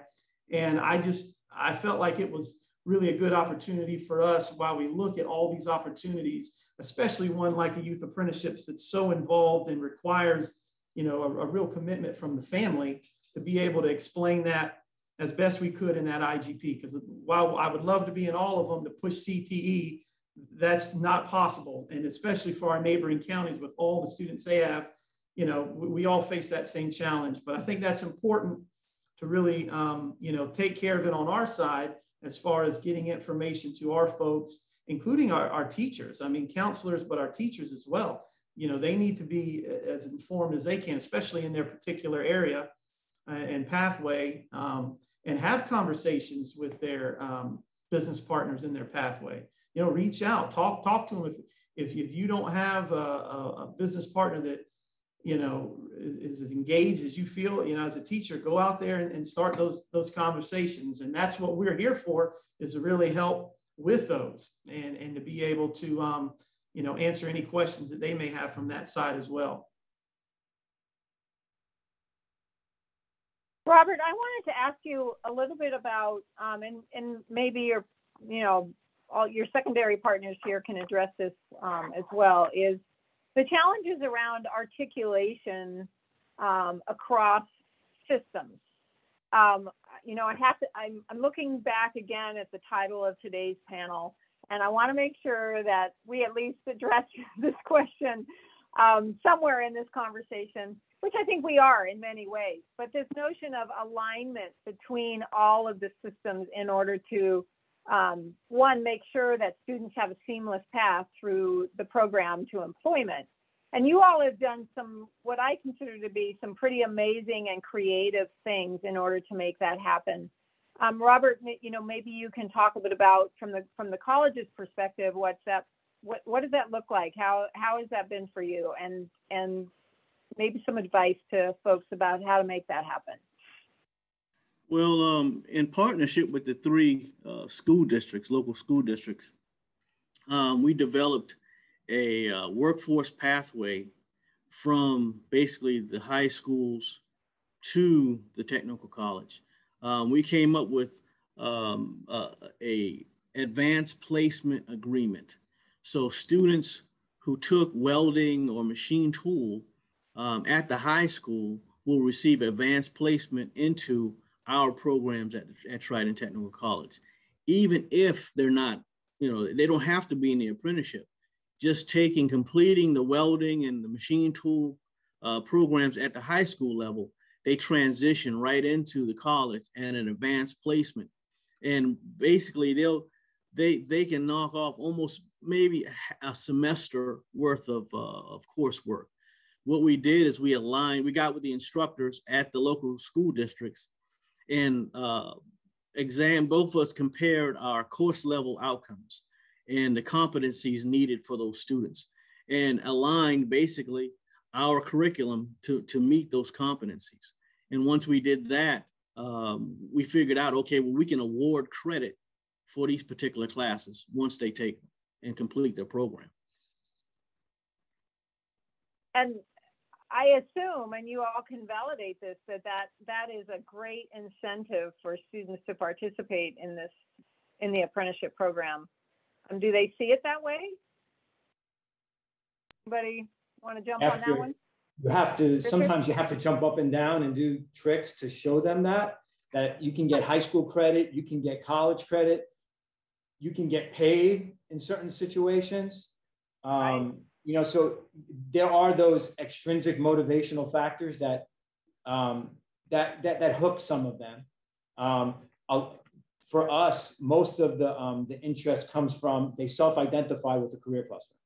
Um, you know, when I I always wanted to be an engineer, I always wanted to work in the culinary field.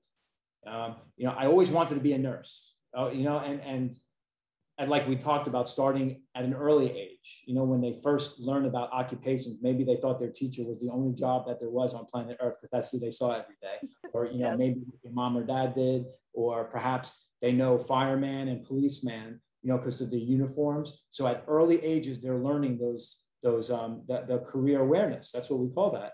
Um, but for us it's mostly yes they, that is a hook but they they have to kind it's in the heart that really gets them to and their parents too. It's, it has their parents have to believe it. Uh, you have to hit their heart before you can hit their mind. So if you can convince the parents and the kids, um, it goes from there. Yeah, I, I was going to say, I was going to follow up with you, Richard. Um, it's selling it to the parents. I, I, know we as counselors, that's been um, that's been the probably one of the bigger hurdles was just helping those parents understand that um, because your child's choosing to go through a youth apprentice doesn't mean that later on in life they may not change path and go somewhere else. But getting the parents um, if we can get the parents to believe in it then um, you know it's it's an easy sell to me or at least in this school to our kids.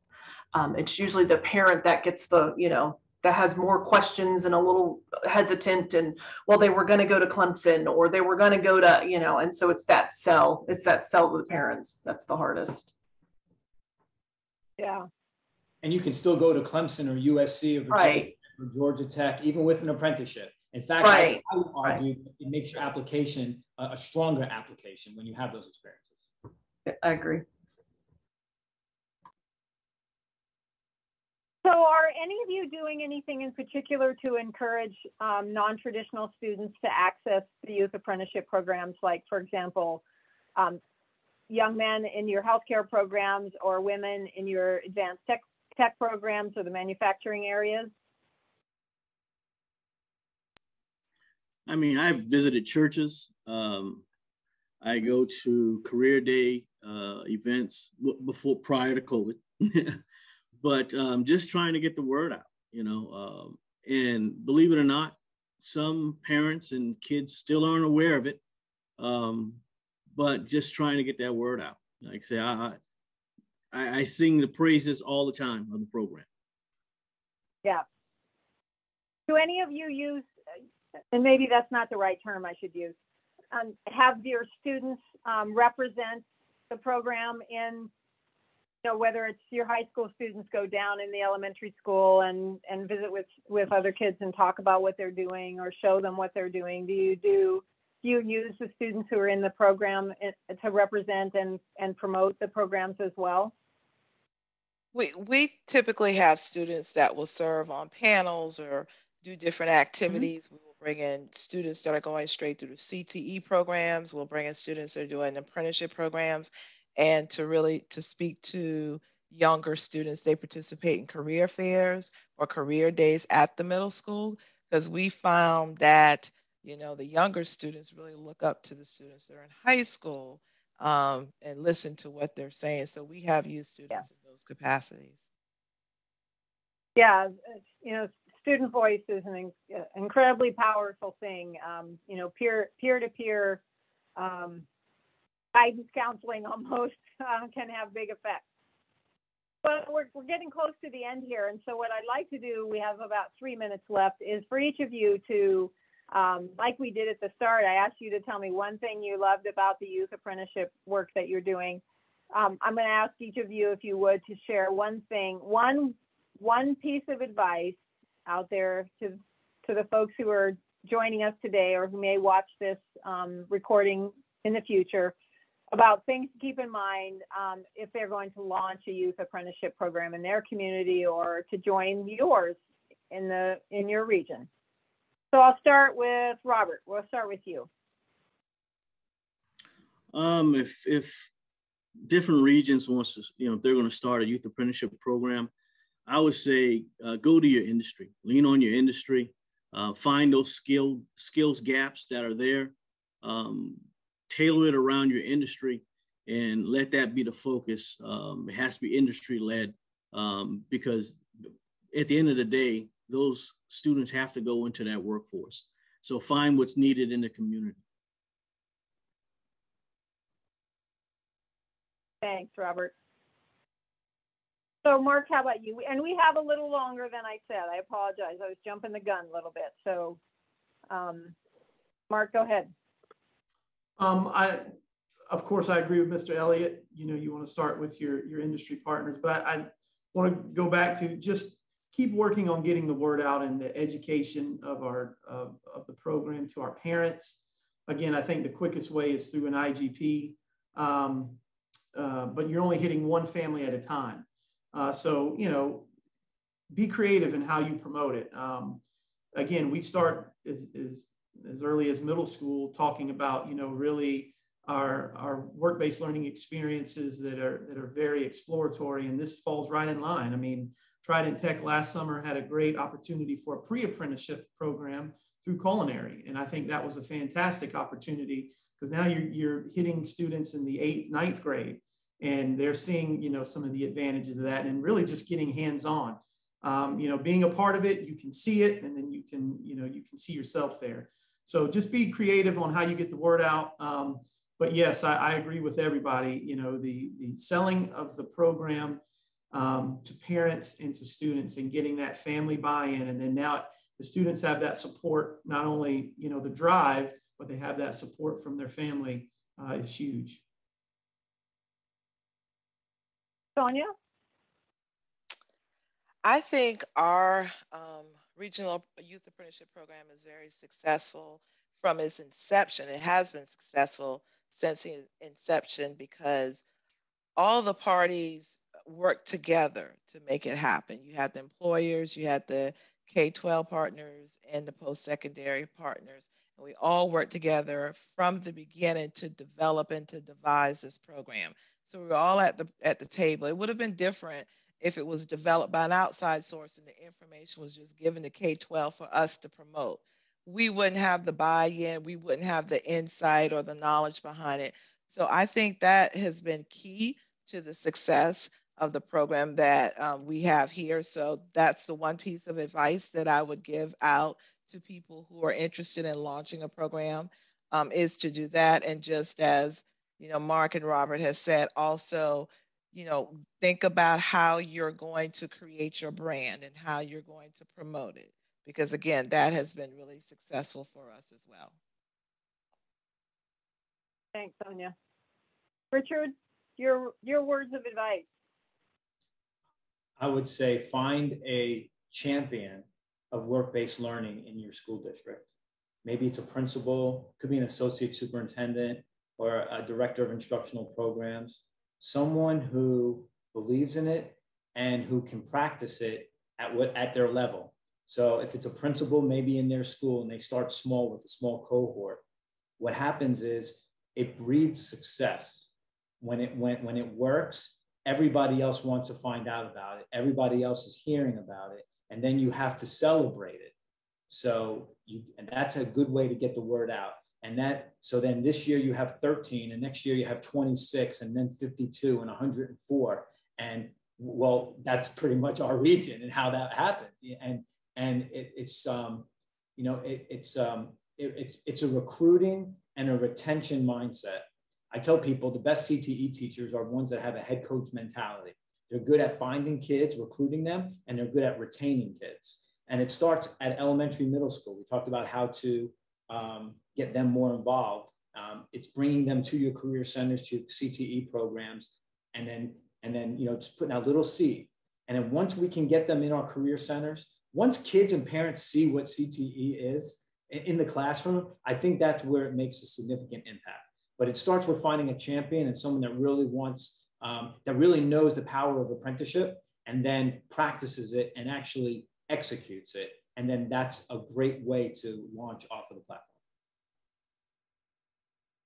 Thanks, Richard. And Tricia, how about your words of advice?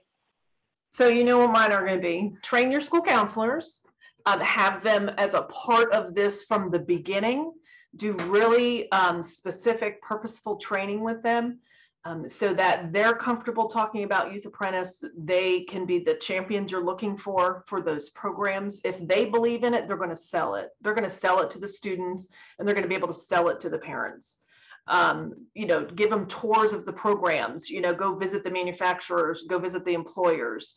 Um, but we are, you know, we always say this, we're the boots on the ground. So we're the ones selling the programs specifically to the kids.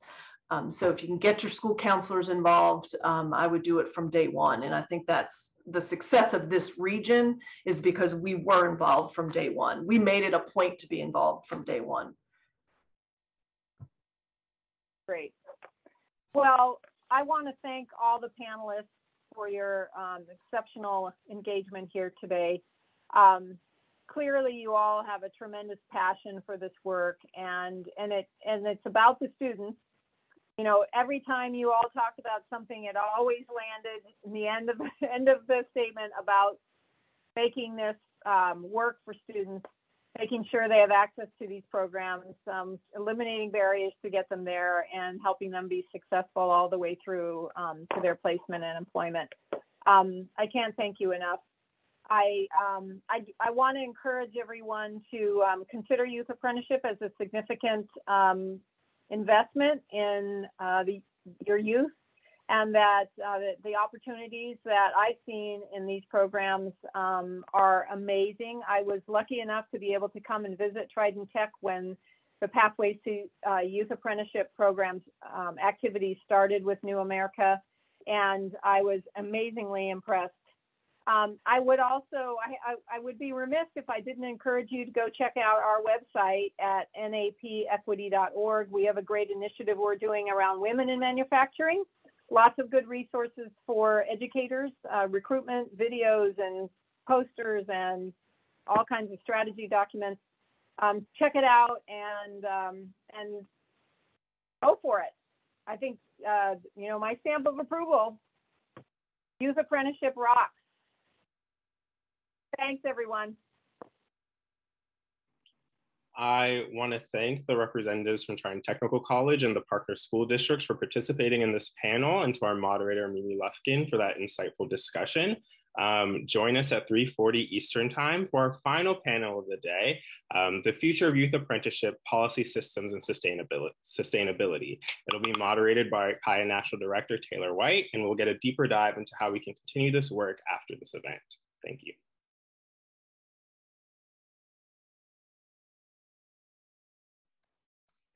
Good afternoon, everybody. It is my distinct pleasure to welcome you to our final panel of the day. Once again, I'm Taylor White, the National Director of the Partnership to Advance Youth Apprenticeship.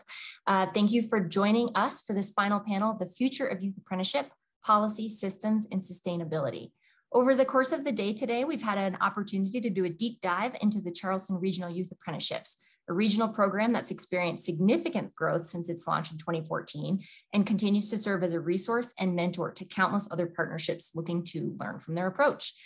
But um, well, there's been a lot of interest in youth apprenticeships from communities across the US, many of which are on the line with us now. Uh, youth apprenticeship remains an underutilized strategy in the United States, as you've heard a few times today from multiple different speakers. This afternoon, on this final panel of the day, we're going to talk to three leaders to understand what it's going to take to, to make models like the Charleston Regional Youth Apprenticeships more mainstream and how each of their organizations uh, is playing a role in making that happen. So, on the panel with me this afternoon, I am very excited to introduce John Ladd, who's the administrator of the Office of Apprenticeship within the Employment Training Administration at the U.S. Department of Labor. John, thanks for being here today. I'm also happy to welcome Amy Firestone to the panel. Amy is the Vice President of Apprenticeship Carolina, which you've heard referenced by many folks on the call today. So she'll have an opportunity to tell us a little bit more about what Apprenticeship Carolina does um, and how they are supporting uh, the growth and sustainability of youth apprenticeship across the state. And last but by no means least, we have Melissa Stowasser, Assistant Vice President of Community Partnerships at Trident Tech. You've heard already from Melissa today, uh, but we'll be asking her to put a slightly different hat on during this panel to think a little bit about what it's taken over the last several years, not only to grow her, the uh, Trident's the program that Trident leads, uh, but also to help other communities around the country learn from um, and replicate elements of their success. So uh, without further ado, Melissa, I'm going to kick our first question over to you. Help us understand a little bit about how the Charleston Regional Youth Apprenticeship apprenticeships rather um, has grown since it launched in 2014 what steps specifically have you taken to grow the program locally? Um, what's been critical to your growth and what have been some of the barriers that the program has experienced uh, from in either practice or policy that makes it difficult for you to expand even further well, just a simple question to start. Absolutely, easy one. Um, as we discussed earlier today, you know, we were fortunate to be approached by a company who wanted to start this and were able to start a sector partnership to make it sustainable over time. And I think that that was a really critical decision early on.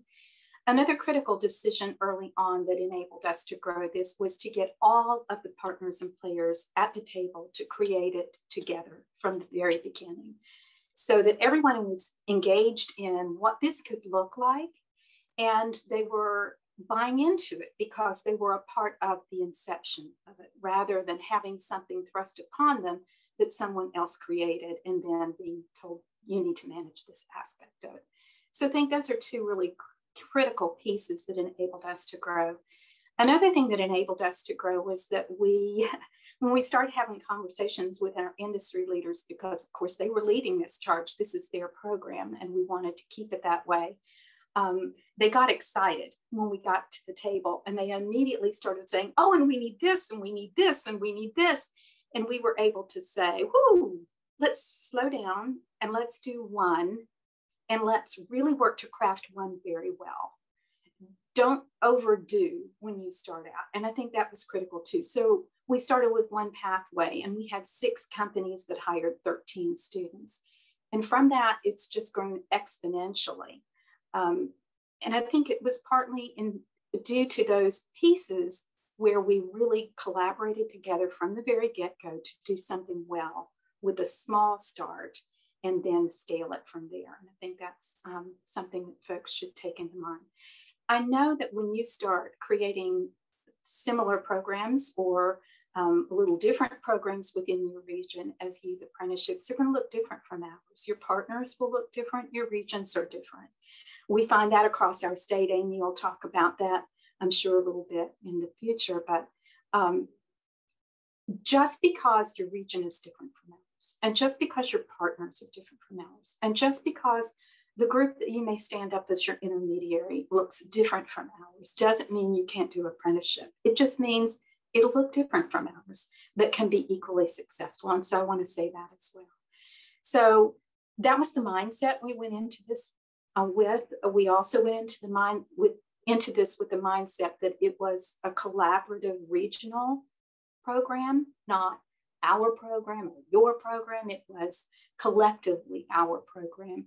And I think that that's a critical component to helping it grow as well. So beyond that, we began to reach out to more employers. We get the more employers you get on board, the more sectors who want to do this work, the better off you're going to be. So after the first year, we strategically started at reaching out to other sector groups. After that, it starts growing itself. Sector groups start coming to you and saying, Can you do that for us? And I think that's a critical piece in the growth of it as well. Um, finding funds. You know, one of the barriers we had was that in the state of South Carolina, dual enrollment was not covered by the state. And so it was up to the individual family to pay the cost of the educational expense. We wanted to level the playing field. So it was really critical for us to decide up front that we were going to raise the revenues to cover those expenses. In our region, we didn't want to put that cost on the employer. And one of the reasons we didn't want to put that cost on the employer was because we were approached by small companies and we were asking them to pay the wage of a student who's not yet skilled. We were asking them to provide a mentor to train them on the job. And so we felt like they had an investment. The community also needed to invest. And so we did not put that um, educational expense on them. So over the years, we've really been lobbying for system change, and we've gotten more assets coming from the state to help with the um, the educational component, the funding of that piece. Uh, Dr. Firestone and her team worked tirelessly to pull down federal dollars to assist us in, in making that slate clean so that all students can participate and it's equitable. I think you also asked about um, barriers that we've had. COVID was a barrier, surprise, right? Um, COVID sneaked in and kind of ca caught us by surprise just as we were really accelerating. And so it slowed down the growth of our program, but didn't stop it because we had all of the pieces in place to continue the work even through the worst of the pandemic. Another thing that has been a barrier for us is that we have a real mismatch. Um, we find we have, for example, a tremendous number of students who want to apply for IT programs. And yet we've not been able to get many employers to offer IT positions. So we've got to really work to, to make that so that there's a match between the number of students who want to apply for the programs and the jobs that are available. And I know, again, Apprenticeship Carolina has been really helpful in trying to lead that more as a state initiative to get more employers from certain sectors on board and engaged. So that's a problem and a barrier for us. Um, transportation creates a barrier for some students, and it's one we're still trying to solve. We do have philanthropic organizations who provided us dollars, but now we've got to figure out how do those dollars that we have um, convey to the student in a way that helps them solve that and only to those students who really need that for the equity piece.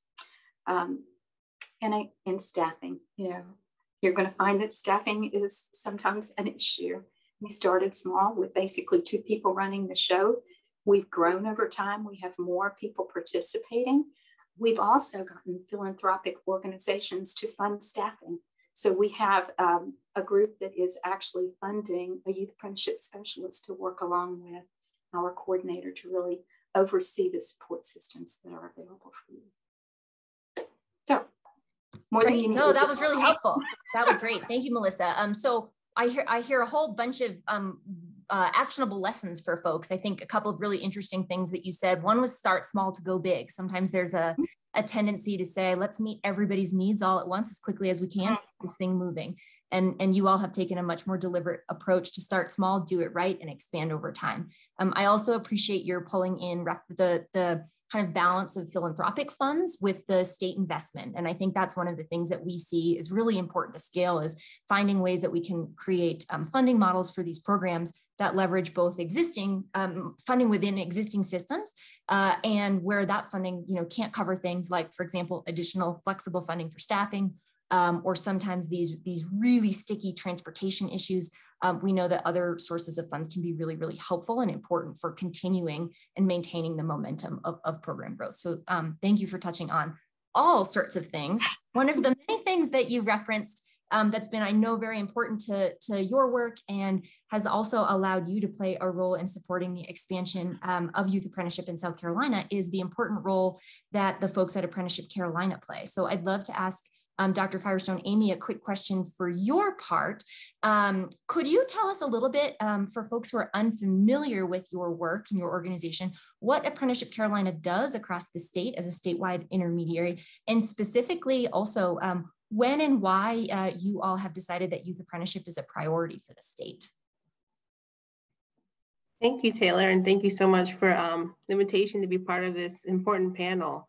So Apprenticeship Carolina is part of the South Carolina Technical College System. So Trident Tech is one of the 16 technical colleges that's part of our system. So um, Apprenticeship Carolina is actually a state agency. So we are state government, but we support the 16 colleges with apprenticeships. And that looks very different depending on the college. There's 16 colleges, I like to say 16 languages in 16 different countries because they all operate very differently in terms of apprenticeships, but a lot of other things as well. So just to tell you a little bit more about us, we've been in existence since 2007, and we are the main intermediary for the state with helping employers develop registered apprenticeships. And so our team helps develop all of the apprenticeship standards, and we work collaboratively with the companies and with the technical colleges or other providers, whether they're K-12 or other um, vendors that the um, companies may wish to use. We help them put it all together, ship it off to our South Carolina DOL director so that they get registered. So the process is, is very seamless and that really been our bread and butter since 2007. However, in the past few years, we really expanded beyond just helping work with the colleges and employers on that process to helping work with companies with implementation of their program after it had been registered, helping train them with Rapids 2.0, which is the database many of you may be familiar with, and also helping work with potential apprentices and current apprentices. And that's a really new terrain for us. Um, there's a lot of ground to cover there, but we work collaboratively with Trident Tech, similar to the other colleges. So when there's a company that is um, looking at apprenticeships as, as a potential model, we will meet with them with Trident Tech and then whatever their college it might be, help them design the standards. And then um, Demetrius Smith on our team, he's the apprenticeship consultant working with Trident Tech make sure all the programs are set up and get them shipped off to DOL. So um, the process has been in place, you know, for many years and it's quite successful because companies don't have to worry about the paperwork. We take care of all of that for them. And we have many different models and samples we work from. So we really have a good system in place for getting uh, registered apprenticeships um, established. And I wanted to mention that in South Carolina, all of our youth apprenticeships are registered with DOL. Um, so that is something that we have worked really hard with employers, whether it's in the Charleston area or other areas of the state on, on developing. And we see, you know, more companies kind of looking at um, registered apprenticeship for youth as, as a model. Um, but usually they'll start with an adult apprenticeship program, kind of get their feet wet, wet with an adult program and start, like Melissa said, very, very small. So that's a little bit about our role. Um, we, we are statewide, so I think you can go any corner in South Carolina and find an apprenticeship Carolina um, staff member. We've really spread ourselves out throughout the state with the different roles we have. Um, thanks to funding from the U.S. Department of Labor, we have actually doubled in size in our team. We have more apprenticeship consultants supporting rural areas. We have um, registered program specialists, and I'm excited to announce that we'll have a bilingual registered program specialist working with Hispanic-owned businesses. Um, and then finally, we have youth apprenticeship coordinators. I know that's a mouthful, but um, whereas at Trident Tech, they have some internal staff at the college, um, most of the other colleges don't really have enough staff to support um, all the functions for youth apprenticeship. So Apprenticeship Carolina handles really all of that process. So we are um, expanding and have a lot of great opportunities. But Taylor, was there anything else that could help answer? No, I think you covered a lot. I mean, I guess one, if if maybe one quick follow up question, um, given that we're focusing on, um, I guess policy and scale in this session, if you had to name what you think Apprenticeship Carolina's uh, most important kind of function for promoting scale or sustainability of youth apprenticeships in the state has been to date. What do you think it is? What, what's that sort of uh, secret sauce that you all have or, or, or the, the kind of magic piece that you have that, that you think is important for supporting the growth and scale? Yeah, I think it's the one consistent approach and message for the whole state. So no matter if you are, um, you know, let's just say a automotive supplier located in one part of the state, or you are the parent company in another part of the state and you want to do a youth apprenticeship or an adult apprenticeship, you get the same approach from Apprenticeship Carolina, which is somebody from the team will sit down with you, bring in the technical college and other partners, develop the process and get it squared away very quickly. So that's one message, one approach. Um, we take away all the burden um, and we have funding to back it up. So no one's really having to pay out of pocket. That's great. That's really helpful. Um, I couldn't agree more that that consistent approach is important. We've had panels all day today where folks have mentioned some of um, one piece that's important for promoting growth of youth apprenticeship is sort of helping folks understand what it is and, and not just sort of assuming that people see its value on its face in the way that many of us who have worked in the space for a long time do. And that goes for educators, that goes for employers, that goes for youth, parents, et cetera. Um, and having that consistent approach and that consistent message can be really helpful in, in sort of um, uh, helping to raise awareness uh, of what apprenticeship can be and can do for our communities. Um, so that's really helpful. Thank you. I am sure we'll come back uh, and, and, pick up on lots of things that you mentioned. But before we do that, um, I want to uh, pose a question to John, who is on the line with us. Um, like Apprenticeship Carolina, the U.S. Department of Labor has shown an increasing interest in supporting youth apprenticeship over the past several years. We heard this morning um, from your from your colleague um, acting Deputy Secretary Hanks, who talked a little bit about uh, recent investments from the US Department of Labor, for example, in youth apprenticeship. Amy has referenced one that um, the South Carolina team received, the Youth Apprenticeship Readiness Grants. Um, so we've been very excited to see that and promote that across our networks. Um, but I'd love to hear from you, John, as, as you play such a significant role in the federal government's um, act activity to modernize the apprenticeship system. What does it mean um, for the Department of Labor to be interested in modernizing the system and, and how do youth fit into it? Oh, sure. Um, thanks, Taylor, and thanks so much. Um, really want to um, extend my thanks to Trident Technical College in New America for hosting this important event today, and really excited to be on this panel with Amy and Melissa, um, who are doing such great work. Um, you know, that's a great question.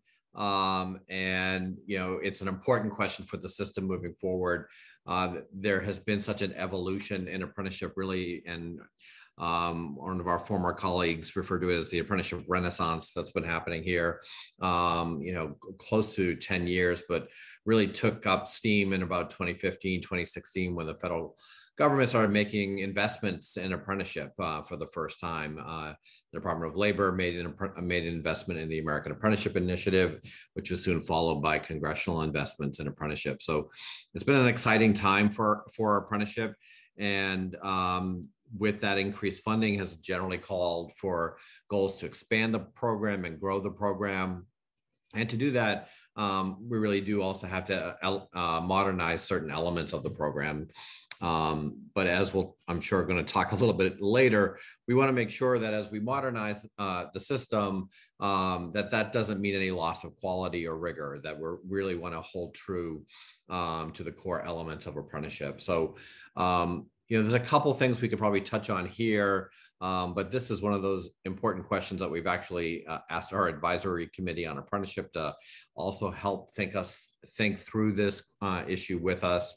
Um, but there's two really kind of big elements that, that I certainly think of. Um, one is around flexibility, right? We want to make sure that our policies and regulations allow for different models and, and approaches um, but we want to hold to those core elements of what it means to be a registered apprenticeship program, which is employment, OJT, classroom instruction, progressive wages, credentials, strong labor standards, including uh, EEO. So, you know, we really want to balance that that rigor um, and that consistency of what apprenticeship means, um, but recognizing that it, that apprenticeship can look different in the construction industry versus IT.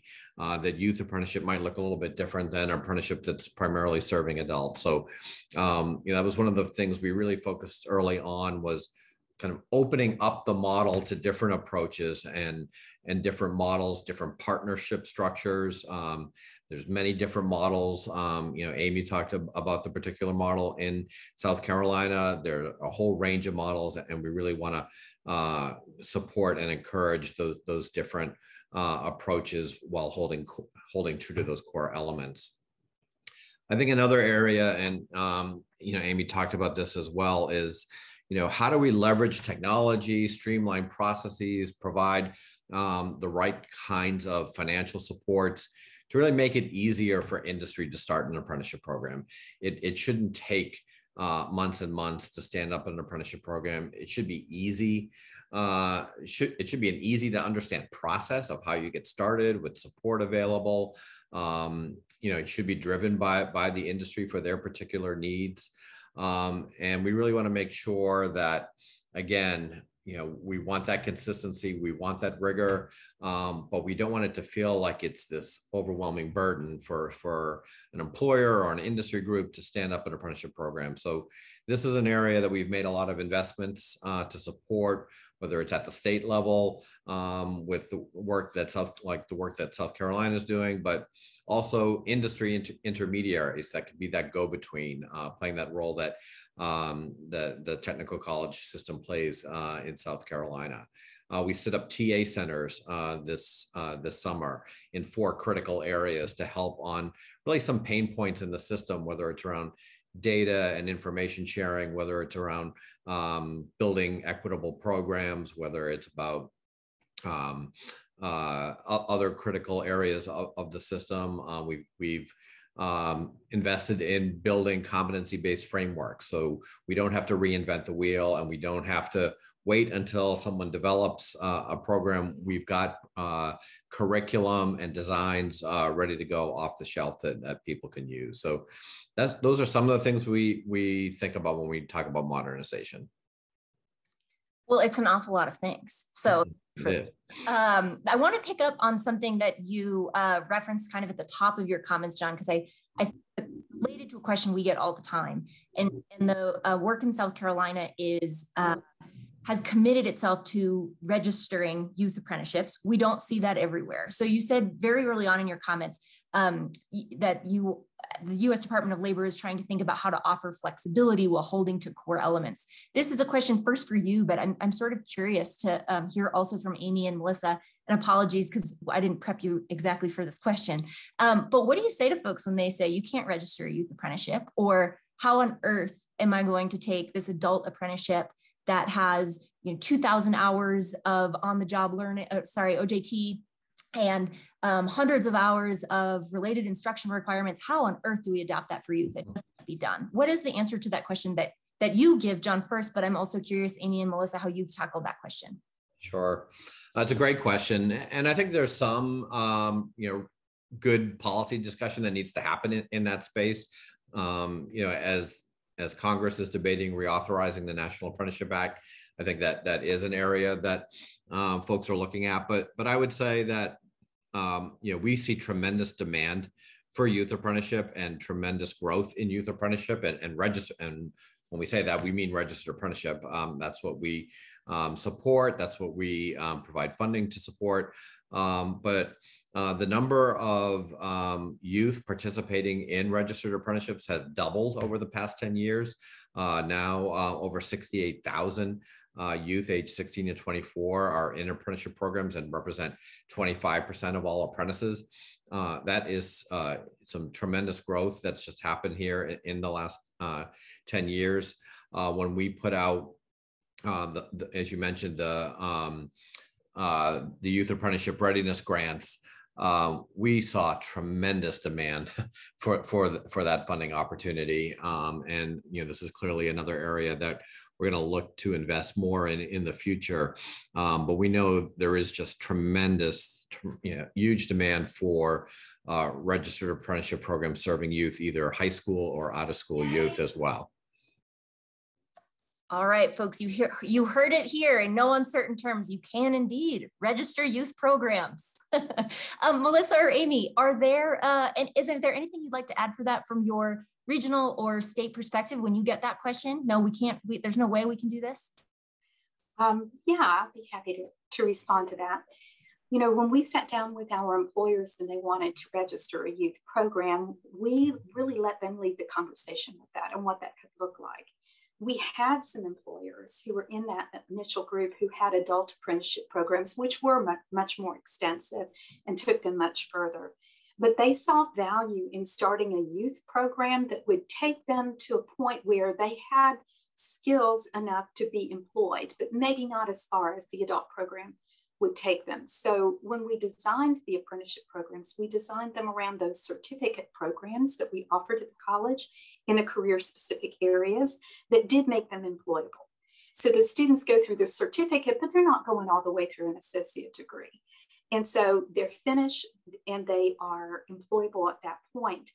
But again, we're building them with a ladder of progression. So the particular company I was mentioning then ended up hiring students out of that program into the adult program, and they were halfway through already. So students that they really liked from that particular program that they wanted to see progress were able to move on through the adult program. Since then, we've had companies like McLeod. You saw Debbie McLeod earlier if you were with us for the employer panel. And they have a really interesting structure because they're bringing in students as interns from their high school in the summer and giving them exposure. And if the student and the company feel that this is a good match, then they're putting them into a youth program that takes them through the certificate program. They're registered, they're employable at that point. If they're doing extremely well, they go on into their adult apprenticeship program and they move on through an associate degree and they're looking to go on even to baccalaureate degrees in cybersecurity. So you can register youth programs and you can build them as a ladder of progression in conjunction with adult programs that exist. Amy, would you like to add more to that?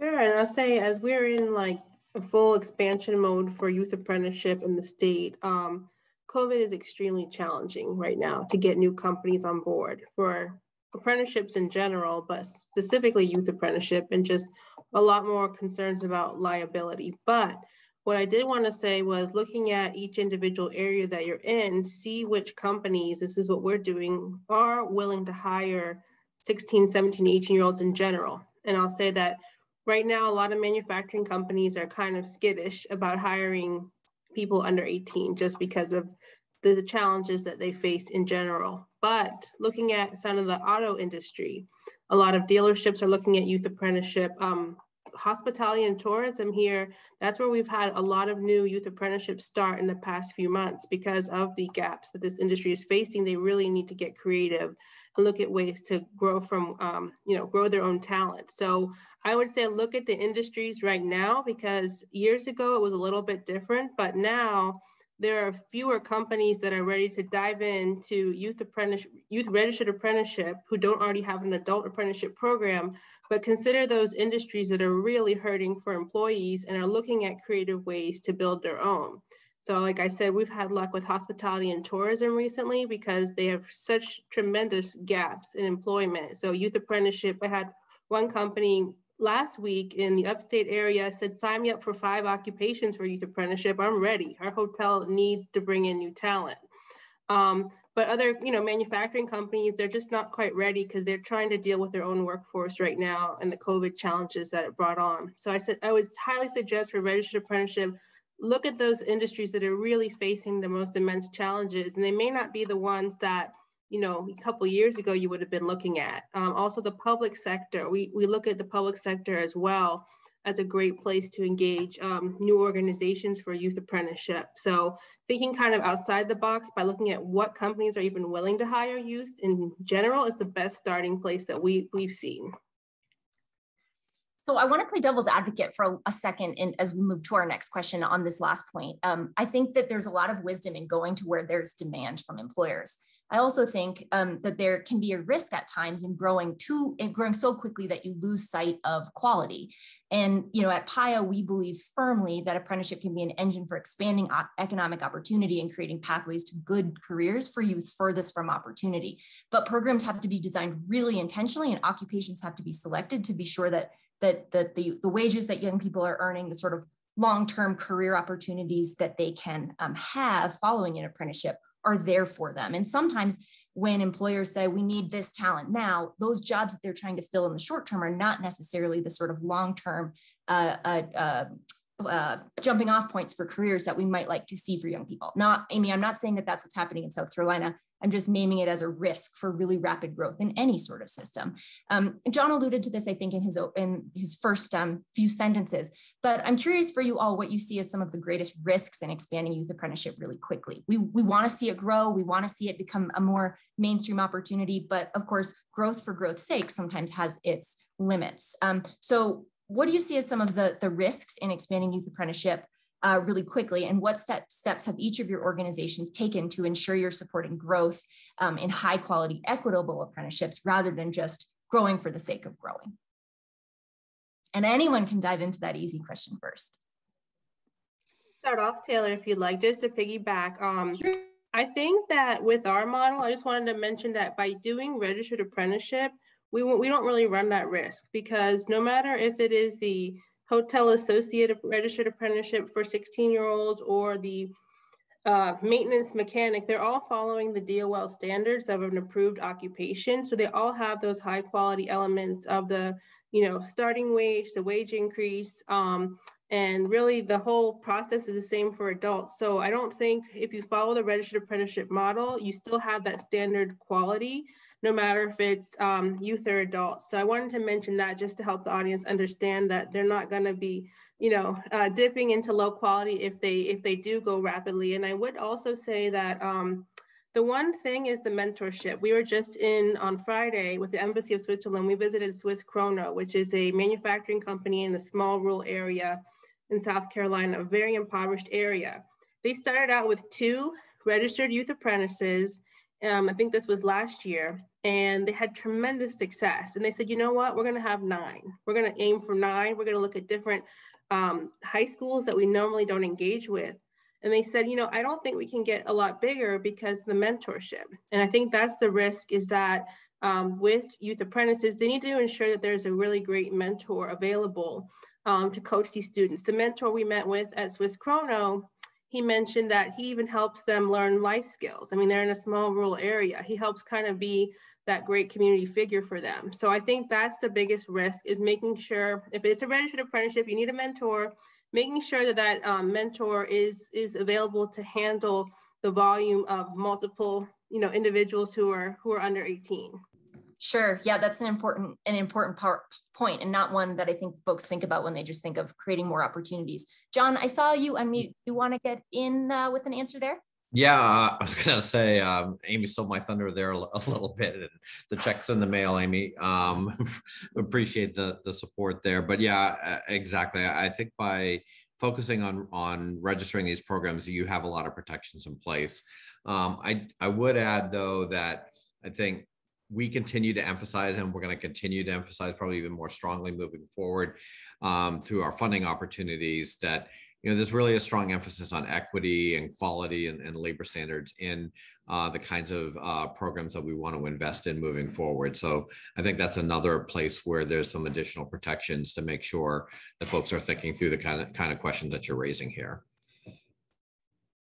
And Taylor, I would say that, um, you know, for us, we're really, really fortunate in our region to have a chamber who's heavily engaged in talent development space. And one of the things that they do is a talent demand study. And so the talent demand study really looks at where are the jobs and where are the jobs projected to be in each of the industry sectors. And then it also looks at where are we producing graduates from K 12, from any level of post secondary to fill those jobs and where is the gap? And so we're strategically looking at those um, programs that would be those that would lead students to family sustaining wages that fall within the need for our region and where that gap exists, where we know there are going to be high quality jobs available. So we use that as a guide. And I think any kind of resource like that that you can draw from in your region to figure that out really will help you guide and, and sort of alleviate that risk.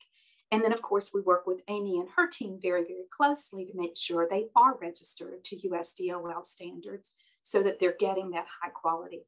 The other thing that we've done is as we sit down with our um, industry leaders and we talk about what are what do you need them to achieve, we map out high school courses and college courses that help them achieve what they need academically, but also lead to a ladder of progression for the student so that they are engaging in some sort of post secondary credit work as a part of that apprenticeship that can lead them on an upward trajectory should they choose to embrace it. And so I think all of those things together really help to alleviate those risks. That is a perfect example. I said in my opening remarks of how sometimes it's hard to see the PAYA principles in action if you just read them, but there is a perfect exemplar uh, for folks on the line of the importance of portability, this idea that students are earning credits that they can use after their apprenticeship um, concludes to earn additional credentials, additional degrees, and move upwards and onwards um, in their careers over time. Whether that's right away or 10 years later, they have that um, sort of currency in the education marketplace that can be really important. Um, we are um, nearing the point on this panel where we uh, will move to audience questions, but before we hand it over, um, to them. I have a couple more things I'd love for this group to, to talk about. Um, one of the things that's been uh, really interesting in hearing you all talk is how often, um, and you have unwittingly or not, uh, helped prove my point that I wanted to make in this panel a little bit about the importance of connecting systems. And so Melissa has referenced at times how this, the state intermediary apprenticeship Carolina has been very supportive to their work locally. Amy has shared um, the work that Apprenticeship Carolina does uh, around the state to build and support other partnerships uh, that are trying to uh, launch and run and grow youth apprenticeship programming. Um, and John has made reference to a number of ways that the US Department of Labor has supported the growth of youth apprenticeship and will moving forward. Um, and so I think folks can see that there are ways uh, sort of different levels if we think about these folks and their organizations aligned vertically across the uh, apprenticeship system that these different actors are working together to sort of reinforce one another's um, progress and opportunities. Um, so it's really exciting to see here. I would love to hear from you all, though. That's I made that sound like it's really easy and it all works very smoothly. Um, uh, but I'm I'm curious if we could do one sort of lightning round for all of the panelists. If you had a magic wand uh, that you could wave and make some sort of change, whether it's in policy or practice or in mindsets around the country, what is one change that you would love to see that you think would be important for promoting the continued expansion of high quality youth apprenticeship opportunities in this country?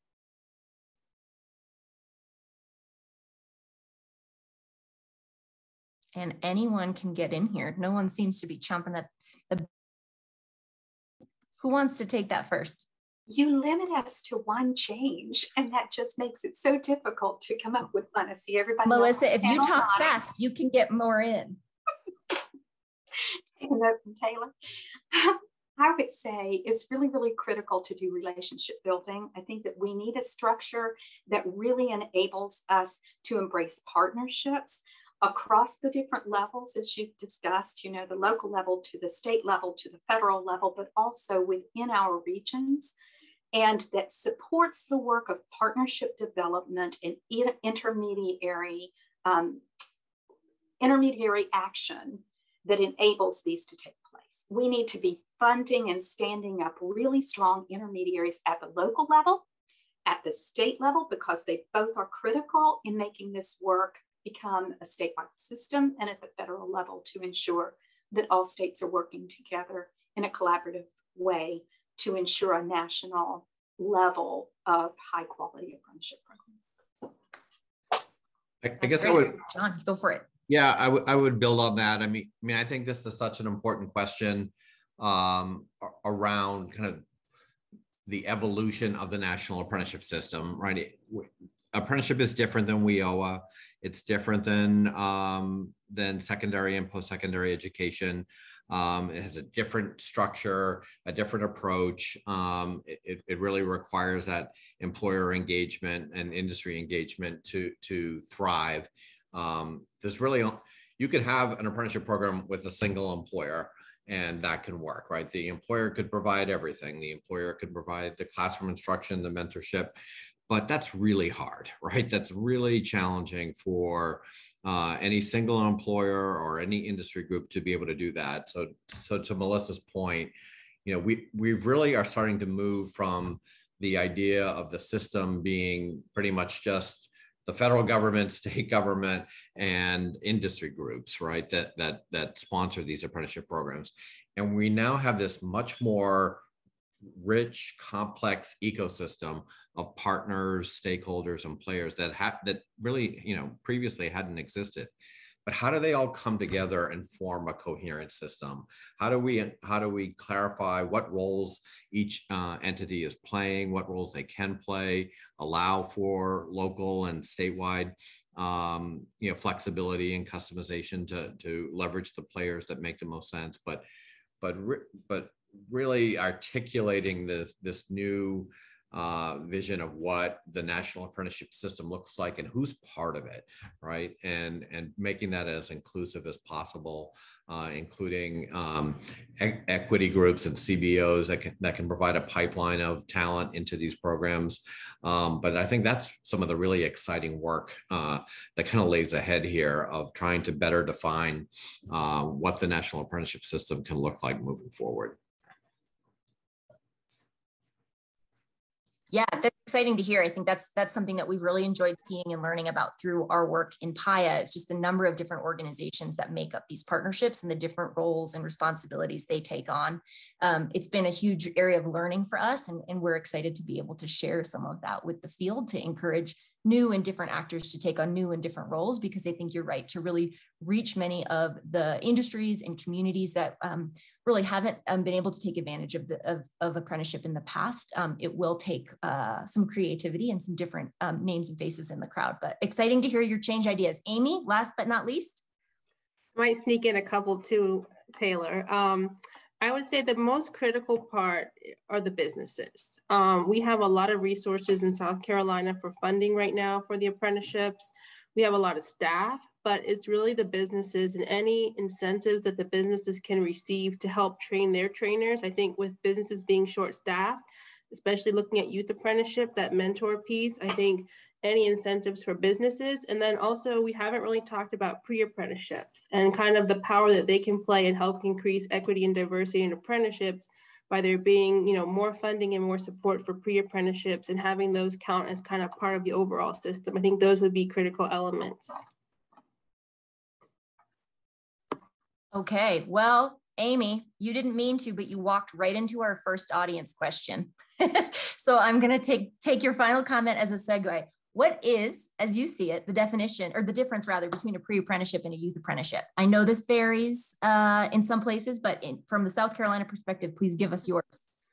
Um, I get, I should get a, like a hundred dollars every day I answer this question because I get it every day from somebody, um, either in the state or outside the state. But in South Carolina, as I mentioned, all of the youth apprenticeships are registered with DOL. So that's anyone 16 and up. And technically it's really for high school students, but now we're working with um, a little bit older youth as well.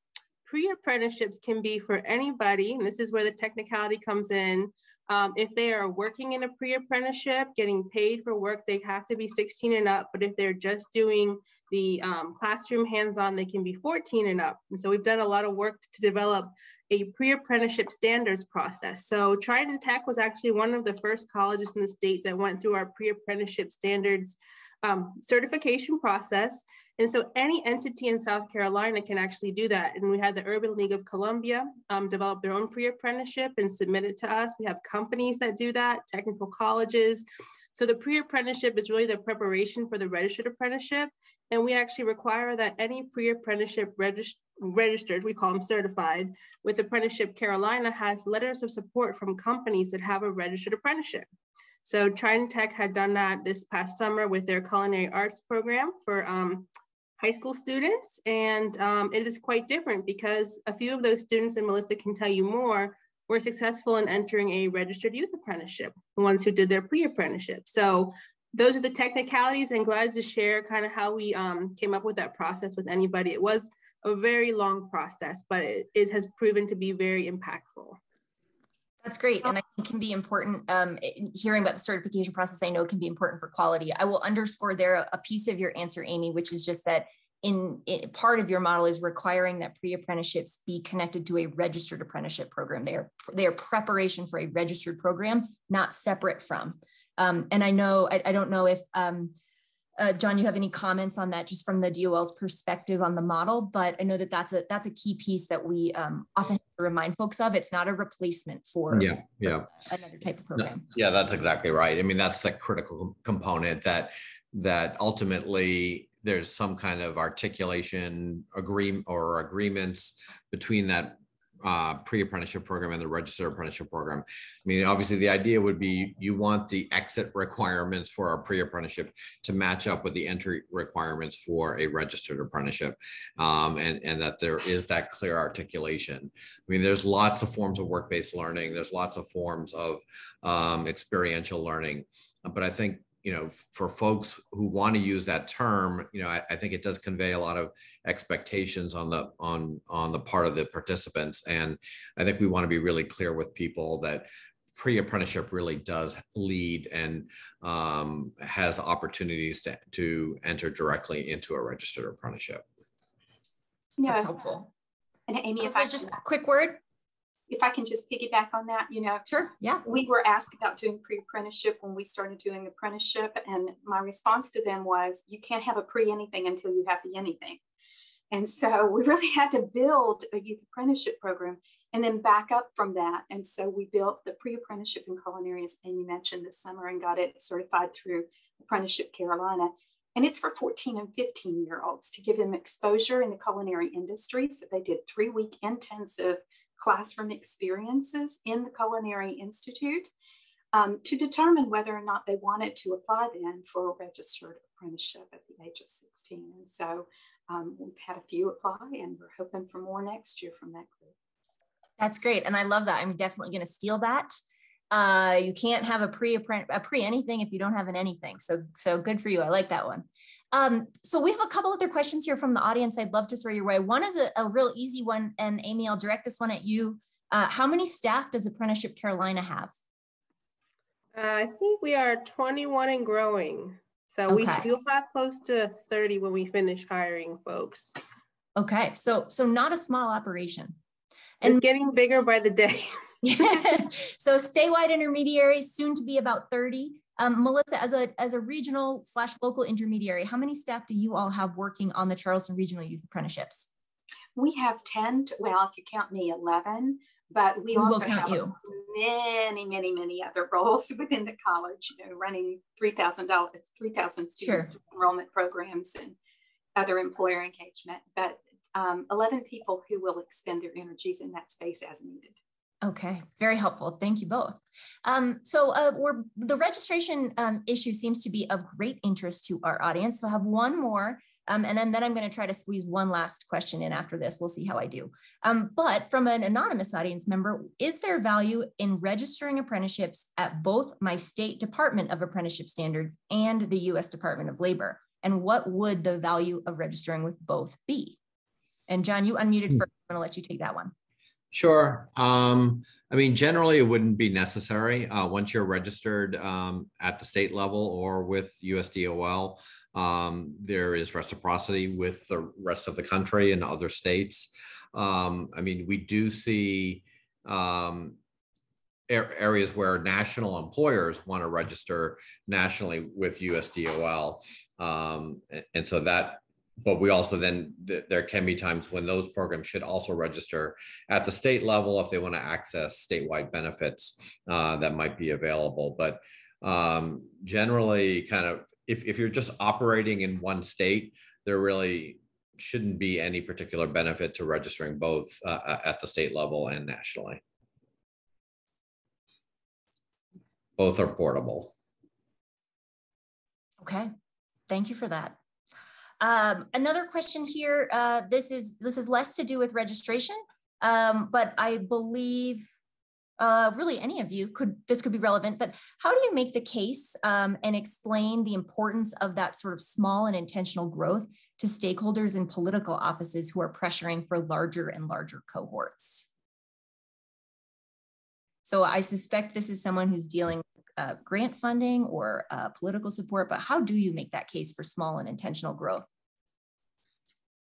John, I mean, yeah, I mean, we see it. I mean, it, it's true at the national level too, right? I mean, you know, there's going to be significant expectations with uh, potentially large national investments um, that could be coming down the pike. Um, you know, I think South Carolina is just a great model of um, of how it can work. Um, South Carolina didn't grow overnight. It's been steady incremental progress since uh, the early days of this initiative.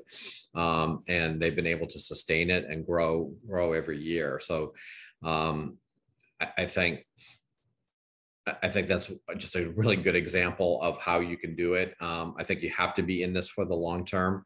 Um, apprenticeship programs take a while not only to stand up, but to have a cycle of apprentices that go through to start to see the impact, to see the results. We need employers to be thinking long term. Uh, apprenticeship isn't you know a short-term fix to you know the current supply chain you know crisis or some other immediate need where you're trying to plug in um, skilled labor really quickly it, it's something where everyone's got to have kind of a longer term view um, of it. Um, but with that being said i think there's still lots that we can do again so that the process of establishing a program should not take months or years. That that should be simple. That should be easy. That's something that with the support of, of, organizations and intermediaries like apprenticeship carolina that you know we can get you into an apprenticeship program you know today or you know this week. It, it really shouldn't be uh, a big lift. There should be plug and play options for for folks um, there should be large scale programs consortia programs that employers can join. So you're not establishing a new program, you're joining an existing program. There should be many, many options uh, that make it kind of easier for, for people to get involved. And I think when you bring systems together, you know, I think the other success from South Carolina is you're leveraging an existing system and you're leveraging all of that capability and capacity. Um, I mean, think if we had every workforce board sponsor one apprenticeship program, if we had every high school district sponsor an apprenticeship program, right? You could grow fairly quickly, but but again, all the structure and infrastructure has to be in place and all those protections to make sure that we're growing good programs as well. And I would just say if you start too large, you're going to um, deplete your resources too quickly and it's not going to go well. And if it doesn't go well, then it doesn't grow. One of our greatest um, accomplishments was starting with 13 students, one of whom got a job right out of high school and bought a house at 19, and others who were equally successful. And it was their going back into their schools and back into their communities and telling their stories that caught fire for other students and parents. You have to give it time to catch, stu- catch fire you have to give it time to market itself. If you um, start with a vision, you have to start out huge. You're very, very likely not to get there. Yeah, and we hear sometimes too from employers or, or from partnerships around the country that um, because it's such a big ask of employers to take a take a chance on young adults, that doing it really well and making a, a good impression the first time is the way to keep them coming back. And that sometimes if that first experience with a, a youth program doesn't pan out, um, employers are more hesitant to, to come back to the table um, once those kinks are, are, are fixed or addressed, um, just because it's a, it seems like a bigger ask uh, for them. And, and I can understand that perspective too. Um, so we have just um, two minutes left here, and I'm going to ask uh, one final question from the audience here. I'm going to add to it a little bit. Uh, any one of you can feel free to claim this one. But uh, can a program sponsor simply amend their standards to change the age requirements to accept youth into existing apprenticeship programs? And to that, I will add, even regardless of what your answer is, what do you think the biggest change uh, adult serving programs need to make when they begin accepting youth or they adapt their model to work for youth? John, go ahead. Yeah, I can take the first one and maybe Amy or Melissa would take the second part. Um, yeah, that, that's a pretty simple process to, to amend, amend your standards. Um, you know, you may want to think about your selection procedures in terms of um, whether there's an impact there um, and how you're drawing students into the program. If they're, if they're being referred from high schools and other sources, that's a different selection procedure than you might use for adults, but it generally should not be a complicated amendment to, to an existing set of standards. And I'll take the second Melissa, part. Go for it. Yeah. I'll take the second part of that and say, if you do that and you start engaging younger students, you need to put in more supports for those younger students. Um, you heard earlier today, if you were with us, the students keep talking about Ellen Kaufman, Miss Kaufman, Ellen, Ellen, Ellen. She's the youth apprenticeship coordinator here, and now we have a specialist who helps her because she engages with the students and parents. Um, she is the hub for them, the support system who ensures that all of their emotional and mental needs are met. She interfaces back and forth with the K 12 system to get the supports from their school counselors, to alert our folks that employers need to know that something's going on or to find out from employers when things are going on. So the kind of support you give those students is different um, to get them launched. Yep, I would just concur with both John and Melissa, um, and then also kind of go back to that mentor piece. Um, having a really strong mentor, not just somebody on paper, is really important for working with youth apprentices at the company because that's where kind of the the biggest challenges will be with learning new equipment, kind of managing that on the job expectations. Um, strong mentor is really, really important there. And as John said, updating the programs is really, really simple. We do that every day for companies. Okay, well, believe it or not, we've already expended an hour of time together. Um, so I know that this is a little bit of an awkward thing on virtual panels. Our audience can't thank you and clap, but know that I'm doing it here for you um, alone in this room. Um, so I just want to say a big thank you to Melissa, Amy, and John for sharing your perspectives and insights with us during this panel. Um, folks who are on the line, you've heard about supports and policies that can support local program growth and success. You've heard about state resources and strategies to promote growth across regions and states, um, working with different types of employers, different types of institutions serving in that intermediary capacity, um, and different ways that uh, the state entity can deploy itself in support of this work. And finally, from John, we've heard about um, strong federal standards uh, and, and policies, both current and potentially future from the federal government uh, as part of its work to modernize apprenticeship and find ways to make this work more efficient and more flexible so that it can continue to grow and reach new corners of our country. Thank you very much for joining us today and sharing your perspectives. Uh, careful what you wish for. We'll probably have you back again someday. Uh, but thanks very much for your time and for being with us this afternoon. And of course, for all the work that you do to expand high quality and equitable apprenticeship opportunities for young people. Thanks so much. I'm charged now with giving our official end of summit thank you uh, to lots of folks. Um, so first, I'm just going to uh, give a big thank you to all of the panelists who have joined us today to help us understand the many, many, many things that go into making the Charleston Regional Youth Apprenticeships an innovative and effective regional partnership that delivers re results not only for its employer partners, but for the young people and education partners uh, that make it tick. Uh, I'd like to thank the PAYA national partners and funders who support our work to make events like this possible, and also to thank everyone who is on the line with us today. Um, I would love if the folks who are behind the scenes could bring up our very last slide for the day so that I can share with the folks who have stayed with us to this point in the afternoon, um, a couple of ways that you can remain connected to PAYA and the PAYA network over the months ahead.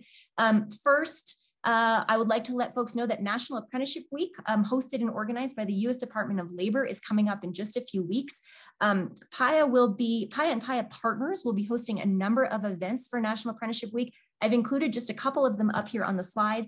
On November 16th, our partner JFF will be hosting um, an event called A Vision for the Future, a Plan for Today. Information about that event is available on their website and soon ours as well. On November 17th, uh, New America will be hosting an apprenticeship Twitter chat. Uh, so we can uh, share some information about that and you'll see some of that on Twitter in the weeks ahead too. Um, and on November 18th, uh, the PAYA will be hosting the PAYA Equity Solutions Lab workshop hosted by New America. There is information about that event available on our website now. Um, if you enjoyed learning about the Charleston Regional Youth Apprenticeships today, we encourage you to consider joining the team uh, on April 4th and 5th uh, for the Charleston Regional Youth Apprenticeship Program Development Workshops and Conference. That will be an opportunity to do an even deeper dive into the work that Charleston Regional Youth Apprenticeships leads. Um, and we look forward to planning and hosting and sharing more information with you about that event in the months ahead. But please do keep those months uh, sorry, dates in mind. I think the slide here says second through fourth. It should say fourth through fifth. So apologies for that. Um, and last but not least, I want to let folks on the line know that um, on a monthly basis, we host through PAYA a network learning series. They are typically webinars or office hours that feature national experts or practitioner experts from around the country. You can subscribe to the PAYA's monthly newsletter using that link on the screen um, uh, the, sorry, the URL that's on the screen there um, which I believe has been shared with you via the resources button on your screen. Um, please do subscribe to that. We, we advertise those events there and we also share resources and tools and updates from across the field via that newsletter. Um, and anyone is uh, welcome to subscribe.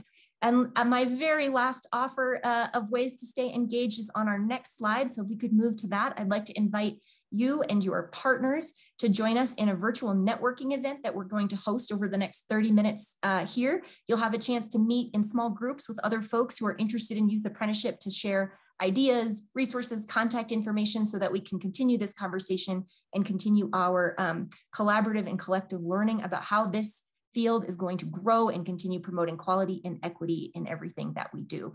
Um, so please join us. There's a URL on the screen. I believe it is also shared with you via that resource button that you can see.